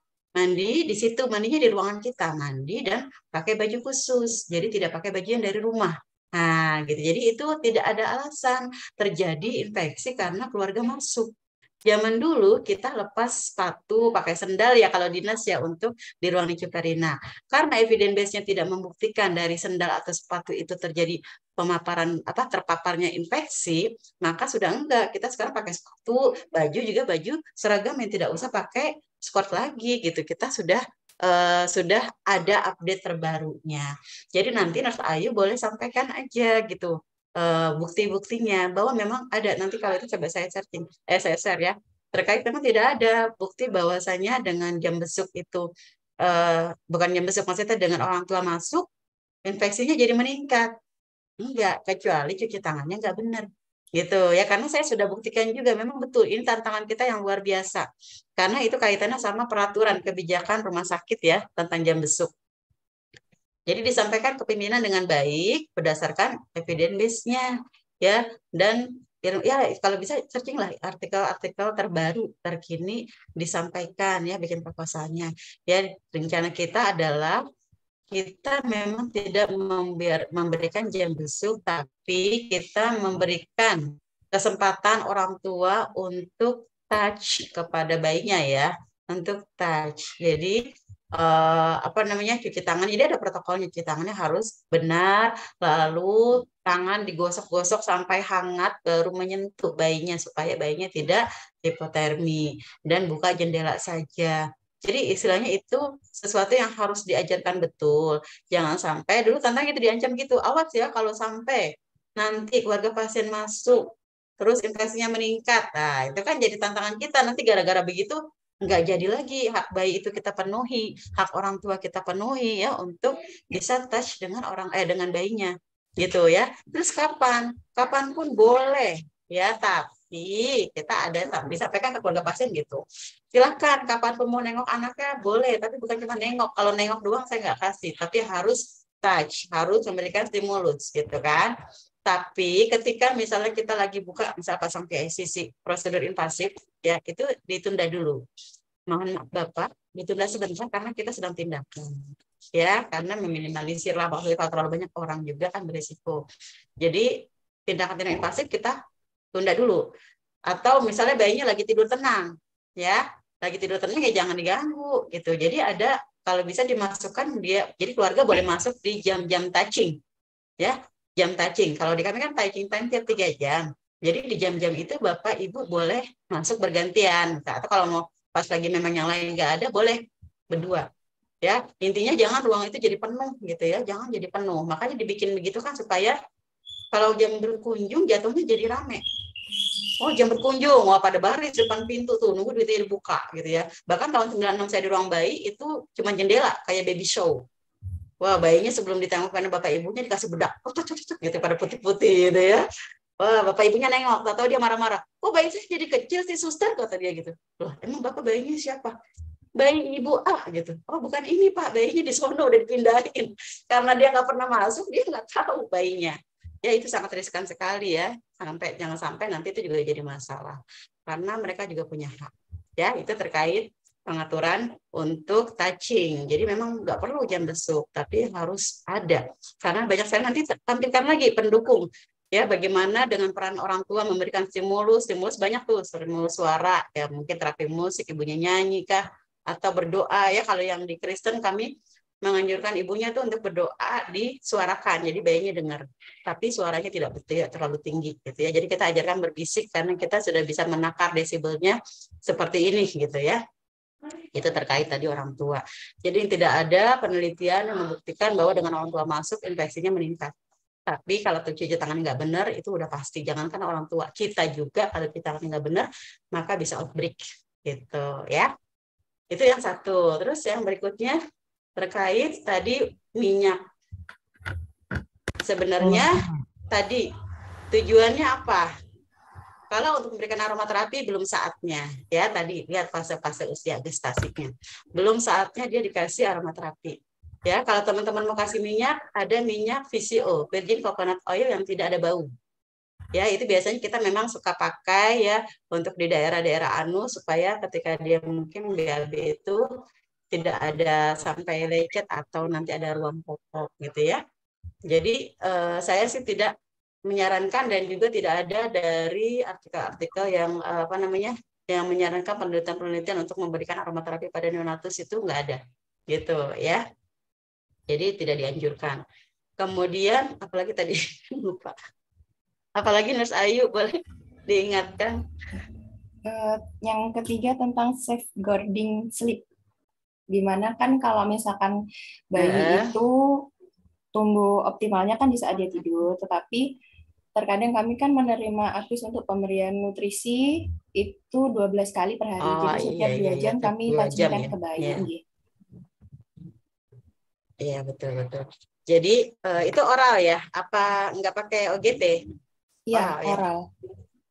Diminumkannya oral. Nggih, oral. Ya, jadi memang itu ada tujuannya kenapa DPJP memberikannya per 12 jam. Mungkin jadi terkait kapasitas lambungnya yang ternyata ketika diberikan tiap tiga jam kok dia nggak bagus gitu ya. Eh, apa namanya absorpsinya sehingga dibuatlah 12 jam diberikan dengan jumlah cc yang eh, istilahnya kalau dikalikan tetap sama 24 jamnya gitu ya ya artinya kalau begitu eh, touching time-nya berarti tiap dua jam jatuhnya karena tiap dua jam diga- diganggu ya. Tiap dua jam diganggu. Artinya teman-teman eh, Nurse Ayu ketika sudah memberikan minum langsung diposisikan udah dua jamnya jangan diganggu lagi gitu. Ya jadi ya sudah kalau memang programnya tiap dua jam minum ya kita ikuti itu. Karena memang bayinya kan juga punya kebutuhan minum itu harus gitu kan. Berarti eh, pengaturan waktu touching time-nya tiap dua jam ya. Jadi yang pasti pas sudah minum langsung posisikan yang kalau yang banyak ya penelitian yang menyatakan posisi miring kiri itu sangat bagus sehingga eh, residunya sangat minim. Ada juga yang menyebutkan dengan pron dia lebih optimal lagi sehingga residunya sangat minim sekali. Itu juga ada. Nanti silakan di ini lagi. Ya jadi terkait touching time itu boleh. Silakan aja. Yang penting maksud saya jangan misalnya nih udah minumin susu udah tidur terus oh ya diganggu ngambil darah udah ngambil darah terus habis itu apalagi gitu ya. Jadi jangan gitu tapi dijadikan satu waktu. Jadi beberapa intervensi dijadikan satu waktu dalam dua jam itu. Gitu. Misalnya oh ya sebelum oh ada ngambil darah oh ya ntar aja deh pas jam minumin gitu. Jadi ditunda. Kan nggak selalu situ ya maksudnya kalau darah darah itu kan nggak harus sekarang. Nanti ngambilnya pas dia kita bangunkan untuk minum. Jadi dikumpulkan beberapa intervensi menjadi satu waktu di saat dia touching time. Gitu. Oke. Terus apalagi tadi Eh, untuk selanjutnya itu yang ini Ibu, cahaya dan nesting. oh ya Nggih. jadi eh baru tadi cahaya dan nasi kenapa Eh, untuk cahayanya kan kami nggak ada tutup khusus untuk inkubator. oh iya Jadi pakai itu pakai bedok. atasnya aja ya Ya, Hmm. jadi untuk pengenalan cahaya pada bayi-bayi yang sudah usia gestasinya lebih besar, apakah Mm-mm. eh, caranya itu apakah dibuka seluruhnya atau Ya. sebagian atau seperti apa? Ya. Dan untuk nesting itu bisa digunakan sampai usia bayi itu sampai berapa minggu? Jadi kalau untuk cahaya itu kita sarankannya yang tertutupnya full. Ya, mungkin tadi di gambar Ibu Nining ada ya. Jadi tertutupnya full. Karena tadi yang pada tahap awal, jadi ada usia gestasi yang tadi itu, itu betul-betul tidak boleh terpapar. Ya, jadi betul-betul ada redup. Kemudian nanti ketika dia sudah mulai kita kenalkan dengan cahaya, itu dibuka sedikit. Ya, dibuka sedikit. Jadi jangan dibuka semua, karena tidak boleh terpapar langsung. Jadi buka sedikit. Sama teman-teman juga kalau mau ngintip kan bukanya sedikit buka sedikit ya kalau bisa bukanya tuh ya daerah yang tidak membuatkan bayinya tuh terkena cahaya langsung. Misalnya oh dari kepala nih saya ngambilnya ngintipnya gitu kan. Ya kelihatan dari kepala sampai kaki kelihatan mukanya tapi muka matanya bayi tidak kena cahaya gitu. Jadi itu ya disarankan yang tertutup betul, bukan cuma atas. Ya saya zaman dulu juga pakainya atas doang, tapi ternyata cahaya itu yang dari samping-sampingnya itu banyak sekali gitu ya jadi dibuat yang tertutup nanti diusulkan aja ya lampirkan saya juga dapetnya lama diusulkan dulu, sampirkan dulu uh, ininya penelitian-penelitian terkininya ya untuk mendukung itu ya. Dulu malah saya sempat bikin sendiri. Jadi saya punya dua, saya bikin sendiri, saya foto, saya kirim ke manajemen. Seperti ini Bu. Nah, standarnya seperti ini. Yang akhirnya sekarang sudah ada gitu. Jadi modal dulu sendiri ya, nggak apa-apa lah buat bayi kita gitu ya. Terus nesting, nesting itu sampai kapan? Ya, idealnya selama dia masih hitungannya prematur, itu masih dipakai. Jadi teman-teman hitungnya usia koreksi. Dia udah dirawat satu bulan, Bu. Oh iya, tapi kalau dihitung usia koreksi ternyata dia masih belum 40 minggu. Berarti pakai aja dulu. Tapi lagi-lagi itu individualis. Jadi kalau kelihatan dia itu udah, oh berat badannya udah bagus gitu ya. Terus dia kelihatannya udah betah tuh di nesting. Ya udah jangan dipaksa kalau dia kelihatannya nggak betah. Tapi harus dibedakan nggak betah atau nestingnya kurang tepat gitu ya. Jadi lihat, lagi cues baiknya gimana dia itu menunjukkan dia nyaman nggak di situ di nesting. Gitu mungkin harus Ayu. Apa ada lagi yang belum terjawab? Uh, sudah Ibu, terima kasih. Oke, dengan senang hati. Oke, baik. Terima kasih Nurse Ayu. Iya, uh, aku ada sedikit uh, tambahan tadi. Aku agak penasaran nih, uh, Nurse yeah. Imelda bilang uh, soal pencahayaan, kita buka sedikit-sedikit itu uh, kira-kira misalkan berapa senti dulu gitu, hari pertama, hari kedua berapa senti gitu. Ada nggak sih Nurse Imelda pakemnya atau pakai by by the feeling aja nih?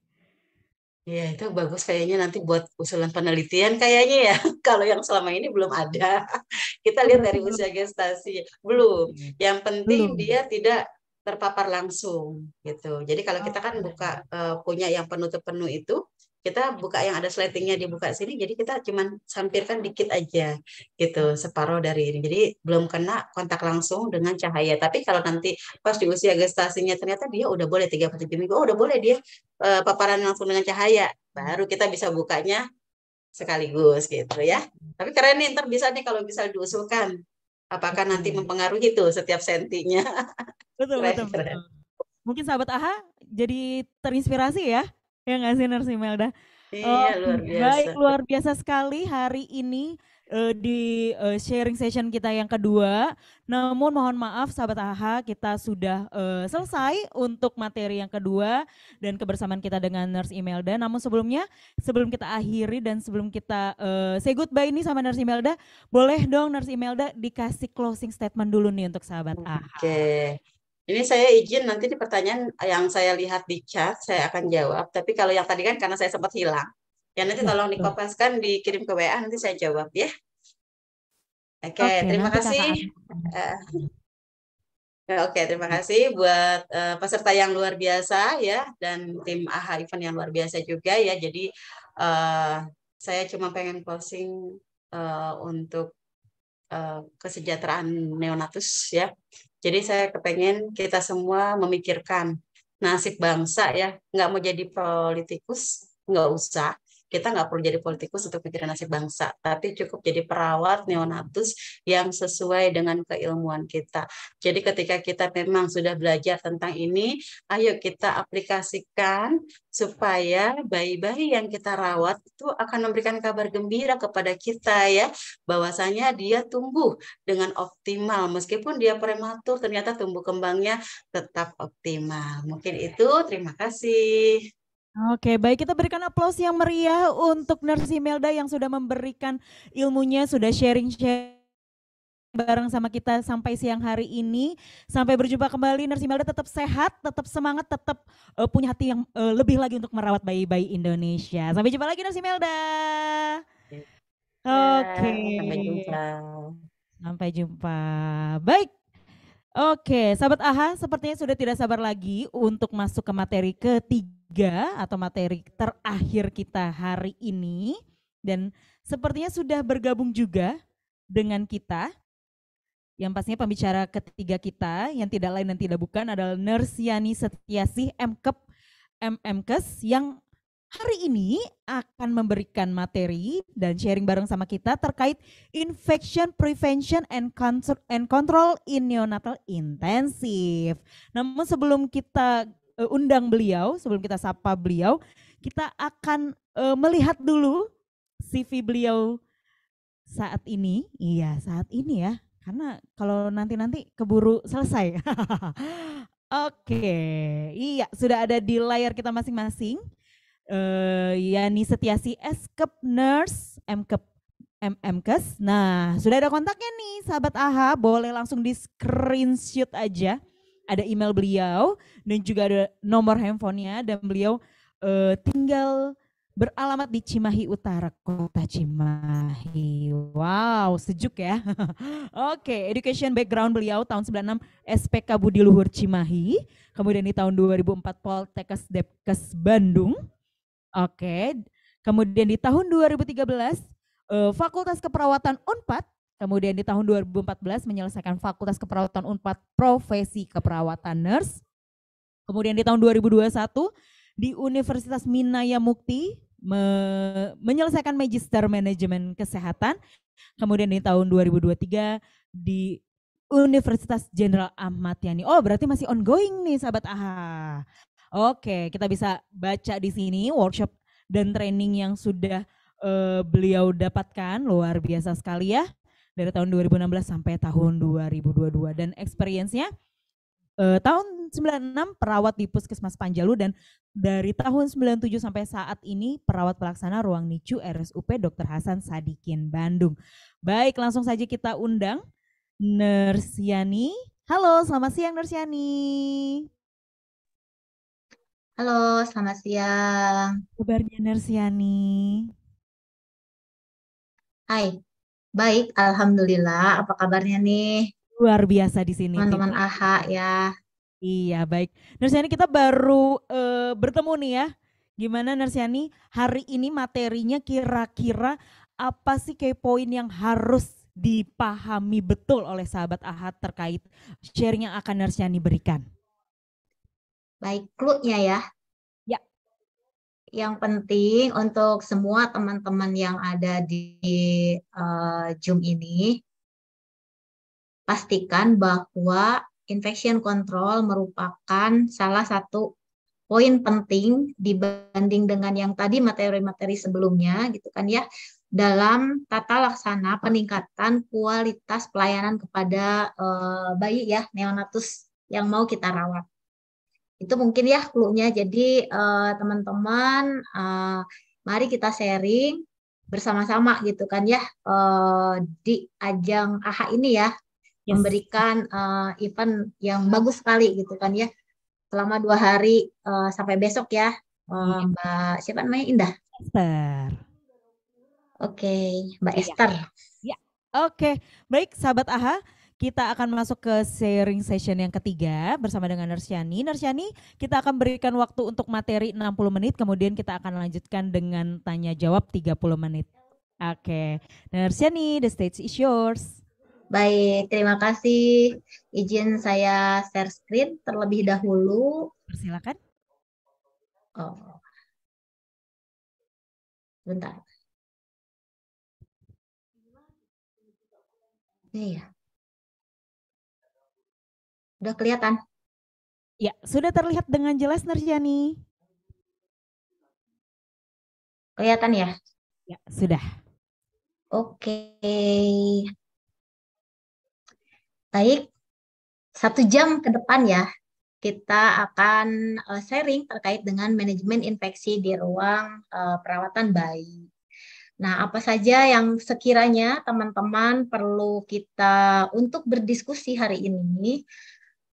Kita ingin mengetahui bagaimana caranya sistem imun pada neonatus, apa-apa saja eh, kejadian-kejadian infeksi pada neonatus dan bagaimana manajemen pencegahan infeksi di ruang perawatan neonatus. Yaitu mungkin sebagai outline. Nah, kita ketahui bahwa neonatus itu kan bayi yang baru lahir yang di dalam intrauterin semuanya itu dilindungi oleh ibu.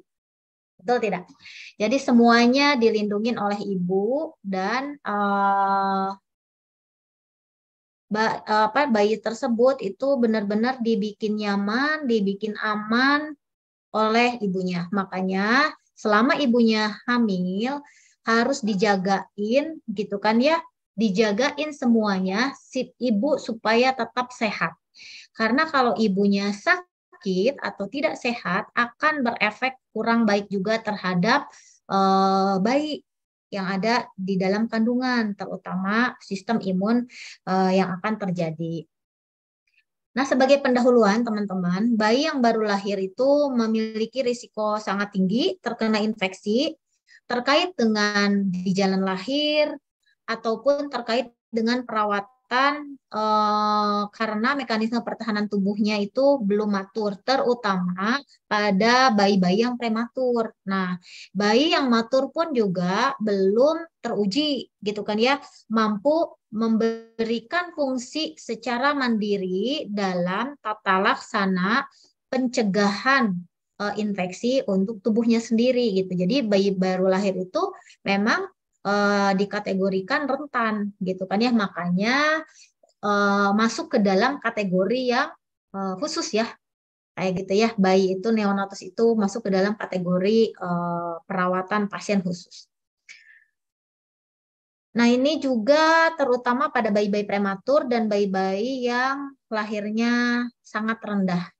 Nah, Flora bakteri pada bayi biasanya diperoleh melalui kontak dengan ibu selama persalinan. Nah, ini adalah proses adaptasi pertama pada bayi gitu kan ya untuk menguji gitu kan daya tahan tubuh atau mengenalkan kuman-kuman atau bakteri-bakteri atau mikroorganisme organisme e, mengenalkan pertama kali nanti yang akan ditangkap gitu kan ya sinyalnya oleh tubuh sehingga nanti sinyal yang ditangkap kuman yang ditangkap tadi oleh tubuh, dia akan uh, tubuh bayi itu akan mendapatkan mekanisme gitu kan ya untuk men mempertahankan uh, apa itu namanya imunitasnya gitu kan ya untuk mengembangkan, untuk mematurkan, untuk memintarkan si imunitas tubuhnya. Nah, itu ya memang harus dikenalkan.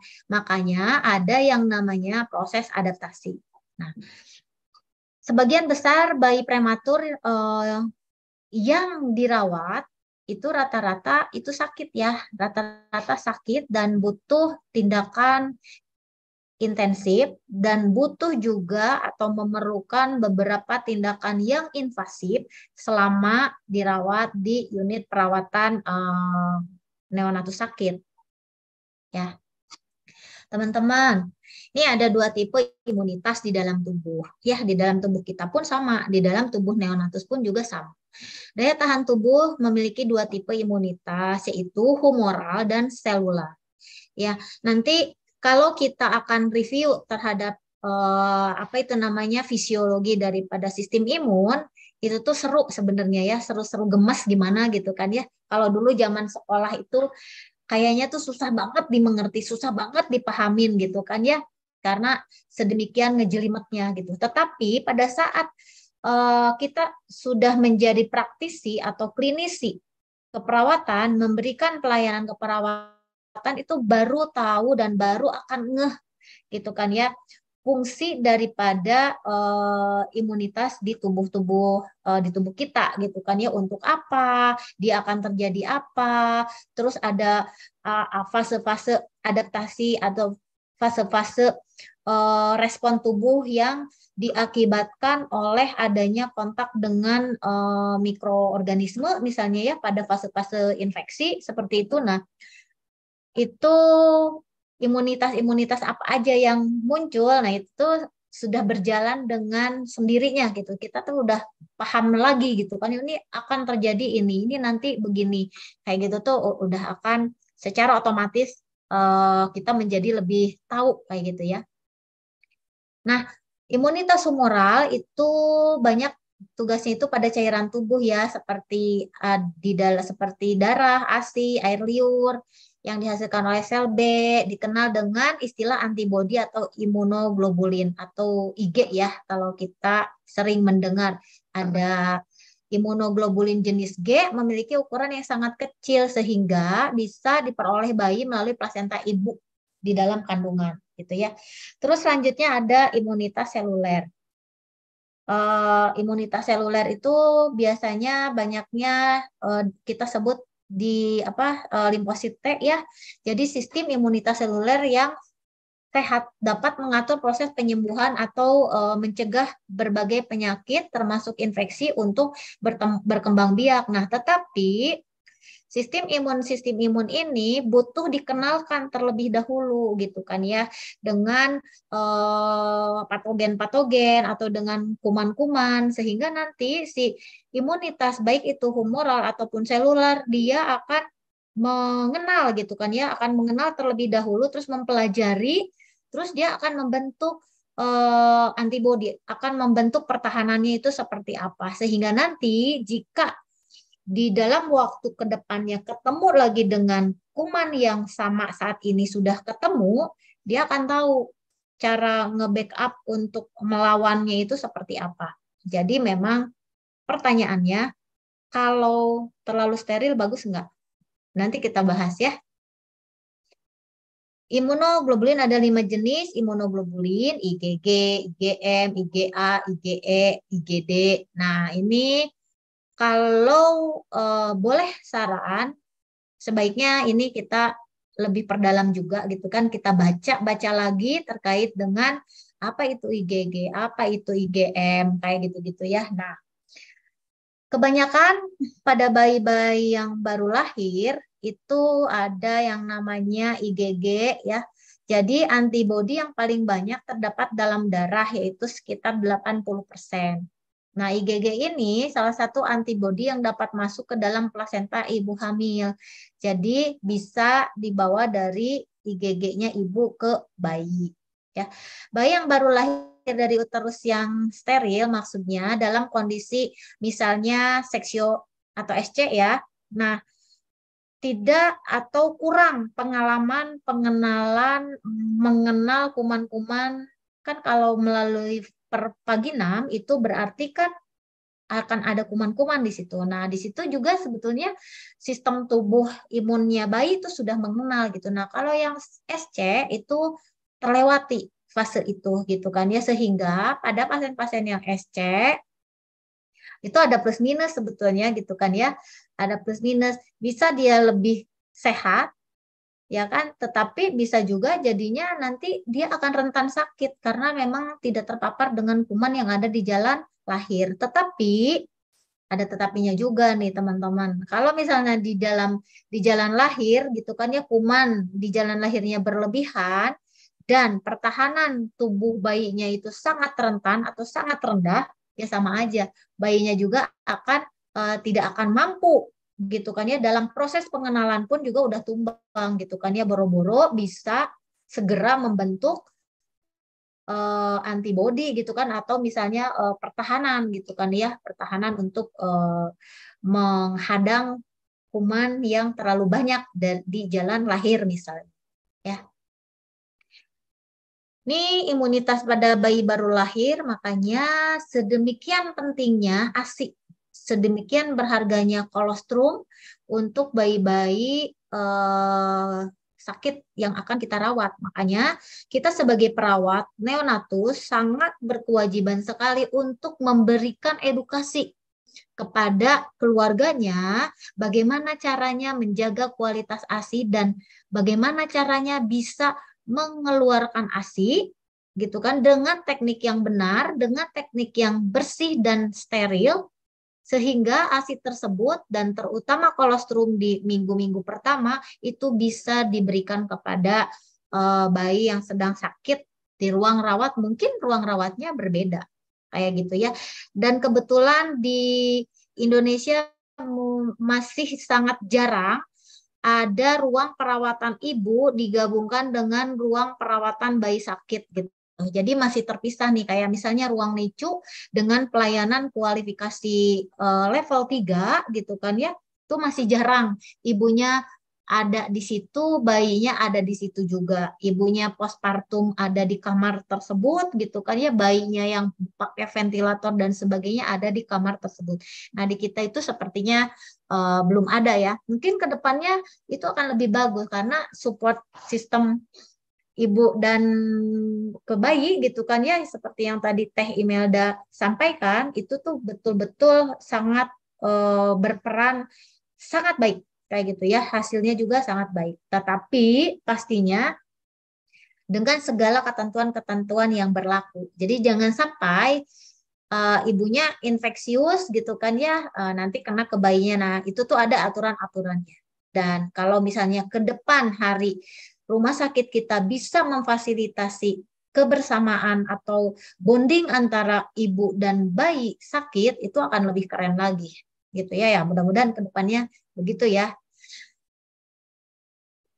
Kita akan mengetahui kejadian-kejadian infeksi apa saja sih yang biasa terjadi pada neonatus. Nah, infeksi pada neonatus saat ini, saat ini ya, kita bagi dua menurut periode eh, kejadiannya. Ada infeksi awitan dini dan infeksi awitan lanjut ya. Jadi kalau infeksi awitan dini itu terjadi dalam tujuh hari pertama kehidupannya. Biasanya didapat dari organisme pada saluran uh, atau pada saluran jalan lahir ya, atau di cairan amnionnya. Nah, loh, kan cairan amnion itu steril, bersih. Bagaimana caranya cairan amnion tersebut bisa uh, menyebabkan sumber utama infeksi? Bisa teman-teman apabila cairan amnion tersebut terkontaminasi dari dunia luar. Contohnya adanya eh, apa itu KPD misalnya gitu kan ya rembes dikit-dikit gitu. Tetapi itu juga udah bisa menyebabkan adanya kontak dengan dunia luar dan ke cairan amnion atau yang amnio amnionitis gitu kan ya. Itu cairan amnionnya akan terinfeksi oleh bakteri kayak gitu ya. Atau juga misalnya penyakit-penyakit ibu yang mempengaruhi terhadap uh, kondisi ibunya gitu kan ya sehingga akan mengganggu cairan amniotnya terutama infeksi-infeksi ibu ya. Maaf. Nah kalau infeksi lanjutan gitu ya bentar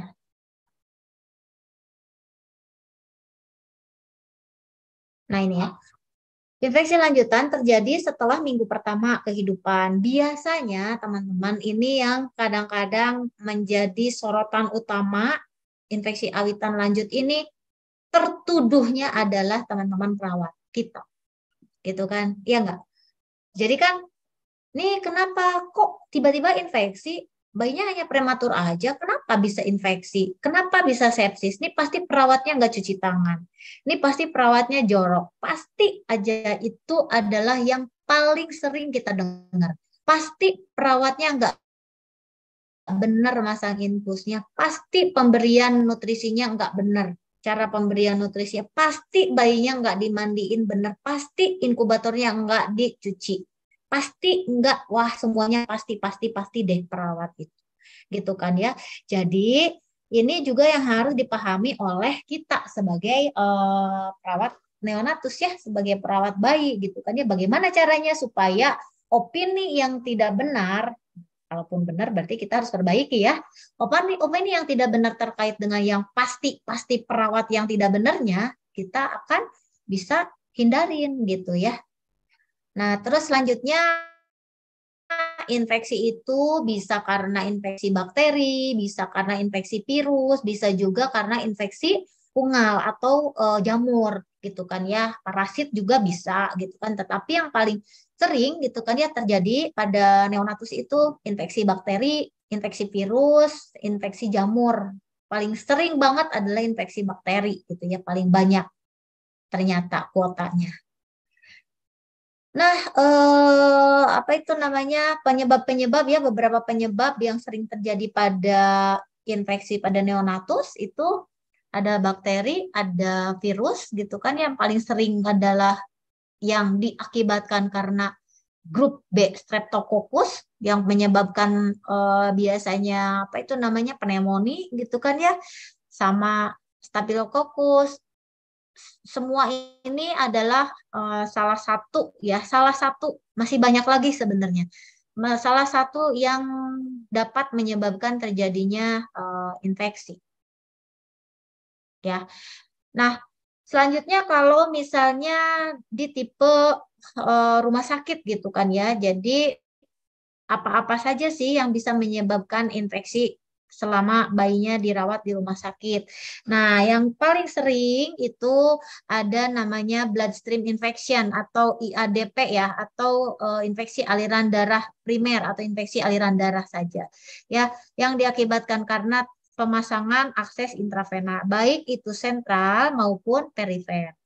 Terus selanjutnya adalah ventilator associated pneumonia ya atau uh, kita pasien-pasien yang dirawat di ICU atau di NICU gitu kan ya. Nah, kebanyakan terjadi VAP gitu. Tetapi untuk menegakkan adanya eh, VAP di neonatus itu masih sangat-sangat sulit gitu kan ya karena banyak hal faktor-faktor yang menjadi bias gitu ya pada neonatus.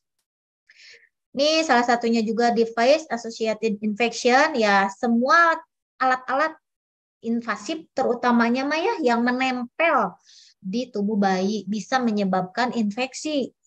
Tidak hanya yang invasif, yang non invasif pun juga sama bisa menyebabkan eh, apa itu namanya barrier ya, menyebabkan infeksi. Contohnya apa? Contohnya adalah probe oximeter, probe suhu, Terus lagi eh, elektroda yang tidak pernah dibersihkan, yang dipakai terus-terusan, ya kan, sampai sebelum rusak, sebelum putus terus aja dipakai gitu kan ya. Tetapi tidak dibersihkan atau misalnya manset tensimeter gitu kan sampai warnanya berubah warna juga ya terus aja dipakai. Nah, padahal di situ tuh udah mulai banyak tumbuh kuman gitu kan ya. Barrier pertama untuk sistem imun di bayi itu adalah kulit. Jangankan di bayi gitu kan ya, di kita aja gitu tetap barrier pertama tubuh itu adalah kulit. Nah, itu ya. Nah, sekarang kita akan membahas terkait dengan bagaimana caranya manajemen pencegahan infeksi. Teman-teman, yang namanya manajemen berarti secara keseluruhan, ya kan? Secara keseluruhan yang salah satunya itu tidak bisa tidak dikerjakan itu namanya manajemen gitu kan ya jadi bagaimana caranya kita mengatur semua membuat uh, istilahnya tuh role atau patokan patokan-patokan untuk mencegah terjadinya infeksi pada neonatus terutama pada neonatus yang dirawat di rumah sakit kita. Nah, apa sih yang harus kita lakukan dan harus kita kerjakan? Katanya ini berdasarkan penelitian ya uh, infection prevention and control berdasarkan WHO gitu kan ya dan beberapa uh, apa itu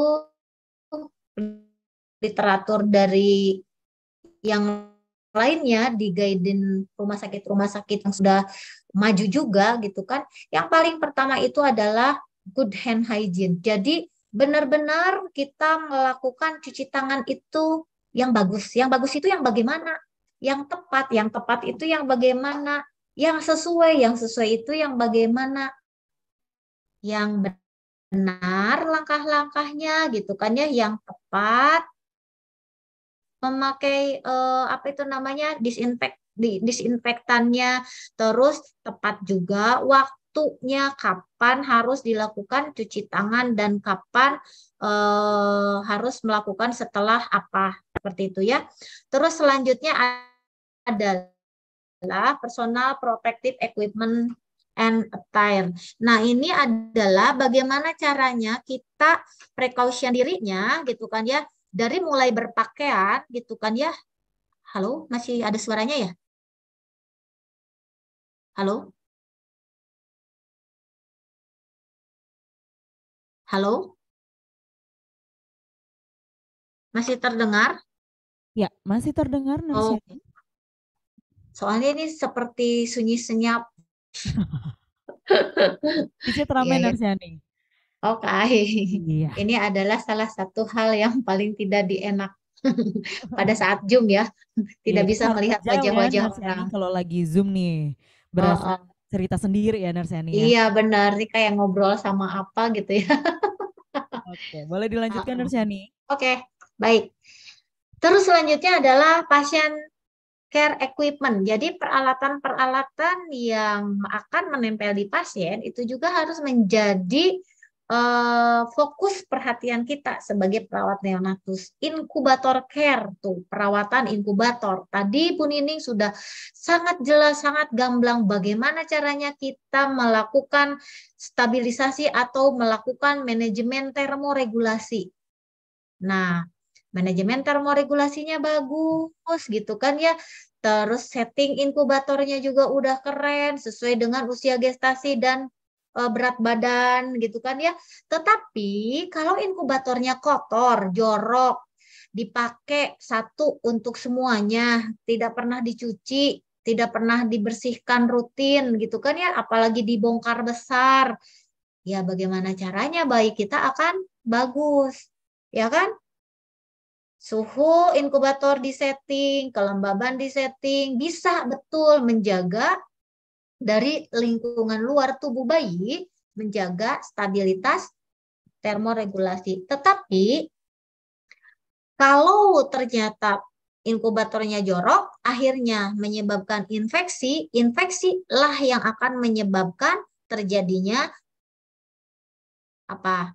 gangguan termoregulasi gitu kan ya. Jadi tetap aja meskipun bagus gitu kan settingannya, tapi kalau inkubatornya tersebut juga sebagai penyebab infeksi pada bayi, ya termoregulasinya juga nggak akan bagus kayak gitu ya. Nah, jadi ini nggak boleh kata saya tadi juga ya mata rantai ini nggak boleh diputus, nggak boleh terputus, nggak boleh ada yang tidak dikerjakan.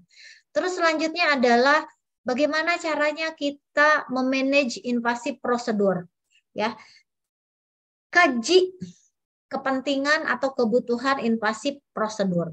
Kalau tidak perlu-perlu amat, ya nggak usah dikerjakan tindakan invasifnya gitu kan ya. Ya tapi gimana dong caranya? Bayinya 28 minggu.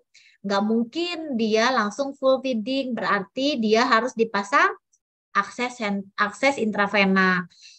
Gimana mungkin bayinya tidak dipasang eh, support oksigen gitu kan ya. Bagaimana caranya bayinya tidak bisa dipasang eh, NGT atau OGT gitu kan ya. Nah, semua tindakan-tindakan invasif ini harus kita kaji ulang terus-menerus gitu.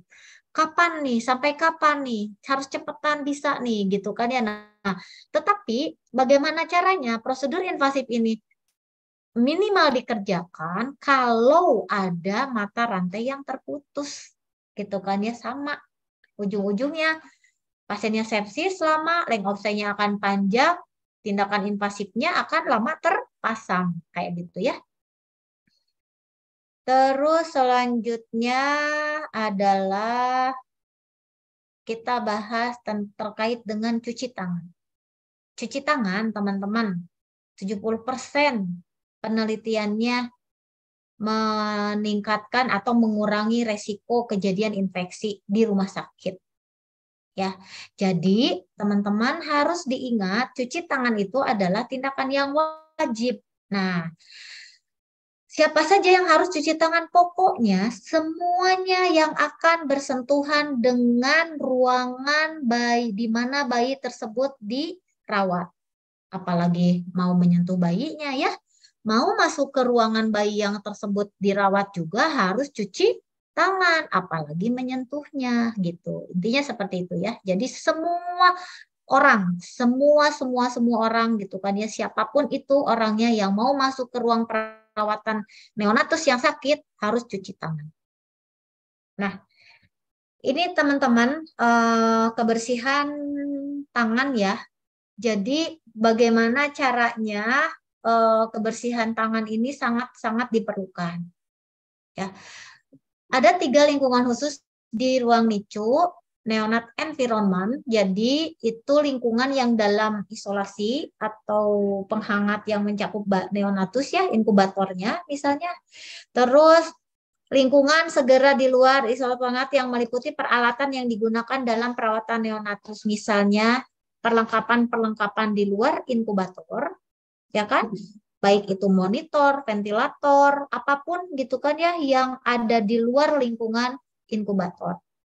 Terus nicu eh, environmentnya ya, jadi eh, misalnya ini ruang rawatnya, ruang rawatnya gitu kan ya, jadi ruang rawatnya. Nah, kebersihan tangan yang efektif di lingkungan nicu ini memerlukan penambahan kebersihan tangan ekstra momen pada setiap uh, entry atau kita mau masuk ke ruang isolasi atau ke dalam inkubatornya. Gitu ya. Ini harus benar-benar dipahamin teman-teman karena kadang-kadang kita suka menganggap satu kegiatan itu merupakan satu kali aja cuci tangannya gitu. Nah, ini nanti kita akan bahas ya. Yang kita ketahui ada five moment hand hygiene, benar nggak? Menurut WHO. Ya, pasti ini teman-teman sudah paham banget. Yang pertama adalah sebelum kita menyentuh pasien. Yang kedua, sebelum kita apa itu melakukan tindakan aseptik. Yang ketiga, setelah terkena cairan tubuh pasien. Yang keempat, setelah kontak dengan pasien. Yang kelima adalah setelah kontak dengan lingkungan semua lingkungan pasien ya. Nah, tetapi di neonatus sendiri saat ini gitu kan ya, nih ditambahin dua momen. Jadi ada tujuh momen teman-teman. Silahkan nih teman-teman pahamin gitu kan ya. Bener enggak gitu kan. Jadi sedemikian harus triknya cuci tangan ya kan pada neonatus. Ayo menyesal nggak jadi perawat neonatus? Kalau saya sih nggak menyesal ya, happy. Karena apa? Karena nggak bau ya, lucu-lucu kalau bayi itu kan beda ya kalau sama kakek-kakek nenek-nenek kan udah nggak lucu gitu kan ya. Nanti kan kita juga akan menuju kakek-kakek nenek-nenek gitu ya jadi kita juga nggak lucu. Nah apa aja sih yang tujuh momen ini? Yang pertama adalah hand hygiene before entering the unit. Jadi hand hygiene di sini ini dibedakan ya di guideline for infection prevention and control in the neonatal unit ya. Nah, ini tahun 2019. Jadi sebelum masuk ke ruangan di pintu masuknya sebelum pintu masuknya kita harus cuci tangan dulu. Cuci tangannya di sini dengan air mengalir dan sabun. Tidak boleh hanya menggunakan hand rub. Ya, jadi wajib Cuci tangan menggunakan air mengalir dan sabun sebelum masuk ruangan perawatan bayi. Yang kedua adalah sama masih cuci tangan ya. Kalau mau melakukan semua prosedur yang steril, mau masang infus ya kan baik itu sentral ataupun perifer gitu kan ya, mau mengambil darah, atau misalnya mau men, apa itu masukkan NGT gitu kan. Meskipun emang masukkan NGT itu tekniknya bersih tapi itu harus cuci tangan di air yang mengalir ya.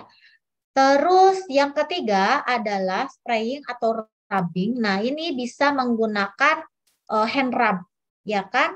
Sebelum touching equipment atau mau menulis-nulis jadi kita harus cuci tangan dulu sebelum menyentuh alat-alat yang ada di sekitar pasien. Contohnya apa? Yang ada di sekitar pasien. Contohnya elektroda, ya kan? Kabelnya, terus oximeter, terus semua-semua yang menempel di dekat bayi. Dan juga yang di luar inkubator. Apalagi kalau udah menyentuh inkubator ya Misalnya ventilator, terus apa itu namanya monitor, terus siring pump, infus pump. Nah itu kita harus cuci tangan dulu sebelum menyentuh mereka itu. Ya harus cuci tangan, tapi cukup menggunakan hand rub aja. Terus selanjutnya sama cuci tangan lagi menggunakan hand rub gitu kan ya. Menggunakan hand rub nih setelah eh sebelum menyentuh bayi karena begini teman-teman kenapa urutannya ini harus begini jadi setelah nomor tiga ini ya kan biasanya pada saat kita mau memegang bayi kan sudah cuci tangan, buka inkubator. Terus nah sebelum menyentuh bayi itu kita misalnya melihat ya kan melihat alat-alat di sekitar bayi itu ada yang tidak kurang pas. Contoh misalnya mau membetulkan uh, ventilatornya, mau membetulkan elektrodanya, mau membetulkan probe uh, oximeternya. Nah, itu tuh udah cuci tangan kan? Nah, sebelum mau menyentuh lagi ke bayi, nah kadang-kadang ini yang kadang-kadang kita tuh dipikirnya satu momen, satu kegiatan. Nah, ini kadang-kadang suka salah gitu kan ya. Jadi harusnya sebelum menyentuh bayi cuci tangan dulu karena kita sudah menyentuh alat-alat tadi. Ya, ini include ke yang poin 5. Jadi spraying and rubbing hand after touching baby. Dan yang nomor poin nomor 6. Ya. Jadi spraying rubbing hand after touching equipment atau mau melakukan uh, record gitu kan ya. Nah, jadi sebelum menyentuh semua alat yang dekat bayi cuci tangan. Ya kan? Setelah menyentuh yang ada di yang menyentuh alat-alat yang ada di bayi juga cuci tangan. Sebelum menyentuh bayi dan setelah menyentuh bayi juga harus cuci tangan. Dan yang ketujuh adalah harus menggunakan eh, apa itu namanya cuci tangan yang dengan air mengalir lagi nih setelah menyentuh cairan tubuh bayi atau eh, setelah menyentuh cairan tubuh pasien gitu kan. Ini harus cuci tangan uh, menggunakan air mengalir ya. Metode hand hygiene pasti teman-teman sudah tahu sudah hatam nih. Ada hand rub dan ada hand washing ya. Kalau hand rub menggunakan cairan yang berbasis alkohol ya atau klorhexidin hand wash menggunakan sabun dan air mengalir. Nah, kalau hand rub minimalnya dilakukan 20 sampai 30 detik. Gitu kan ya. Kalau lebih lama boleh nggak boleh. Makanya di sini batasan minimalnya. Kalau hand washing itu minimalnya dilakukan 40 sampai 60 detik. Kalau dua menit boleh nggak? Boleh banget gitu kan ya. Jadi semakin bersih berarti gitu. Nah, ini adalah teknik-teknik bagaimana caranya kita melakukan uh, hand hygiene ya atau melakukan cuci tangan. Gitu kan ya, ada berapa langkah? Ada enam langkah ya. Ada yang bilang ada yang enam langkah, ada yang tujuh langkah. Kalau kita mau melakukan cuci tangan yang bedah itu lebih banyak langkah lagi. Yang penting intinya Eh, minimalnya kita melakukan langkah-langkah yang eh, WHO buat. Nah, ini adalah beberapa larutan, ya kan, larutan dan indikasi serta waktu aplikasi, keuntungan dan kekurangannya apa. Ini teman-teman setiap mau mengusulkan untuk pemberian disinfektan itu harus dipastikan teman-teman tahu keuntungan dan kerugiannya serta waktu aplikasinya itu berapa lama. Kayak gitu ya. Jadi jangan sampai kita beli ya asal beli aja yang penting mah murah lah gitu kan ya. Tetapi tidak membunuh kuman. Membunuh kumannya hanya beberapa persen aja gitu kan ya. Itu juga nggak bagus kayak gitu ya. Sehingga hal seperti ini kita serahkan aja sama ahlinya. Kayak gitu ya. Kita sebagai pemakai tetapi kita juga sebagai evaluator gitu kan ya. Kalau eh, di unit kita tiba-tiba terdapat outbreak gitu ya, yang tadi kata Teh Imelda, outbreak nih bisa terjadi outbreak. Nah, kita kaji gitu kan ya dan dikajinya pun juga bisa sampai apa disinfektan yang di gunakan kayak gitu ya salah satunya. Hand hygiene ini merupakan tetap ya di penelitiannya mana pun merupakan metode penelitian yang dianggap paling efektif untuk mengurangi kejadian infeksi di rumah sakit. Gitu ya. Nah, kalau penyebab sekarang itu hand hygiene sepertinya sudah pada rajin ditandai dengan ditandai dengan apa? hand rub selalu kosong. Ya bukan sering cuci tangan pakai hand rub teh, emang dari rumah sakitnya hand rubnya nggak dibeli. itu beda cerita ya. Tetapi sih sepertinya kalau sekarang itu ya saya lihat memang paling sering tuh menggunakan hand rub gitu. Jadi paling sering juga cuci tangan kayak gitu ya. Iya teh sampai kulit tangan saya lecet-lecet. Nah itu juga berarti ada hal yang kurang tepat gitu kan dengan cuci tangan. Kenapa tangan sampai lecet? Lecet kayak gitu ya. Bukan berarti saking rajin, tetapi berarti ada yang kurang tepat. Entah itu di obat disinfeksinya atau mungkin caranya kita yang kurang tepat gitu ya. Nah, Strategi untuk meningkatkan kepatuhan kebersihan tangan, sebenarnya bagaimana ya caranya ya strateginya? Strategi apa pun, aturan apa pun, kalau dari diri kitanya itu tidak mau, ada aturan pun juga dihalabrak aja udah pasti. Jadi yang poin penting adalah dari diri kitanya ada kepedulian dan ada keinginan untuk mencuci tangan. Ya sudah nggak ada aturan pun juga dia akan pasti cuci tangan. Kayak gitu mau ada pelatihan mau diomelin mau diapa tapi kalau dari dalam dirinya tidak mau susah gitu kan ya untuk berubah. Nah ini adalah salah satu yang harus selalu ada dan tersedia gitu kan ya. Memudahkan kita untuk uh, menjangkau hand rub gitu kan ya. Kalau misalnya wastafel untuk cuci tangan secara uh, dengan air mengalir itu jauh, ya minimalnya hand rub itu harus dekat dan mudah dijangkau. Ya, dan harus kelihatan sebenarnya.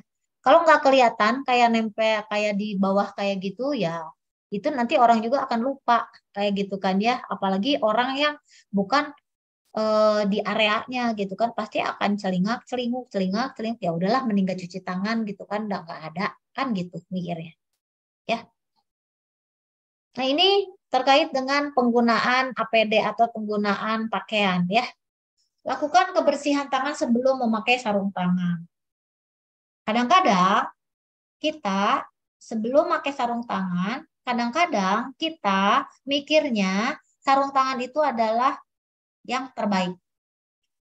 Jadi kadang-kadang teman-teman kita mikirnya kalau sudah menggunakan sarung tangan pasien aman.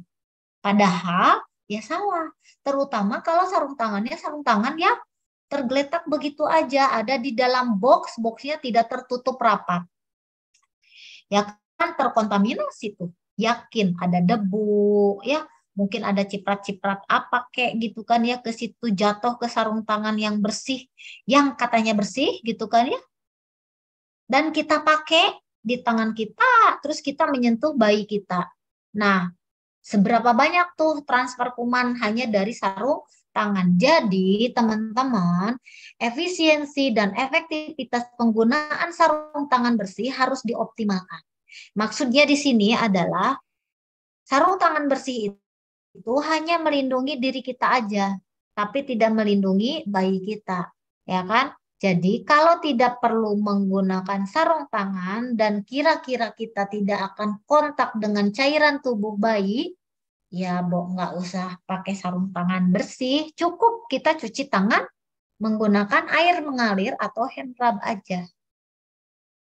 Ya, Oke, kenakan sarung tangan untuk semua penggantian popok. Kenapa? Karena ada kemungkinan besar akan terpapar tangan kita dengan cairan tubuh pasien baik urin ataupun fesesnya. Ya, kenakan sarung tangan untuk kontak dengan ruam yang tidak terdiagnosis lesi atau kulit yang tidak utuh. Ini untuk melindungi kita. Ya, jadi jangan sampai kita tertular oleh bayi. Kayak gitu intinya, ya. Tetapi kita juga jangan egois bahwa sarung tangan itu juga tidak aman untuk pasien kan gitu. Jangan menggunakan kembali atau mencuci sarung tangan. Ya kalau dulu kan gitu ya. Sarung tangan itu dicuci, dijemur, terus dikasih talek, terus dipakai lagi gitu. Itu saya ngalamin banget gitu. Karena saya periode periode uh, tua. Periode zaman kolonial ya kalau teman teman-teman kan zaman milenial nih sekarang. Kalau saya zaman kolonial. Karena dari tahun 97 saya sudah bekerja gitu kan ya. Dan itu mengalami banget bagaimana caranya membersihkan sarung tangan dari kotoran-kotoran. Ya, ya bekas dipakai ke pasien gitu kan ya terus sama kita dicuci uyuhan ya kita itu sehat gitu kan ya kok masih bisa gitu kan ya teman-teman perawat dulu itu pada kuat-kuat gitu kan ya. Mungkin dulu zaman dulu kuman-kumannya belum ganas-ganas atau mungkin daya tahan tubuh kita nyala perawat-perawat zaman dulu itu strong-strong sehingga jarang ada yang sakit. Ya. Nah bagaimana teman-teman pakaian staff atau kita? Pakaian kita harus yang paling aman untuk pasien ya. Sehingga pas pakaian yang mau masuk ke ruang perawatan bayi itu harus bersih ya. Harus hanya untuk di ruangan tersebut jangan warawiri keluar. Jadi wajib hukumnya ruang apa itu baju pas saat masuk ke ruang perawatan bayi ini terutamanya kita yang akan touching terus sama bayi ya ganti gitu kan ya. Jadi jangan dari rumah dipakai eh, baju untuk melakukan perawatan ke bayi. Dan setelah di ruang perawatan ke bayi, teman-teman mau beli gorengan, pakai juga baju itu. Ya, nggak seperti itu, kayak gitu ya. Meskipun eh, dari pakaian gitu kan ya, dari pakaian itu tidak terlalu signifikan gitu kan bisa menularkan kepada uh, bayi dari infeksinya. Tetapi ya itu penelitiannya harus diteliti lagi gitu. Kayak gitu ya. Jadi kalau misalnya uh, bajunya itu sudah terkontaminasi dari luar terus dibawa ke ruangan perawatan bayi ya apa jadinya ya ruang perawatan bayi gitu kan ya. Pasti akan banyak kuman-kuman yang dibawa dari luar. Jadi wajib ya teman-teman memakai pakaian khusus untuk di dalam ruangan perawatan bayi. Dokter harus melepaskan jas putih saat mereka masuk karena jas putih itu yaitu dari area lain ya. Pokoknya yang dari area lain masuk ke ruangan perawatan bayi itu harus yang bersih.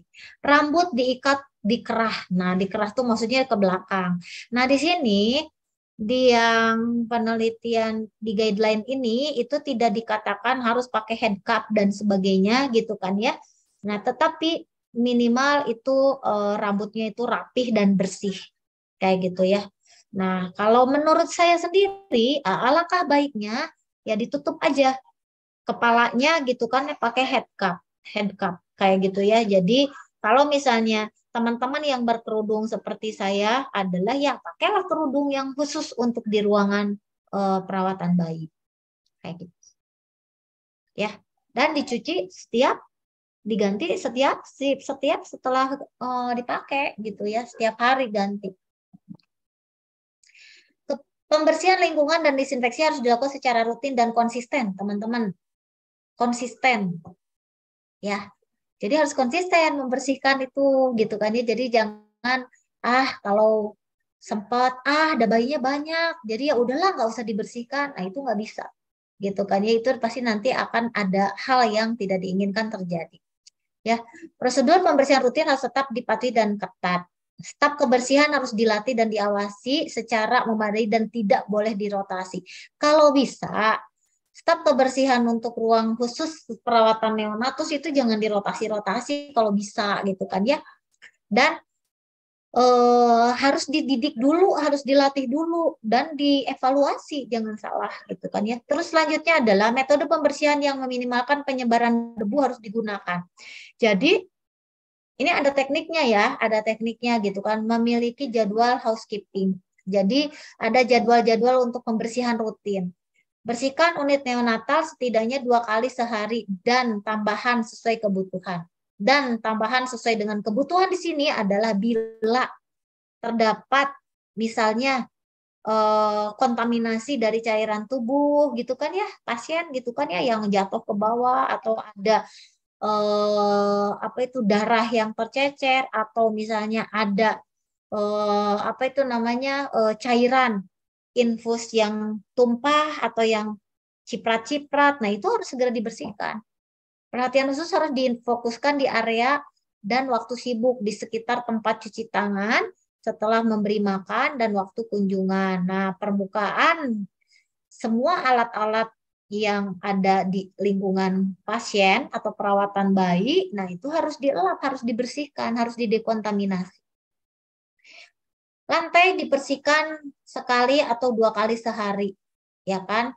Dan jika kotor, khususnya di area eh, ini ditambah dengan eh, jika perlu ya, eh, di, khusus khususnya di area yang lalu lintasnya tinggi. Yaitu tadi untuk atau setelah dilakukan tindakan-tindakan tertentu gitu kan yang terus aja di daerah tersebut adalah sering diinjek gitu kan ya. Nah, ini harus segera dibersihkan. Ini disinfektannya berbahan dasar klorin atau ada merek lain juga itu sesuai dengan rekomendasi uh, dari WHO atau CDC-nya ya. Nah, ini dari guideline yang tadi saya bilang ya. Nah, segera bersihkan tumpahan darah atau cairan tubuh dengan larutan disinfektan berbahan dasar klorin desinfektan. Nah, hal ini nih biasanya teman-teman lingkungan itu akan paham banget. Gitu kan ya. Akan paham banget. Jadi kita sebagai uh, pelaksana di unit gitu kan ya harus selalu berkolaborasi dengan uh, bagian tim kesehatan lingkungan. Gitu kan. Jadi tim keslingnya nih tim caslingnya tuh harus uh, memonitor terus gitu kan ya lingkungan kita. Jadi intinya sesuai dengan tupoksinya gitu kan ya kita juga tidak harus menghafal satu persatu tetapi kita wajib tahu kenapa untuk mengevaluasi takutnya atau untuk double check atau untuk mengingatkan. Tempat sampah harus dicuci setiap hari dengan sabun dan air. Benar nggak suka dicuci setiap hari? Saya yakin jarang. Ya kan? nggak setiap hari, tetapi yang diambil hanya plastiknya aja. Biasanya tempat sampahnya nggak dicuci setiap hari. Nah, di guideline ini katanya setiap hari gitu. Dan kantongnya juga diganti setiap hari atau setelah penuh kalau kantong gitu kan ya. Pasti dalam sehari itu kan berapa kali gitu. Karena kalau untuk kantongnya tetapi tempat sampahnya itu harus diganti setiap hari. Dibersihkan. Membersihkan dan membersihkan jendela dan kerai setiap minggu kalau ada kerai ya. Dan kita untuk saat ini kalau bisa tidak ada kerai itu lebih baik gitu. Tapi ya kerainya kalau kerai dia yang bisa dibersihkan no problem. Gitu. Dinding dibersihkan setiap bulan. Yakin dinding ruangan kita selalu dibersihkan setiap bulan. Nah, hal-hal inilah yang nanti harus kita koordinasikan dengan bagian casling. Nanti casling akan menyuruh cleaning service ya atau apa gitu kan. Terus infeksi pengendalian hama harus dilakukan setiap bulan. Nah ini harus kita mintakan ke bagian casling juga. Ada enggak gitu kan pemantauannya di rumah sakit kita. Dan itu harus ada, betul.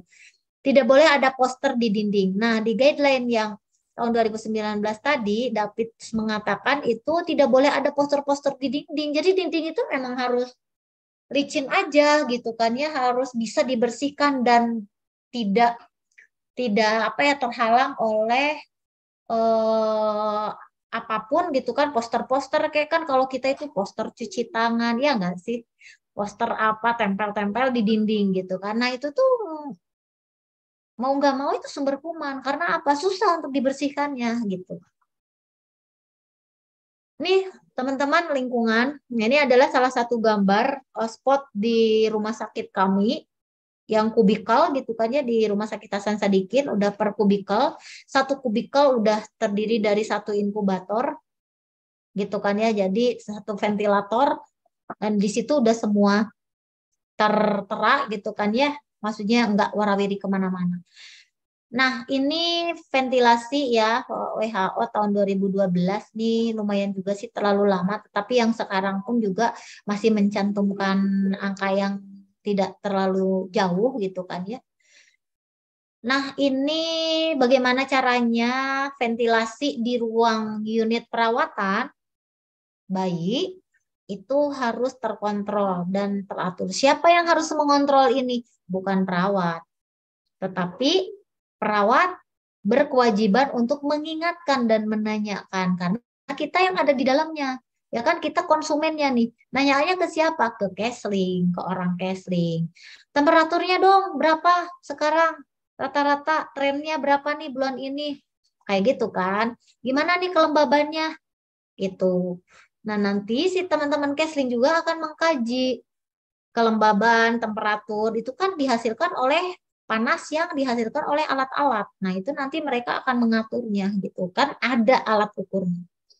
Terus perawat perlu tahu nggak alat ukurnya itu apa? Nggak perlu tahu. Ya kan, yang perlu tahu perawat pastikan adalah bagaimana caranya merawat pada bayi yang bersih aja gitu kan ya? Dengan situasi yang tadi kata Teh Imelda juga situasi kondisi yang mendukung dari eksternal. Salah satunya adalah bagaimana caranya supaya bayi-bayi kita tidur nyaman ya kan? Dengan posisi yang gelap kayak di dalam rahim. Yang sunyi seperti dalam rahim nggak berisik kayak gitu kan. Nah, itu semuanya serahkan ke orang casting. Bagaimana caranya gitu kan ya. Kewajiban kita jangan teriak-teriak di dekat pasien gitu. Ya. Oke. Okay. Terus selanjutnya adalah pasien care equipment. Ini semua-semua yang akan menyentuh badan pasien diusahakan harus bersih. Intinya gitu. Ya, di sini di guideline yang ini itu dikatakan bahwa Staf kebersihan harus dilatih untuk membersihkan dan mengatur ulang peralatan dasar, misalnya inkubator, tempat tidur bayi ICU, dan penghemat radiasi jarum dan lain-lain. Perawatan pernapasan dapat dibersihkan oleh staf kebersihan, tetapi diatur ulang oleh staf perawat yang terlatih dengan tepat. Nah, ini berarti kolaborasi nih, perawat juga sebagai evaluatornya nih harus harus benar-benar paham gitu kan ya apa yang menjadi poin penting atau fokus utama untuk dibersihkan itu yang mana kayak gitu ya. Terus selanjutnya tidak ada peralatan yang boleh digunakan bersama. Jadi bayi A barengan dengan bayi B itu nggak boleh meskipun bayinya kembar. Glukometer atau misalnya untuk alat pemeriksa gula darah atau pemeriksa AGD misalnya ya, ya jangan dibawa-bawa ke tempat tidur bayi oh, sama mesin-mesinnya gitu kan ya. Uh, masuk lagi ke dalam inkubator ya jangan gitu kan ya. Jadi pastikan hanya stripnya aja yang dibawa ke bayi mah gitu kan ya yang akan diambil darahnya jangan sama alatnya gitu. Setiap bayi, bayi harus memiliki stetoskop dan termometer sendiri. Ini mah pasti udah ya teman-teman ya. Stetoskop itu tidak hanya punya satu untuk semua. Bayinya ada 10 stetoskopnya cuma satu. Itu pun punya dokter. Itu pun dibawa-bawa sama dokternya. Jadi kalau perawatnya mau make pinjam dulu ke dokternya.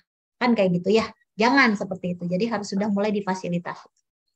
Bersihkan inkubator radian warmer setiap hari dengan kain sekali pakai yang dibasahi deterjen dan air. Jangan gunakan bahan kimia atau spirit atau yang berbau menyengat. Ya intinya alat eh disinfektan ini harus yang direkomendasikan oleh yang punya produknya, jangan sampai yang merusak foodnya, jangan sampai yang merusak menyebabkan uh, korosif misalnya gitu kan ya, ya itu jangan.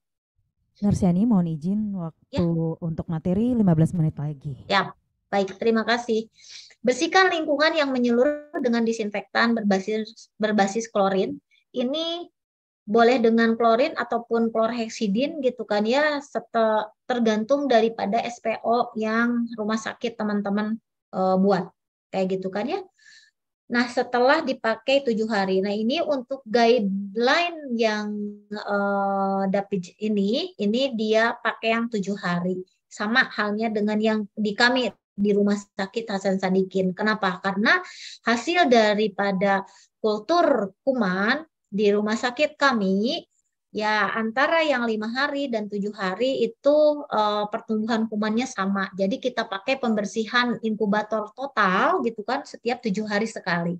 Tetapi yang uh, rutin itu ya setiap shift gitu kan ya pagi sore malam kita selalu bersihkan inkubator menggunakan disinfektan biarkan hingga kering sebelum digunakan filter udara. Nah, ini adalah memang bagaimana caranya membersihkan inkubator harus benar-benar tepat ya kan, tepat sasaran dan tidak sampai merusak juga gitu. Jadi jangan sampai karena kita pengen bersih tetapi inkubatornya jadi rusak ya, nggak seperti itu juga. Nih ya. eh, kasurnya gitu kan ya. Eh, terus kan di inkubator itu ada kasurnya ya. Jadi kasurnya itu juga harus dibersihkan gitu. Dan si kasur tersebut diupayakan jangan sampai ada yang bocor. Maksudnya gini, eh, kadang-kadang kan si itu itu udah rusak ya, udah retak-retak gitu. Nah itu tuh segera dilaporkan karena dengan eh, apa itu kasur yang retak-retak di situ tuh kan susah dibersihkan. Nah di situ juga kumannya banyak gitu. Jadi lihat sekarang kasur-kasur inkubator untuk bayi kita itu masih intak enggak gitu kan ya. Kalau udah enggak intak lagi ya bilangkan ke bagian manajemen gitu kan ya untuk diganti gitu. Ya. Bersihkan peralatan pengangkutan inkubator transport. Jadi jangan hanya inkubator yang akan merawat bayi yang standby, inkubator transport pun juga harus dibersihkan. Infant warmer juga sama harus dibersihkan gitu ya. Nah, inkubator itu harus ada di area khusus untuk melakukan dekontaminasi inkubator. Jadi harus punya tempat khusus kayak gitu. Nah, ini adalah salah satu gambar uh, area ya di ruang perawatan di Hasan Sadikin yang uh, apa itu namanya? yang baraknya ya. Kalau yang tadi itu yang kubikel, yang ini yang baraknya. Jadi kami punya tempat yang barak dan juga punya tempat yang kubikel. Nah, Terus untuk respiratory dan IV equipment-nya, ya kan? Nah, ini juga sama teman-teman harus betul-betul dijaga dan dipahami kebersihannya, kesterilannya, gitu kan ya. Jadi jangan sampai eh, kaidah-kaidah misalnya untuk breathing circuit aja gitu kan ya kita abaikan gitu ya nggak begitu gitu kan ya. Jadi bagaimana caranya kita itu simultan benar-benar gitu kan ya melaksanakan pencegahan infeksinya ya. Terus selanjutnya invasi prosedur nih pastikan ya kan pada saat kita mau melakukan contoh pemasangan akses intravena ya harus steril gitu. Bagaimana caranya preparasi area kulit yang mau ditusuk gitu kan ya dibersihkan dulu, dicuci dulu pakai sabun gitu kan ya kulit bayinya. Baru kita lakukan eh, dikeringkan terus didekontaminasi gitu atau didisinfeksi menggunakan alkohol ataupun klorheksidin misalnya gitu ya baru kita lakukan penusukan. Kayak gitu ya jadi pedoman pencegahan pengadaan infeksi ini harus diperhatikan di sepanjang waktu tetapi terutama nih yang berhubungan dengan perawatan luka, ya kan, terkait dengan pemasangan akses intravena, nutrisi parenteral total, ya. Nah, ini nutrisi parenteral total itu juga jangan sembarangan nih, teman-teman.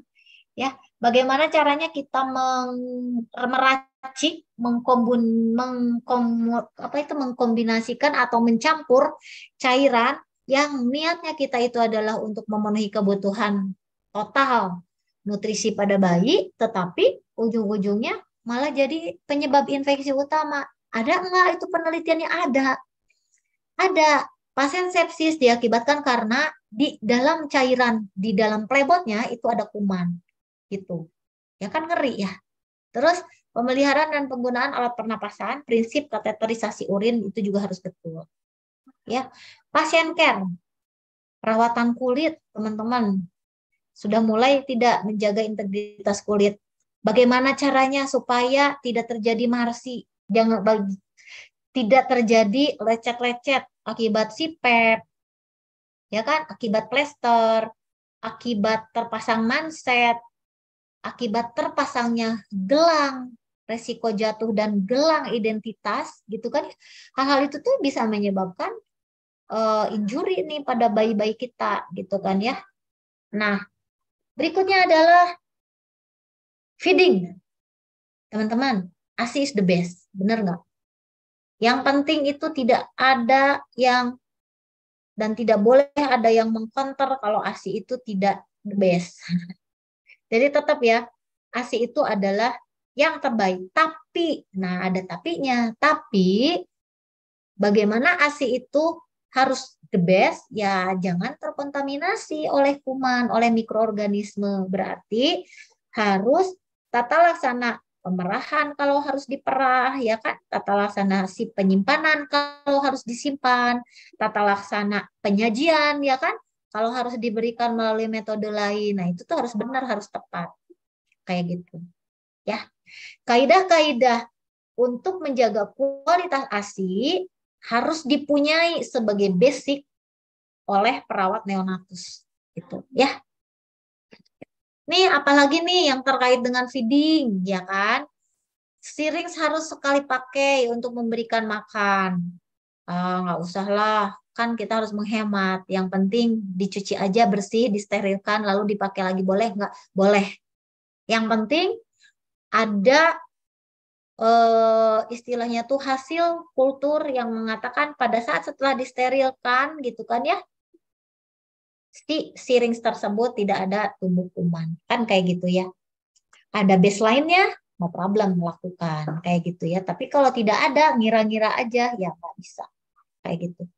Terus pemberian selang infus terus-menerus harus diatur dengan tindakan pencegahan aseptik yang sama yang digunakan untuk cairan intravena. Jarum suntik dan selang harus diganti setiap 4 jam. Ini kalau misalnya eh, apa itu namanya setiap 4 jam itu jadi intinya kalau pemberian eh, kalau selang infus itu ada kaidah-kaidah yang harus diganti ya kan. Kalau misalnya penggunaannya itu transfusi, terus penggunaannya lipid itu ya transfusi setelah selesai buang.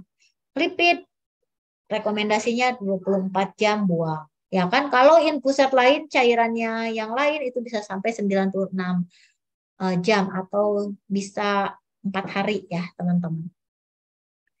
Jika menggunakan pompa ASI, komponen pompa harus dicuci dengan air sabun ya dan disterilkan setelah digunakan. Nasogastric tube terbuat dari PPC, PVC. Saya mau orang Sunda ya suka tidak bisa membedakan P dan V untuk penggunaan jangka pendek. Nah, ini eh, nasogastrik itu kan ada batasan umurnya juga. Dia harus berapa kali digantinya. Itu tanyakan kepada yang punya produknya ya. Pemberian obat pastikan tekniknya aseptik ya. Dan ini mah wajib gitu. Karena apa? Mau memberikan obat langsung masuk ke dalam pembuluh darah. Masa iya kita mau juga memasukkan gitu kan ya ke pembuluh darah. Sebentar ya, uh, habis baterai.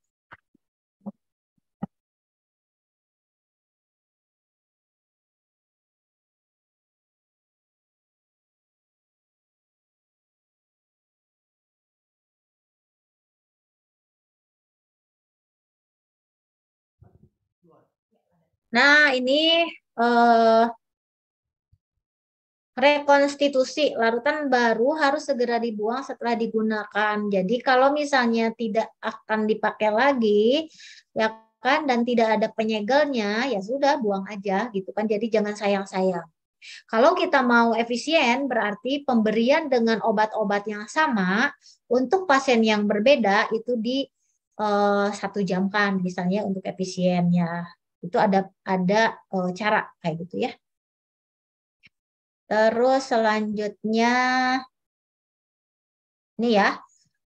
Akses jalur intravena itu harus menggunakan closed system ya. Jadi jangan pakai yang open system dan nanti cara eh, apa itu kita melakukan dekontaminasinya juga itu harus benar harus tepat gitu kan ya jadi jangan asal Jangan asal. Tekniknya ada tidak ada. Gitu ya. Pengunjung nih, tadi Teh Imelda sudah mengatakan bahwa meskipun pengunjung lebih kecil, kemungkinannya daripada staf untuk menularkan infeksi ke banyak pasien di tempat perawatan kesehatan, mereka harus selalu menerima instruksi sebelum mengunjungi bayi baru lahir atau pasien anaknya untuk memastikan kepatuhan terhadap tindakan pencegahan dan pengendalian infeksi. Nah, ini dia teman-teman maksudnya. Jadi kita harus memberikan edukasi terlebih dahulu, kaidah-kaidah apa aja gitu kan ya sebelum pasien atau keluarga pasien tersebut masuk ke ruang perawatan bayi. Yang salah satunya adalah bagaimana caranya berpakaian, bagaimana caranya harus mencuci tangan sebelum masuk ke ruangan gitu kan ya. Bagaimana caranya masuk ke ruangan tidak boleh bawa apa-apa gitu kan ya. pakai aksesoris di tangan aja juga nggak boleh, meskipun tidak akan megang pasien misalnya. Ya.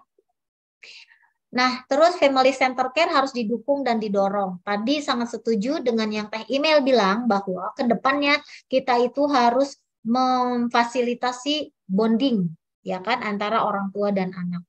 Ibu dan ayah harus memiliki akses 24 jam untuk bayi mereka. Di kami sudah menerapkan ini gitu kan ya. Silahkan mau datang jam berapa saja. Tetapi diedukasi terlebih dahulu sebelumnya ya. Kebijakan kunjungan harus dijelaskan dengan hati-hati kepada keluarga. Ya jadi jangan sampai menyinggung gitu kan ya. Dan itu harus disepakati di SPO-nya rumah sakit teman-teman gitu kan ya yang ditandatangani oleh direktur. Anggota keluarga atau orang lain tidak boleh mengunjungi jika mereka tidak sehat. Nah gitu ya. Saudara kandung harus diizinkan untuk berkunjung dalam waktu singkat di bawah pengawasan langsung ibu. Hanya dua pengunjung yang diizinkan. Nah ini adalah silahkan modifikasi silahkan uh, yang mampu laksana di teman-teman bagaimana. Kayak gitu ya. Menerapkan good practice hand hygiene pasti. Itu yang utama. Monitoring bandel infection control ya. Jadi teman-teman bagaimana caranya memanage infeksi infeksi gitu kan ya yang akan terjadi di lingkungan kita ini adalah yang pertama adalah good practice hand hygiene ya kan Berikutnya adalah monitoring dengan cara penerapan bundle infection control. Teman-teman, bundle infection control ini banyak banget. Ya, banyak banget. Gitu kan. Jadi tidak hanya satu. Ah, isi aja lah bundle IADP-nya doang. Oh, nggak bisa. Gitu kan ya. Banyak banget. Bundles infection control di ruangan NICU itu banyak. Ya. Nah, ini akhirnya adalah kita sampai kepada kesimpulan, infeksi adalah infeksi uh, umum atau generalisata yang bisa disebabkan karena infeksi bakteri, fungi, dan uh, virus. Bisa terjadi pada awal-awal kehidupan gitu kan ya yang menyebar ke seluruh tubuh bayi baru lahir yang terjadi pada masa bisa terjadi pada masa neonatal, intranatal dan postnatal. Bayi yang baru lahir memiliki resiko tinggi terkena infeksi terkait perawatan kesehatan karena mekanisme pertahanan tubuhnya belum matur. Pada bayi baru lahir, dilindungi oleh kekebalan pasif yang didapat dari ibu selama tiga bulan pertama kehidupan. Manajemen pencegahan infeksi dapat dilakukan dengan good practice hand hygiene, pasien care, pasien equipment care, dan perawatan lingkungan yang eh, baik dan benar ya, tepat itu mungkin eh, teman-teman uh, yang bisa saya sampaikan dan bisa saya diskusikan. Silakan saya kembalikan kepada Teh siapa ya? Esther. Teh Esther. Silakan. Iya. Oke. Okay. Baik, terima kasih banyak Nurse Yani untuk materi yang sudah disampaikan. Kita akan masuk ke sesi tanya jawab. Kita akan langsung interaktif aja Ya, sahabat AHA yang mau bertanya silakan langsung saja raise hand. Nanti kita akan bantu untuk unmute dan juga kita akan bantu fasilitasi berbincang langsung dengan Narsiani. Oke, baik. Kita masih menunggu dan sambil menunggu kita coba eh, main-main uh, dulu ke chat room kita. Ya, kita lihat apakah uh, pertanyaan untuk materi kali ini sudah ada? Iya. Oke, sebentar. Kita lihat dulu. Iya, ada satu pertanyaan nih, uh, Nurse Yani, dari Kak Devinta Arianti Putri, dari Nurse Devinta.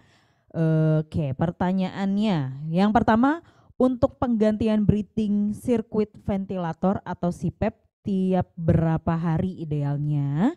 Kemudian bundles VAP, VAP untuk pasien di NICU apa saja. Dan yang ketiga, adakah aturan pakaian untuk dokter-dokter PPDS yang sering keluar masuk ruang NICU? Oke, dipersilakan Nersiani untuk menjawab. Oke. Terima kasih. Uh, tes siapa tadi itu ya? Devinta, Nurse. Devinta ya. Teh Devinta, pertanyaannya bagus sekali. Yang pertama adalah terkait dengan uh, bundles ya tadi itu ya.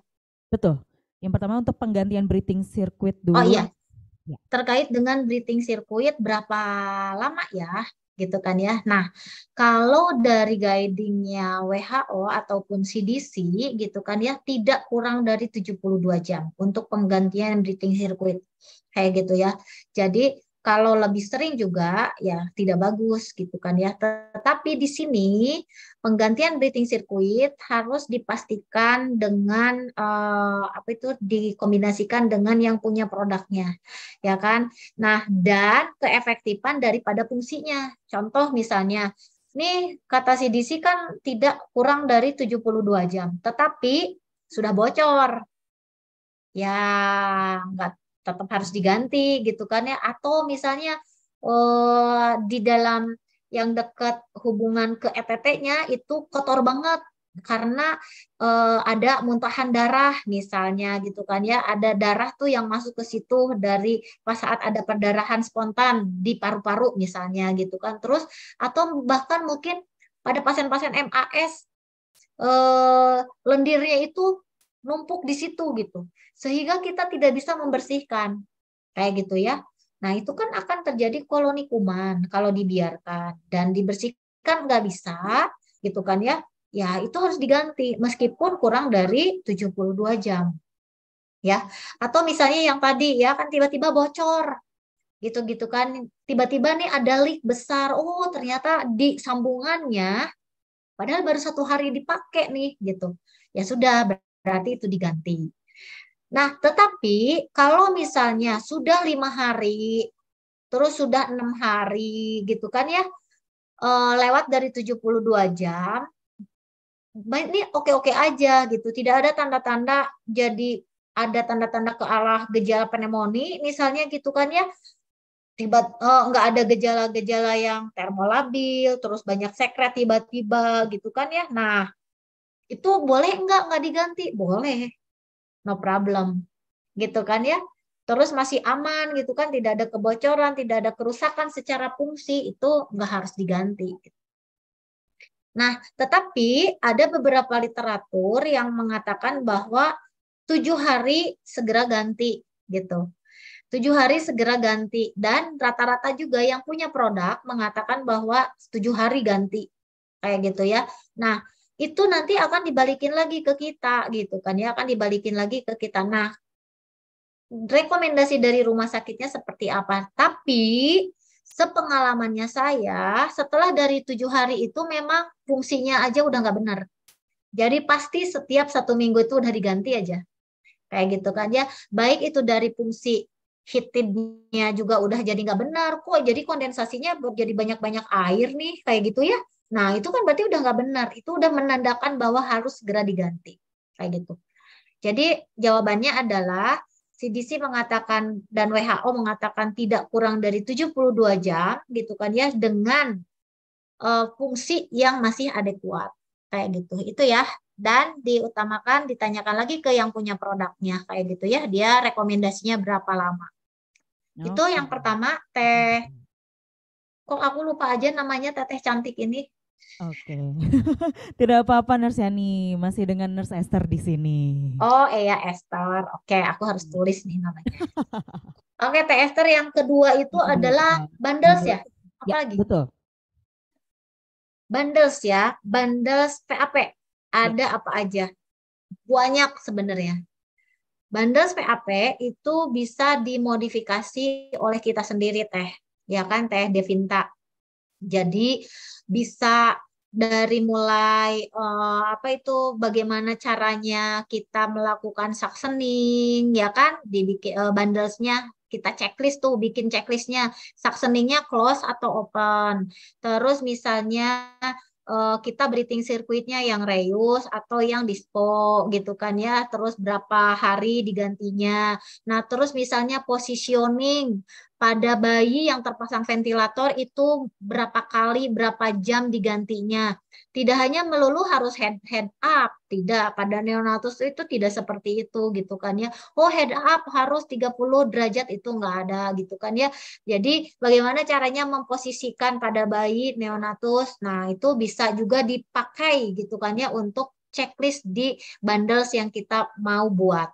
Terus lagi misalnya bagaimana caranya kita melakukan oral hygiene, menggunakan apa? Jangan salah teman-teman, oral hygiene pada neonatus mungkin berbeda dengan uh, uh, oral hygiene pada dewasa yang pakai chlorhexidin lah, pakai apa? Dan neonatus itu tidak begitu gitu kan. Cukup menggunakan bisa ASI atau kolostrum atau misalnya bisa dengan air hangat yang bersih kayak gitu kan ya. Karena menggunakan chlorhexidin malah jadi e, merusak atau menyebabkan iritasi dan itu ada beberapa e, literaturnya ya penelitiannya gitu jadi harus hati-hati jadi e, itu adalah salah satu bundles yang bisa dibuat gitu kan ya bisa diadop juga banyak banget banyak banget jadi tidak hanya uh, apa itu misalnya hand up aja, tidak hanya penggantian breathing circuit aja itu masih banyak lagi lah, banyak lagi. Ya, salah satunya itu. Terus apa lagi ya? Uh, Teh Esther. Yang ketiga ada aturan pakaian nggak nurse untuk dokter oh, ya. PDS yang sering keluar masuk NICU kayaknya mungkin sering ya nurse Devinta mengalami hal itu. Oke, okay. nah jadi ada aturan, enggak aturannya adalah diupayakan bahwa yang masuk ke ruangan perawatan neonatus itu harus uh, dibatasi. Itu yang pertama. Pengunjung yang tidak penting, contoh misalnya, kan kalau di rumah sakit pendidikan kayak di Hasan Sadikin, di kami gitu kan, ya itu ada namanya siswa didik. Siswa didiknya itu banyak banget Nah, itu dibatasin. Dibatasinya oleh siapa? Ya oleh kita yang mengusulkan ke manajemen. Contoh misalnya, yang PPDS level berapa yang boleh masuk ke ruang NICU atau ke ruang perinak? Ya enggak enggak enggak boleh. Ya kan yang bukan kualifikasinya masuk-masuk aja karena ini pendidikan enggak begitu. Karena ada kualifikasinya ya utamanya untuk di ruang eh, perawatan neonatus gitu kan. Nah, itu ada levelingnya gitu. Nah, itu nanti mulai dari dibatasi di situ. Untuk baju sendiri, untuk baju sendiri intinya mah harus bersih. Dan tidak boleh warawiri ke mana-mana gitu. Nah, yang tahu PPDS itu atau residen itu atau koas itu warawiri ke mana-mana aja, itu hanya Teh Devina lah yang tahu, Devinta.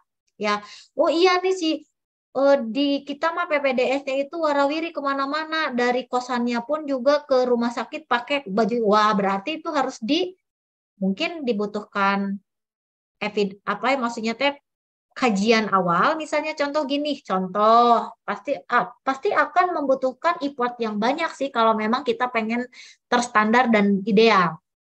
Contoh di kultur atau bajunya ya kan? Masing-masing koas atau misalnya PPDS yang masuk ke ruangan kita coba aja di kultur untuk supaya kita itu nanti menentukan oke okay lah yang masuk ke NICU mah pakai barak. Meskipun aturannya udah nggak ada pakai barak gitu kan tapi untuk menghindari hal-hal yang tidak diinginkan kontaminasi kuman yang banyak dari luar dan dibawa ke ruangan itu bisa terjadi kalau kita tidak membatasi gitu pakaian. Nah, kayak gitu ya. Oke? Jadi intinya silahkan dibuat pedomannya, tapi standarnya adalah diupayakan yang masuk ke ruangan neonatus itu ya pakaiannya yang bersih. Intinya gitu. Itu teh.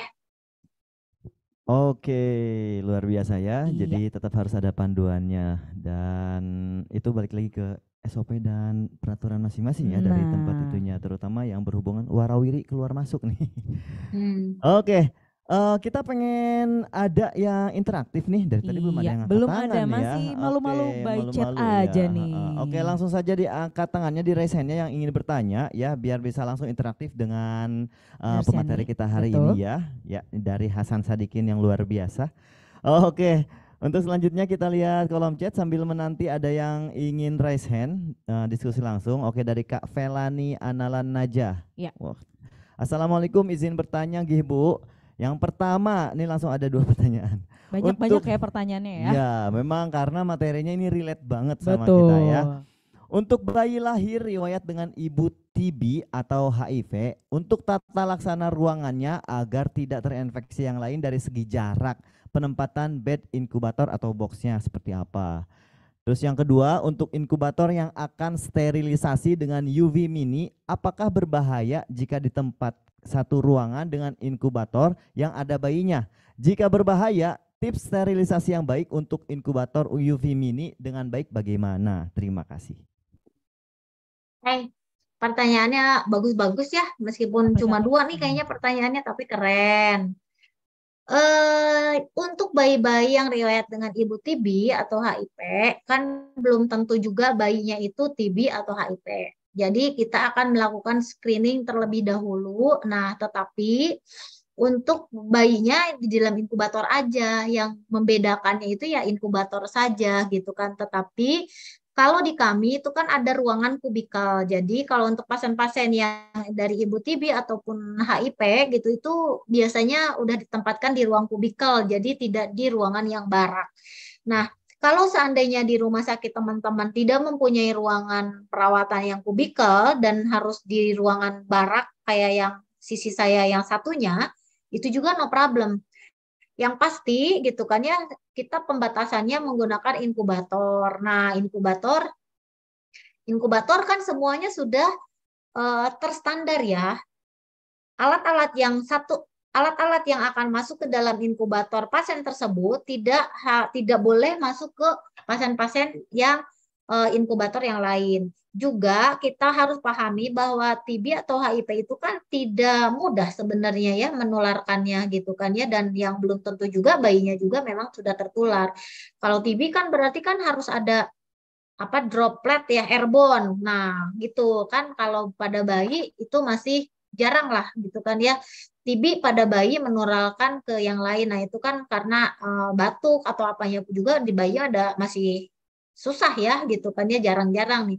Tetapi intinya bisa sudah terisolasi dengan inkubator kayak gitu ya. Apalagi untuk yang pasien-pasien yang HIV ini ya, yang bayi dari ibu HIV, yang bayi dari ibu HIV yang harus dipahami oleh kita semua sebagai perawat neonatus adalah dia rentan infeksi gitu aja. Karena daya tahan tubuhnya mungkin eh, itu tadi ya sistem imunnya itu nggak bagus kayak gitu kan. Nah itu yang harus diwaspadai oleh teman-teman gitu kan ya. Jadi bagaimana caranya supaya justru dari luar tidak semakin memperberat infeksi bayinya, bukan kebalikannya, bukan dari bayinya yang akan menyebarkan keluar. Itulah yang harus dipahami mungkin ya untuk nih spesialistik daripada perawatan bayi nih dengan kasus-kasus di atas.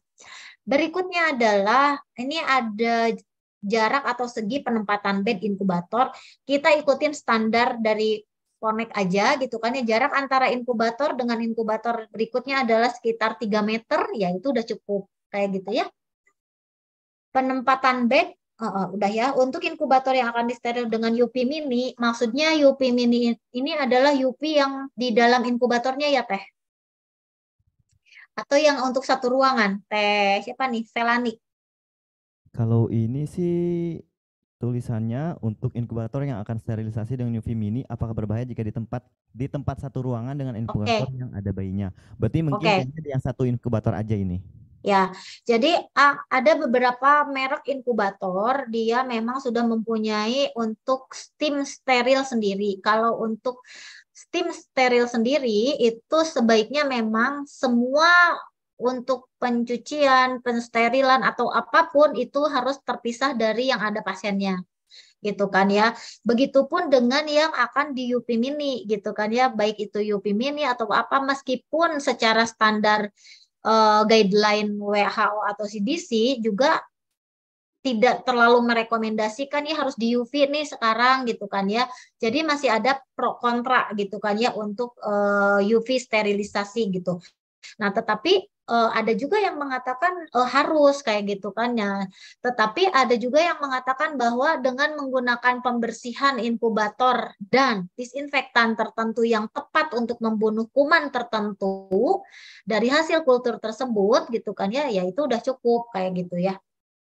Ini sebaiknya untuk UV UV mini ataupun UV ruangan itu tidak ada pasiennya kayak gitu ya. Jadi harus dipisahkan dari pasien atau bayi yang uh, masih ada di dalam perawatan. benar, nah, nah, pertanyaannya misalnya yang dipunyai adalah barak. Yang dipunyai adalah barak ruangannya sehingga tidak bisa nih pasien yang lain itu dialihkan ke ruangan mana gitu. Ya berarti kita harus meng ini eh, apa itu membatasi gitu kan. Kalau dulu itu suka pakai apa itu namanya ya penghalang gitu tirai dari lantai sampai ke atas gitu. Sampai ke atas tuh. Nah di situ yang membatasinya adalah tirai kayak gitu. Tirai baru di situ dipasang UV-nya nah dulu pernah begitu. Tetapi karena dikatakan kurang efektif juga ya kita juga udah nggak melakukan itu gitu itu aja Teh Esther. Halo? Hilang ya?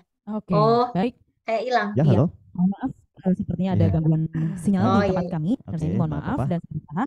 Baik, ini sebenarnya mungkin ada beberapa pertanyaan lagi Iya. yang ingin disampaikan, tapi waktunya yang membatasi kita untuk diskusi kita hari ini ya. Dan mungkin sebelum kita akhiri, eh, oh udah nggak ada lagi pertanyaan ya? Cukup ya? Baik, Oke. alhamdulillah terjawab semua. Oke, baik, eh Nurse Yani, mungkin sebelum kita akhiri diskusi kita ini, eh, kami mohon mungkin eh, closing statement dari Nurse Yani untuk kita semua, silakan. Oke. Terima kasih nih duet yang cantik dan ganteng-ganteng ya. Ini untuk teman-teman, eh, teman-teman perawat neonatus, jangan pernah menyerah dengan apa yang sudah kita lakukan dan jangan pernah mengatakan saya tidak bagus dengan apa yang sudah kita kerjakan, tetapi buatlah selalu ada perubahan untuk menjadi yang lebih bagus. Itu aja sih dari saya statement closingnya. Terima kasih, Teh Esther.